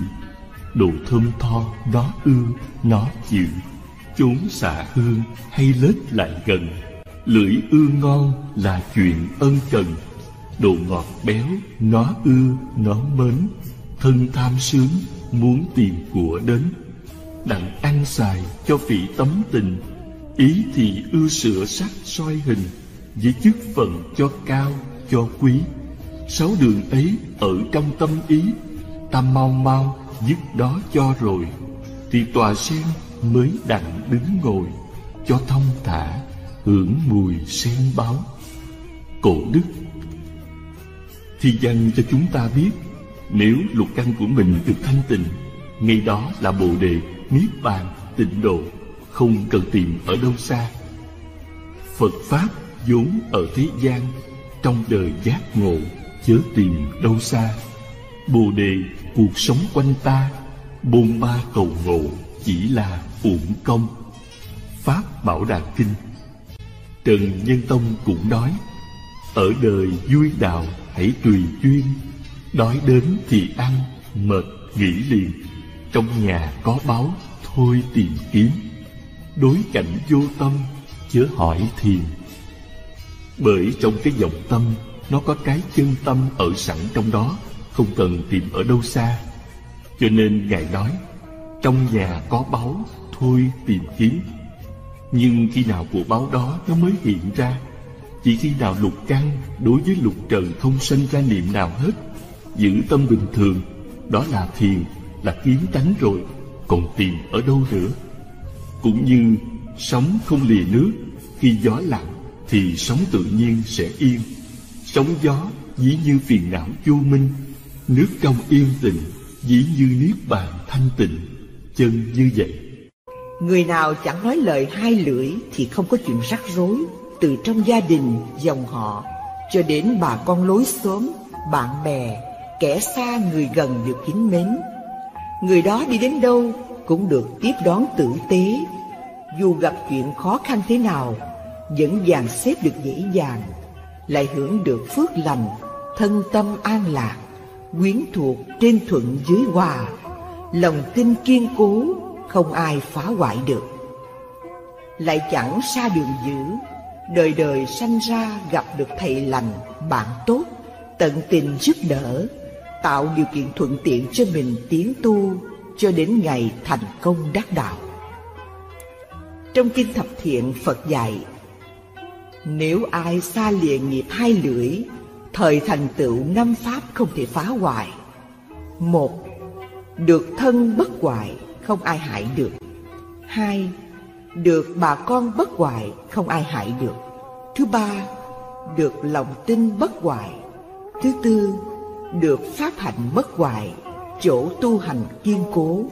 Thứ năm, được thiện trí thức bất hoại, không dối lừa nhau. Nếu ai hồi hướng về đạo vô thượng chánh đẳng chánh giác, sau khi thành phật được quyến thuộc chân chính tà ma ngoại đạo không thể phá hoại Ngược lại, Kinh thành thật nói, nếu ai đem lòng ác suối người gây gỗ, đánh lộn, mắc tội rất nặng. Đời đời gặp toàn quyến thuộc hung dữ, sát phạt lẫn nhau, lại bị người ngoài chăm chích, phá hoại, làm cho gia đình dòng họ chịu cảnh chia ly. Kinh Luân Chuyển Ngũ Đạo Phật dạy làm người hay nói lời đâm thọc, Tuyên truyền điều xấu của người.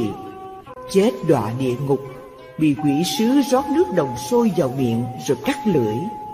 Mãn kiếp địa ngục sanh làm ác điểu. Người nghe thấy tiếng kêu ai cũng sợ, Trù rủa cho nó chết.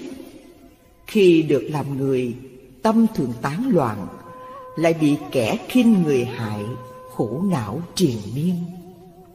Tha ngôi nghe lời Phật dạy, chúng ta phải biết sợ hãi hổ thẹn, tinh tấn tu hành, cầu xin sám hối, tẩy trừ tội lỗi. Cổ đức than rằng, ác nơi khẩu thứ năm lưỡng thiệt, với người này dùng lời tha thiết, đến kẻ kia đâm thọc cho gây, khá chừa đi hương đảng bớt rầy dùng sự thiệt giải bày tâm trí. Người choảng nhau tại mình gia gì mà cũng không hưởng được lợi danh. Sao rõ ra chúng lại ghét ganh chiêu cảm quả bất lành thêm nữa. Sáu, không nói lời ác khẩu. Ác khẩu là lời nói hỗn ẩu, cộc cằn, thô lỗ, chửi rủa, mắng nhiếc, nhục mạ cho người ta là đồ ma quỷ ngu si như trâu, bò, heo, chó hoặc hăm dọa đánh đập, giết hại người. Đó gọi là ác khẩu. Phật cấm nói lời độc ác vì nó làm cho người nghe khó chịu, buồn khổ, hổ thẹn, tủi nhục. Thế là ta đã tự bóp chết tình thương rồi. Thử nghĩ mình bị ai nói chạm tự ái một chút, liền phiền giận không nguôi. Tại sao ta lại vì một chút lỗi lầm của người Mà sanh tâm cố chấp, Chửi mắng quỷ nhục làm chi Cho thêm thù dương oán? Vì thế, Bồ Đề Lão Tổ dạy, Lời nói chẳng lành nhã hòa liên thanh, Nói không độ lời thường sanh tai biến.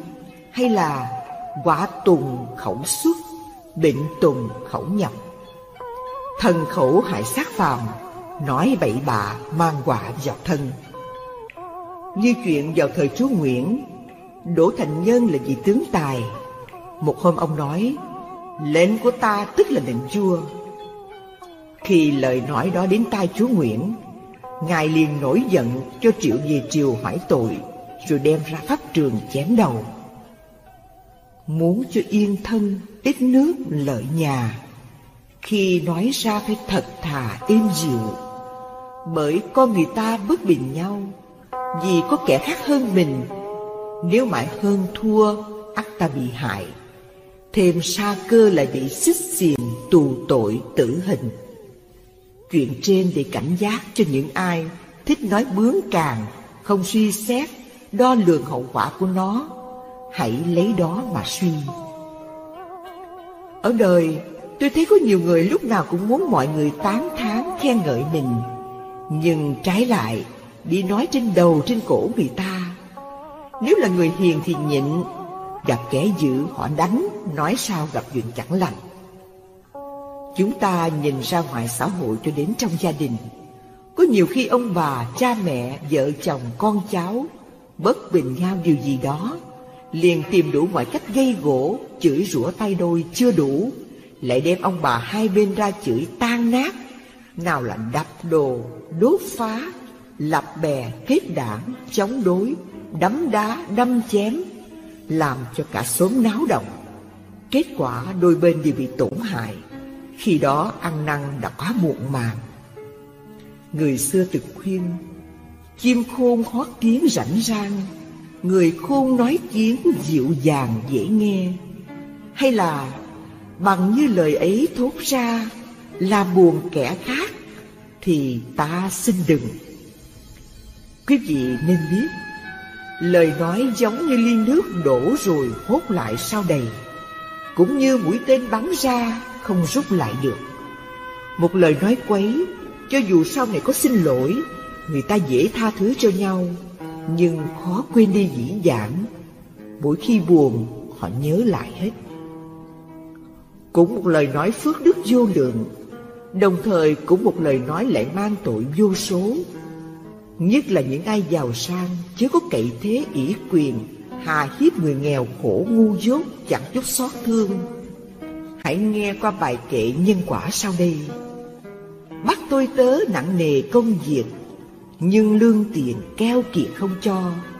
Có lỗi lầm chửi mắng ung sùm, thêm đánh đập khác nào con vật. Mới kiếp trước đánh đòn đứa tớ, kế kiếp sau làm tớ bị đòn. Chết rồi nhưng nghiệp vẫn còn, mạnh thời nở trước, yếu tồn lại sau. Lão Tổ cũng nói, hành hạ tôi tớ, con cháu suy đồi, đánh đập chửi người thường sanh tai biến. Trên đời có một số người ý mình có quyền thế ngoài xã hội, ý mình có quyền cao tước trọng cả, rồi nghĩ rằng kẻ dưới không được quyền phát biểu ý kiến. Mỗi khi nói chuyện với cấp dưới, không cần giữ phép lịch sự, họ hay cướp lời, lý luận độc đoán, nạt nộ cấp dưới trước mặt nhiều người, công khai dạch lỗi, nói xấu kẻ khác, thậm chí còn ra oai đánh đập thuộc hạ trước mặt đám đông để tỏ vẻ ta đây. Đấy là thứ thất nhân tâm tạo mầm phản trắc. Cử chỉ hành động của họ như mũi tên ngược tẩm thuốc độc. Mỗi lần bắn sang cấp dưới là mỗi lần phóng trở lại họ. Hậu quả của nó rất nghiêm trọng. Như có anh quân nhân bị kết án 20 năm khổ sai vì tội cố sát. Người ta hỏi tại sao anh giết người.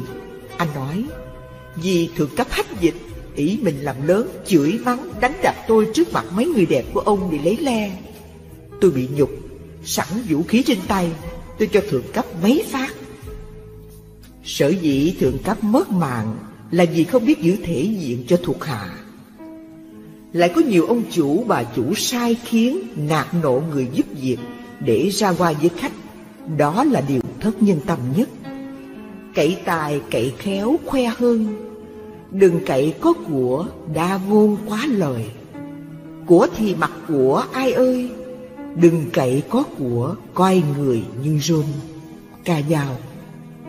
Lại có những hạng người do thất học từ bé Lại ở gần với những đứa lưu manh côn đồ Chưa từng được học phép lịch sử tối thiểu. Những thói quen ăn nói, cư xử Cố ý xúc phạm kẻ khác một cách tự nhiên Mà họ không cảm thấy hối hận để xin lỗi. Khi nói chuyện với ai, họ nói giọng móc lò, móc họng, nói xiên xỏ, nói phủ đầu, nói giọng cầu cao, giọng kẻ cả. Họ quen ăn nói thô lỗ, sổ sàng, tục tiểu một cách tỉnh bơ. Cũng có một số người bình dân hoặc trí thức, khi nói xong điều gì đó, làm cho đối phương bực tức, họ lấy đó làm hả dạ. Trong cách ứng xử của người có lương tâm đạo đức, khi nói lỡ lời hoặc vô tình có cử chỉ làm mít lòng ai họ nhận thấy mình thất lễ ăn năn sám hối lo xin lỗi đi xin lỗi lại bao lần mà vẫn còn lo sợ mình làm người ta buồn phiền. Kim vàng ai nỡ uống câu người khôn ai nỡ nói nhau nặng lời. Ca dao muốn cho kẻ khác không quán ghét ta thì phải biết tự kiềm chế, đừng cư xử hồ đồ xuồng xả, hỏi những câu quá tò mò đến đề tư của người khác. Chớ nói nặng lời xúc phạm đến ai, đừng đi đầu này đầu nọ, rêu rao những khuyết điểm của người ta. Như thế, họ sẽ quán ghét ta. Biết bao nhiêu trường hợp giao tế mà ta thiếu tế nhị, không lịch sự, chỉ cần nói lỡ một hai lời là ta bị người nghe ngờ giật sanh ra ác cảm với ta ngay.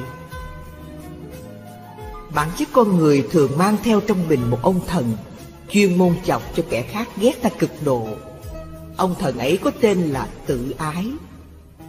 Từ hạt bình dân cho đến trí thức, ít nhiều điều bị ông thần tự ái ngượng trị. Nếu không khéo động đến, ông ta sẽ nổi cơn lôi đình, giáng quả xuống rất là nguy hiểm. Chúng ta phải hết sức thận trọng nếu không khen được thì cũng đừng có chê một cách trắng trợn. Đó là một trong vô số cái khó của sự thế, khiến cho khổng tử than thở.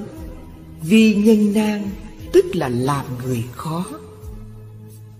Chúng ta thường hay chê trách những tên lưu manh giết người cướp của, phải xử bắn nó, nếu không thì xử tù chung thân.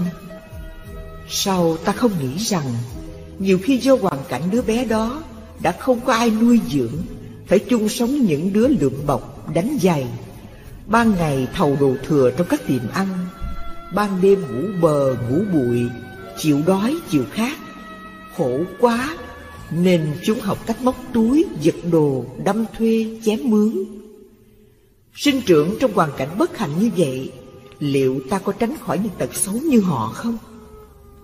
Nếu gặp kẻ ác nhân, thay vì vội vã đã kích họ, ta nên nói, nhờ ơn trời Phật kiếp trước độ mình, biết lo tu hành, nên kiếp này sanh ra trong hoàn cảnh tốt đẹp. Nếu không thì mình cũng giống như họ. Vậy muốn sửa lỗi người khác, ta đừng nghĩ rằng ai cũng được may mắn như ta. Hãy chịu khó tìm hiểu nguyên nhân, tại sao họ lại cư xử như thế. Tạo điều kiện giúp đỡ bằng vật chất lẫn tinh thần, rồi lần lần khéo hướng dẫn họ trở về con đường lành. Trong kinh gọi đó là bố thí và ái ngữ nhiếp. Việc làm đó phước đức quả thật vô lượng, vô biên. Trên đời có nhiều người hay than rằng, Sao tôi nói ra cái gì ai cũng không nghe, Thậm chí con cháu cũng chẳng dâng lời Tại vì khẩu nghiệp của họ không có thanh tịnh Mỗi khi mở miệng ra là chửi rủa, Nên tổn giảm phước đức, Nói không ai nghe là vậy là Phật tử phải sáng suốt thấy cho rõ tai họa của ác khẩu, Mà cố gắng quân tập lời nói thiện lành. Cho dù nói với con thú, cũng nên nhỏ nhẹ. Nếu như mình chửi con vật như thế lâu ngày thành thói quen, Sẵn trớn chửi luôn người xung quanh, Chính cái nhân đó, nó đưa mình ra khỏi dữ. Trong luật nói, Có chú Sa Di chê cười vị tỳ kheo tụng kinh như tiếng chó sủa mà bị đọa làm chó năm trăm kiếp. Một lời nói dữ mắc báo biết dường nào. Khế Kinh dạy rằng Con người có búa để sẵn trong miệng. Nói lời nói dữ là tự chém lấy thân mình. Nhất là phái nữ thường hay gắt gỏng, la lối, chửi rủa ôm sòm. Họ nghĩ chửi qua rồi thôi, không có gì xảy ra Nên tha hồ chửi mắng. Không có đơn giản như thế đâu. Chúng ta hãy xem qua câu chuyện sau đây thời sẽ rõ. Chuyện kể, một hôm có mấy cô thiếu nữ đi chùa lễ Phật. Thấy đống phân chó trước chánh điện, Ai nấy bịt mũi bỏ đi. Chỉ có một cô ở lại tay vừa hốt, Miệng chửi đồ mấy con kỹ nữ không hốt phụ tao. Chỉ chửi thế thôi, Kiếp sau bị quả báo, Sanh làm gái lầu xanh. Nhưng nhờ phước hốt phân trước điện Phật, Nên thân hình cô sạch sẽ, Hai tay mịn màng xinh đẹp, Đó là nhẹ. Nặng bị đọa làm cá trăm đầu Như chuyện trong Kinh Hiền Ngu sau đây.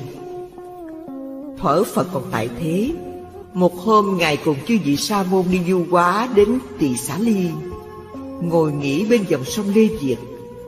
Gần đó, có một nhóm người đánh lưới Kéo lên được một con cá. Trong mình nó mọc ra một trăm cái đầu Thấy cá lạ, Ai nấy xúm lại xem Phật cùng chư Tăng đến nơi nhìn cá Phật hỏi, Có phải ngươi là ca tỳ lê không? Thưa phải, Kiếp này làm cá, Kiếp sau sanh về đâu? Cá buồn bã trả lời, Kiếp sau sanh vào địa ngục Ngài A Nan thấy lạ liền hỏi Phật do nhân duyên gì gọi con cá đó là ca tỳ lê? Này a nan trước đây vào thời đức phật ca diếp có vợ chồng ông trưởng giả sinh ra được một cậu con trai Đặt tên là Ca Tỳ Lê Có trí thông minh hơn người. Một hôm mẹ cậu hỏi Trong nước có ai học bằng con không? Thưa mẹ, trong nước không có ai học bằng con Ngoại trừ các vị sa môn. Sao con không đến đó học? Mẹ biết không? Muốn vào đó học phải cạo đầu Đắp y mang bát mới được. Ừ, Con giả làm thầy tu Vô đó học xong rồi về Có gì mà sợ? Nghe mẹ nói có lý liền làm theo. Do trí sẵn có Không bao lâu Đã thông tam tạng kinh điển. Một hôm về thăm nhà Mẹ cậu hỏi Sở học của con bằng các vị sa môn chưa? Mẹ ơi, sở học của con ngang hàng chư vị sa môn. Nhưng nói đến công phu thiền định thì con thua xa. Bà ta nghe qua, nổi giận nói Sao con không học? Mẹ nên biết, thiền định là phương pháp siêu hình. Tự tu tự chứng, đâu phải học mà được. Nên mỗi khi đàm luận thua là vậy. Con chớ sợ Nếu có thua thì cứ chửi. Người ta tu hành hiền lành, Con chửi không đành. Con hãy nghe lời mẹ, Cứ chửi thì mới thắng được. Khi về chùa, Mỗi khi đàm luận với chư vị sa môn thua, Liền nổi nóng, Tự xưng ta đây học giỏi nhất trong nước, Không có ai bằng. Các người toàn là lũ ngu si, Đầu óc đần độn như trâu bò. Nói đến đây, Phật bảo, Ca tỳ lê, Vì ác tâm chửi mắng chư vị sa môn và khinh khi những người thiếu học nên bị quả báo làm cá trăm đầu như thế. Sau khi nghe lời Phật dạy, ai nấy đều rùng mình rỡn gái bi thương giao cảm, đồng thanh nói: Tất cả chúng ta đối với thân khẩu ý phải thận trọng, chớ có tác ý nói làm diệt ác. Những người đánh cá thấy thế liền đến trước Phật thành kính chắp tay cầu xin xuất gia tu phạm hạnh. Phật khen thiện lai tỳ kheo, tức thời áo mặc trên mình họ quá ra cà sa, trở thành các vị sa môn, theo Phật tu học, không bao lâu đắc quả A La Hứng. Ham chi danh lợi thế thường, hơn thua lời lẽ, con đường diệt vong. Ca trì lê vì tham công, nặng lời to tiếng mắng dòng sa môn. Cho nên quả báo giặc dồn, đọa vào suốt loại xác hồn khổ đau. Khuyên trong hiện tại cùng nhau, nghiêm thân khẩu ý, thường trao hạnh lành. Lời nói thô ác, phỉ bán những bậc tu hành, phải lạnh lấy ác báo như thế. Cho nên có câu, thà rằng khuấy đục ngàn sông chứ đừng khuấy động tấm lòng người tu. Trong Kinh Báo Ân, Đức Phật dạy, Này A Nan, tất cả chúng sanh tai họa từ miệng sanh ra, nên giữ miệng hơn là đề phòng lửa dữ. Lửa dữ đốt cháy tiền của thế gian, miệng dữ đốt cháy bảy tài sản của bậc thánh, tính giới, tàm, quý, đa văn, trí huệ, xả ly. Quả báo của lời nói ác ghê gớm như thế, Mà có mấy ai ngán sợ. Cứ mãi hơn thua từng chút Hạch hỏi từng câu, Mỉa mai chăm biếm đủ thứ, Làm cho gia đình quyến thuộc phân ly, Nhân loại thù hằn, Xô sát lẫn nhau, Gây bao tan tóc. Nên có lời khuyên, Nhất lời nói bao giờ cũng lọc, Buông ra rồi khó hốt lại nào. Tục rằng lưỡi bén hơn dao Nói ra một tiếng đoạn bao nghĩa tình. Sự vui buồn trọng khinh thương ghét Thường do nơi mồm mép gây nên. Chỉ trong một tiếng cất lên Hoặc tan sự nghiệp Hoặc nên cửa nhà. Trong kinh Phạm Giọng nói Tất cả chúng sanh đều là ông, bà, cha, mẹ Nhiều đời chết đi và sanh trở lại nếu chúng ta chửi người nào đó, Tức là chửi ông bà cha mẹ của mình, Chứ không ai xa lạ. Nhưng có mấy ai nghĩ thế? Đa số cho rằng nếu mình hiền, Sẽ bị người khác ăn hiếp hoài. Phải tỏ ra hung dữ, Chửi lại cho nó ngán sợ. Quý vị nên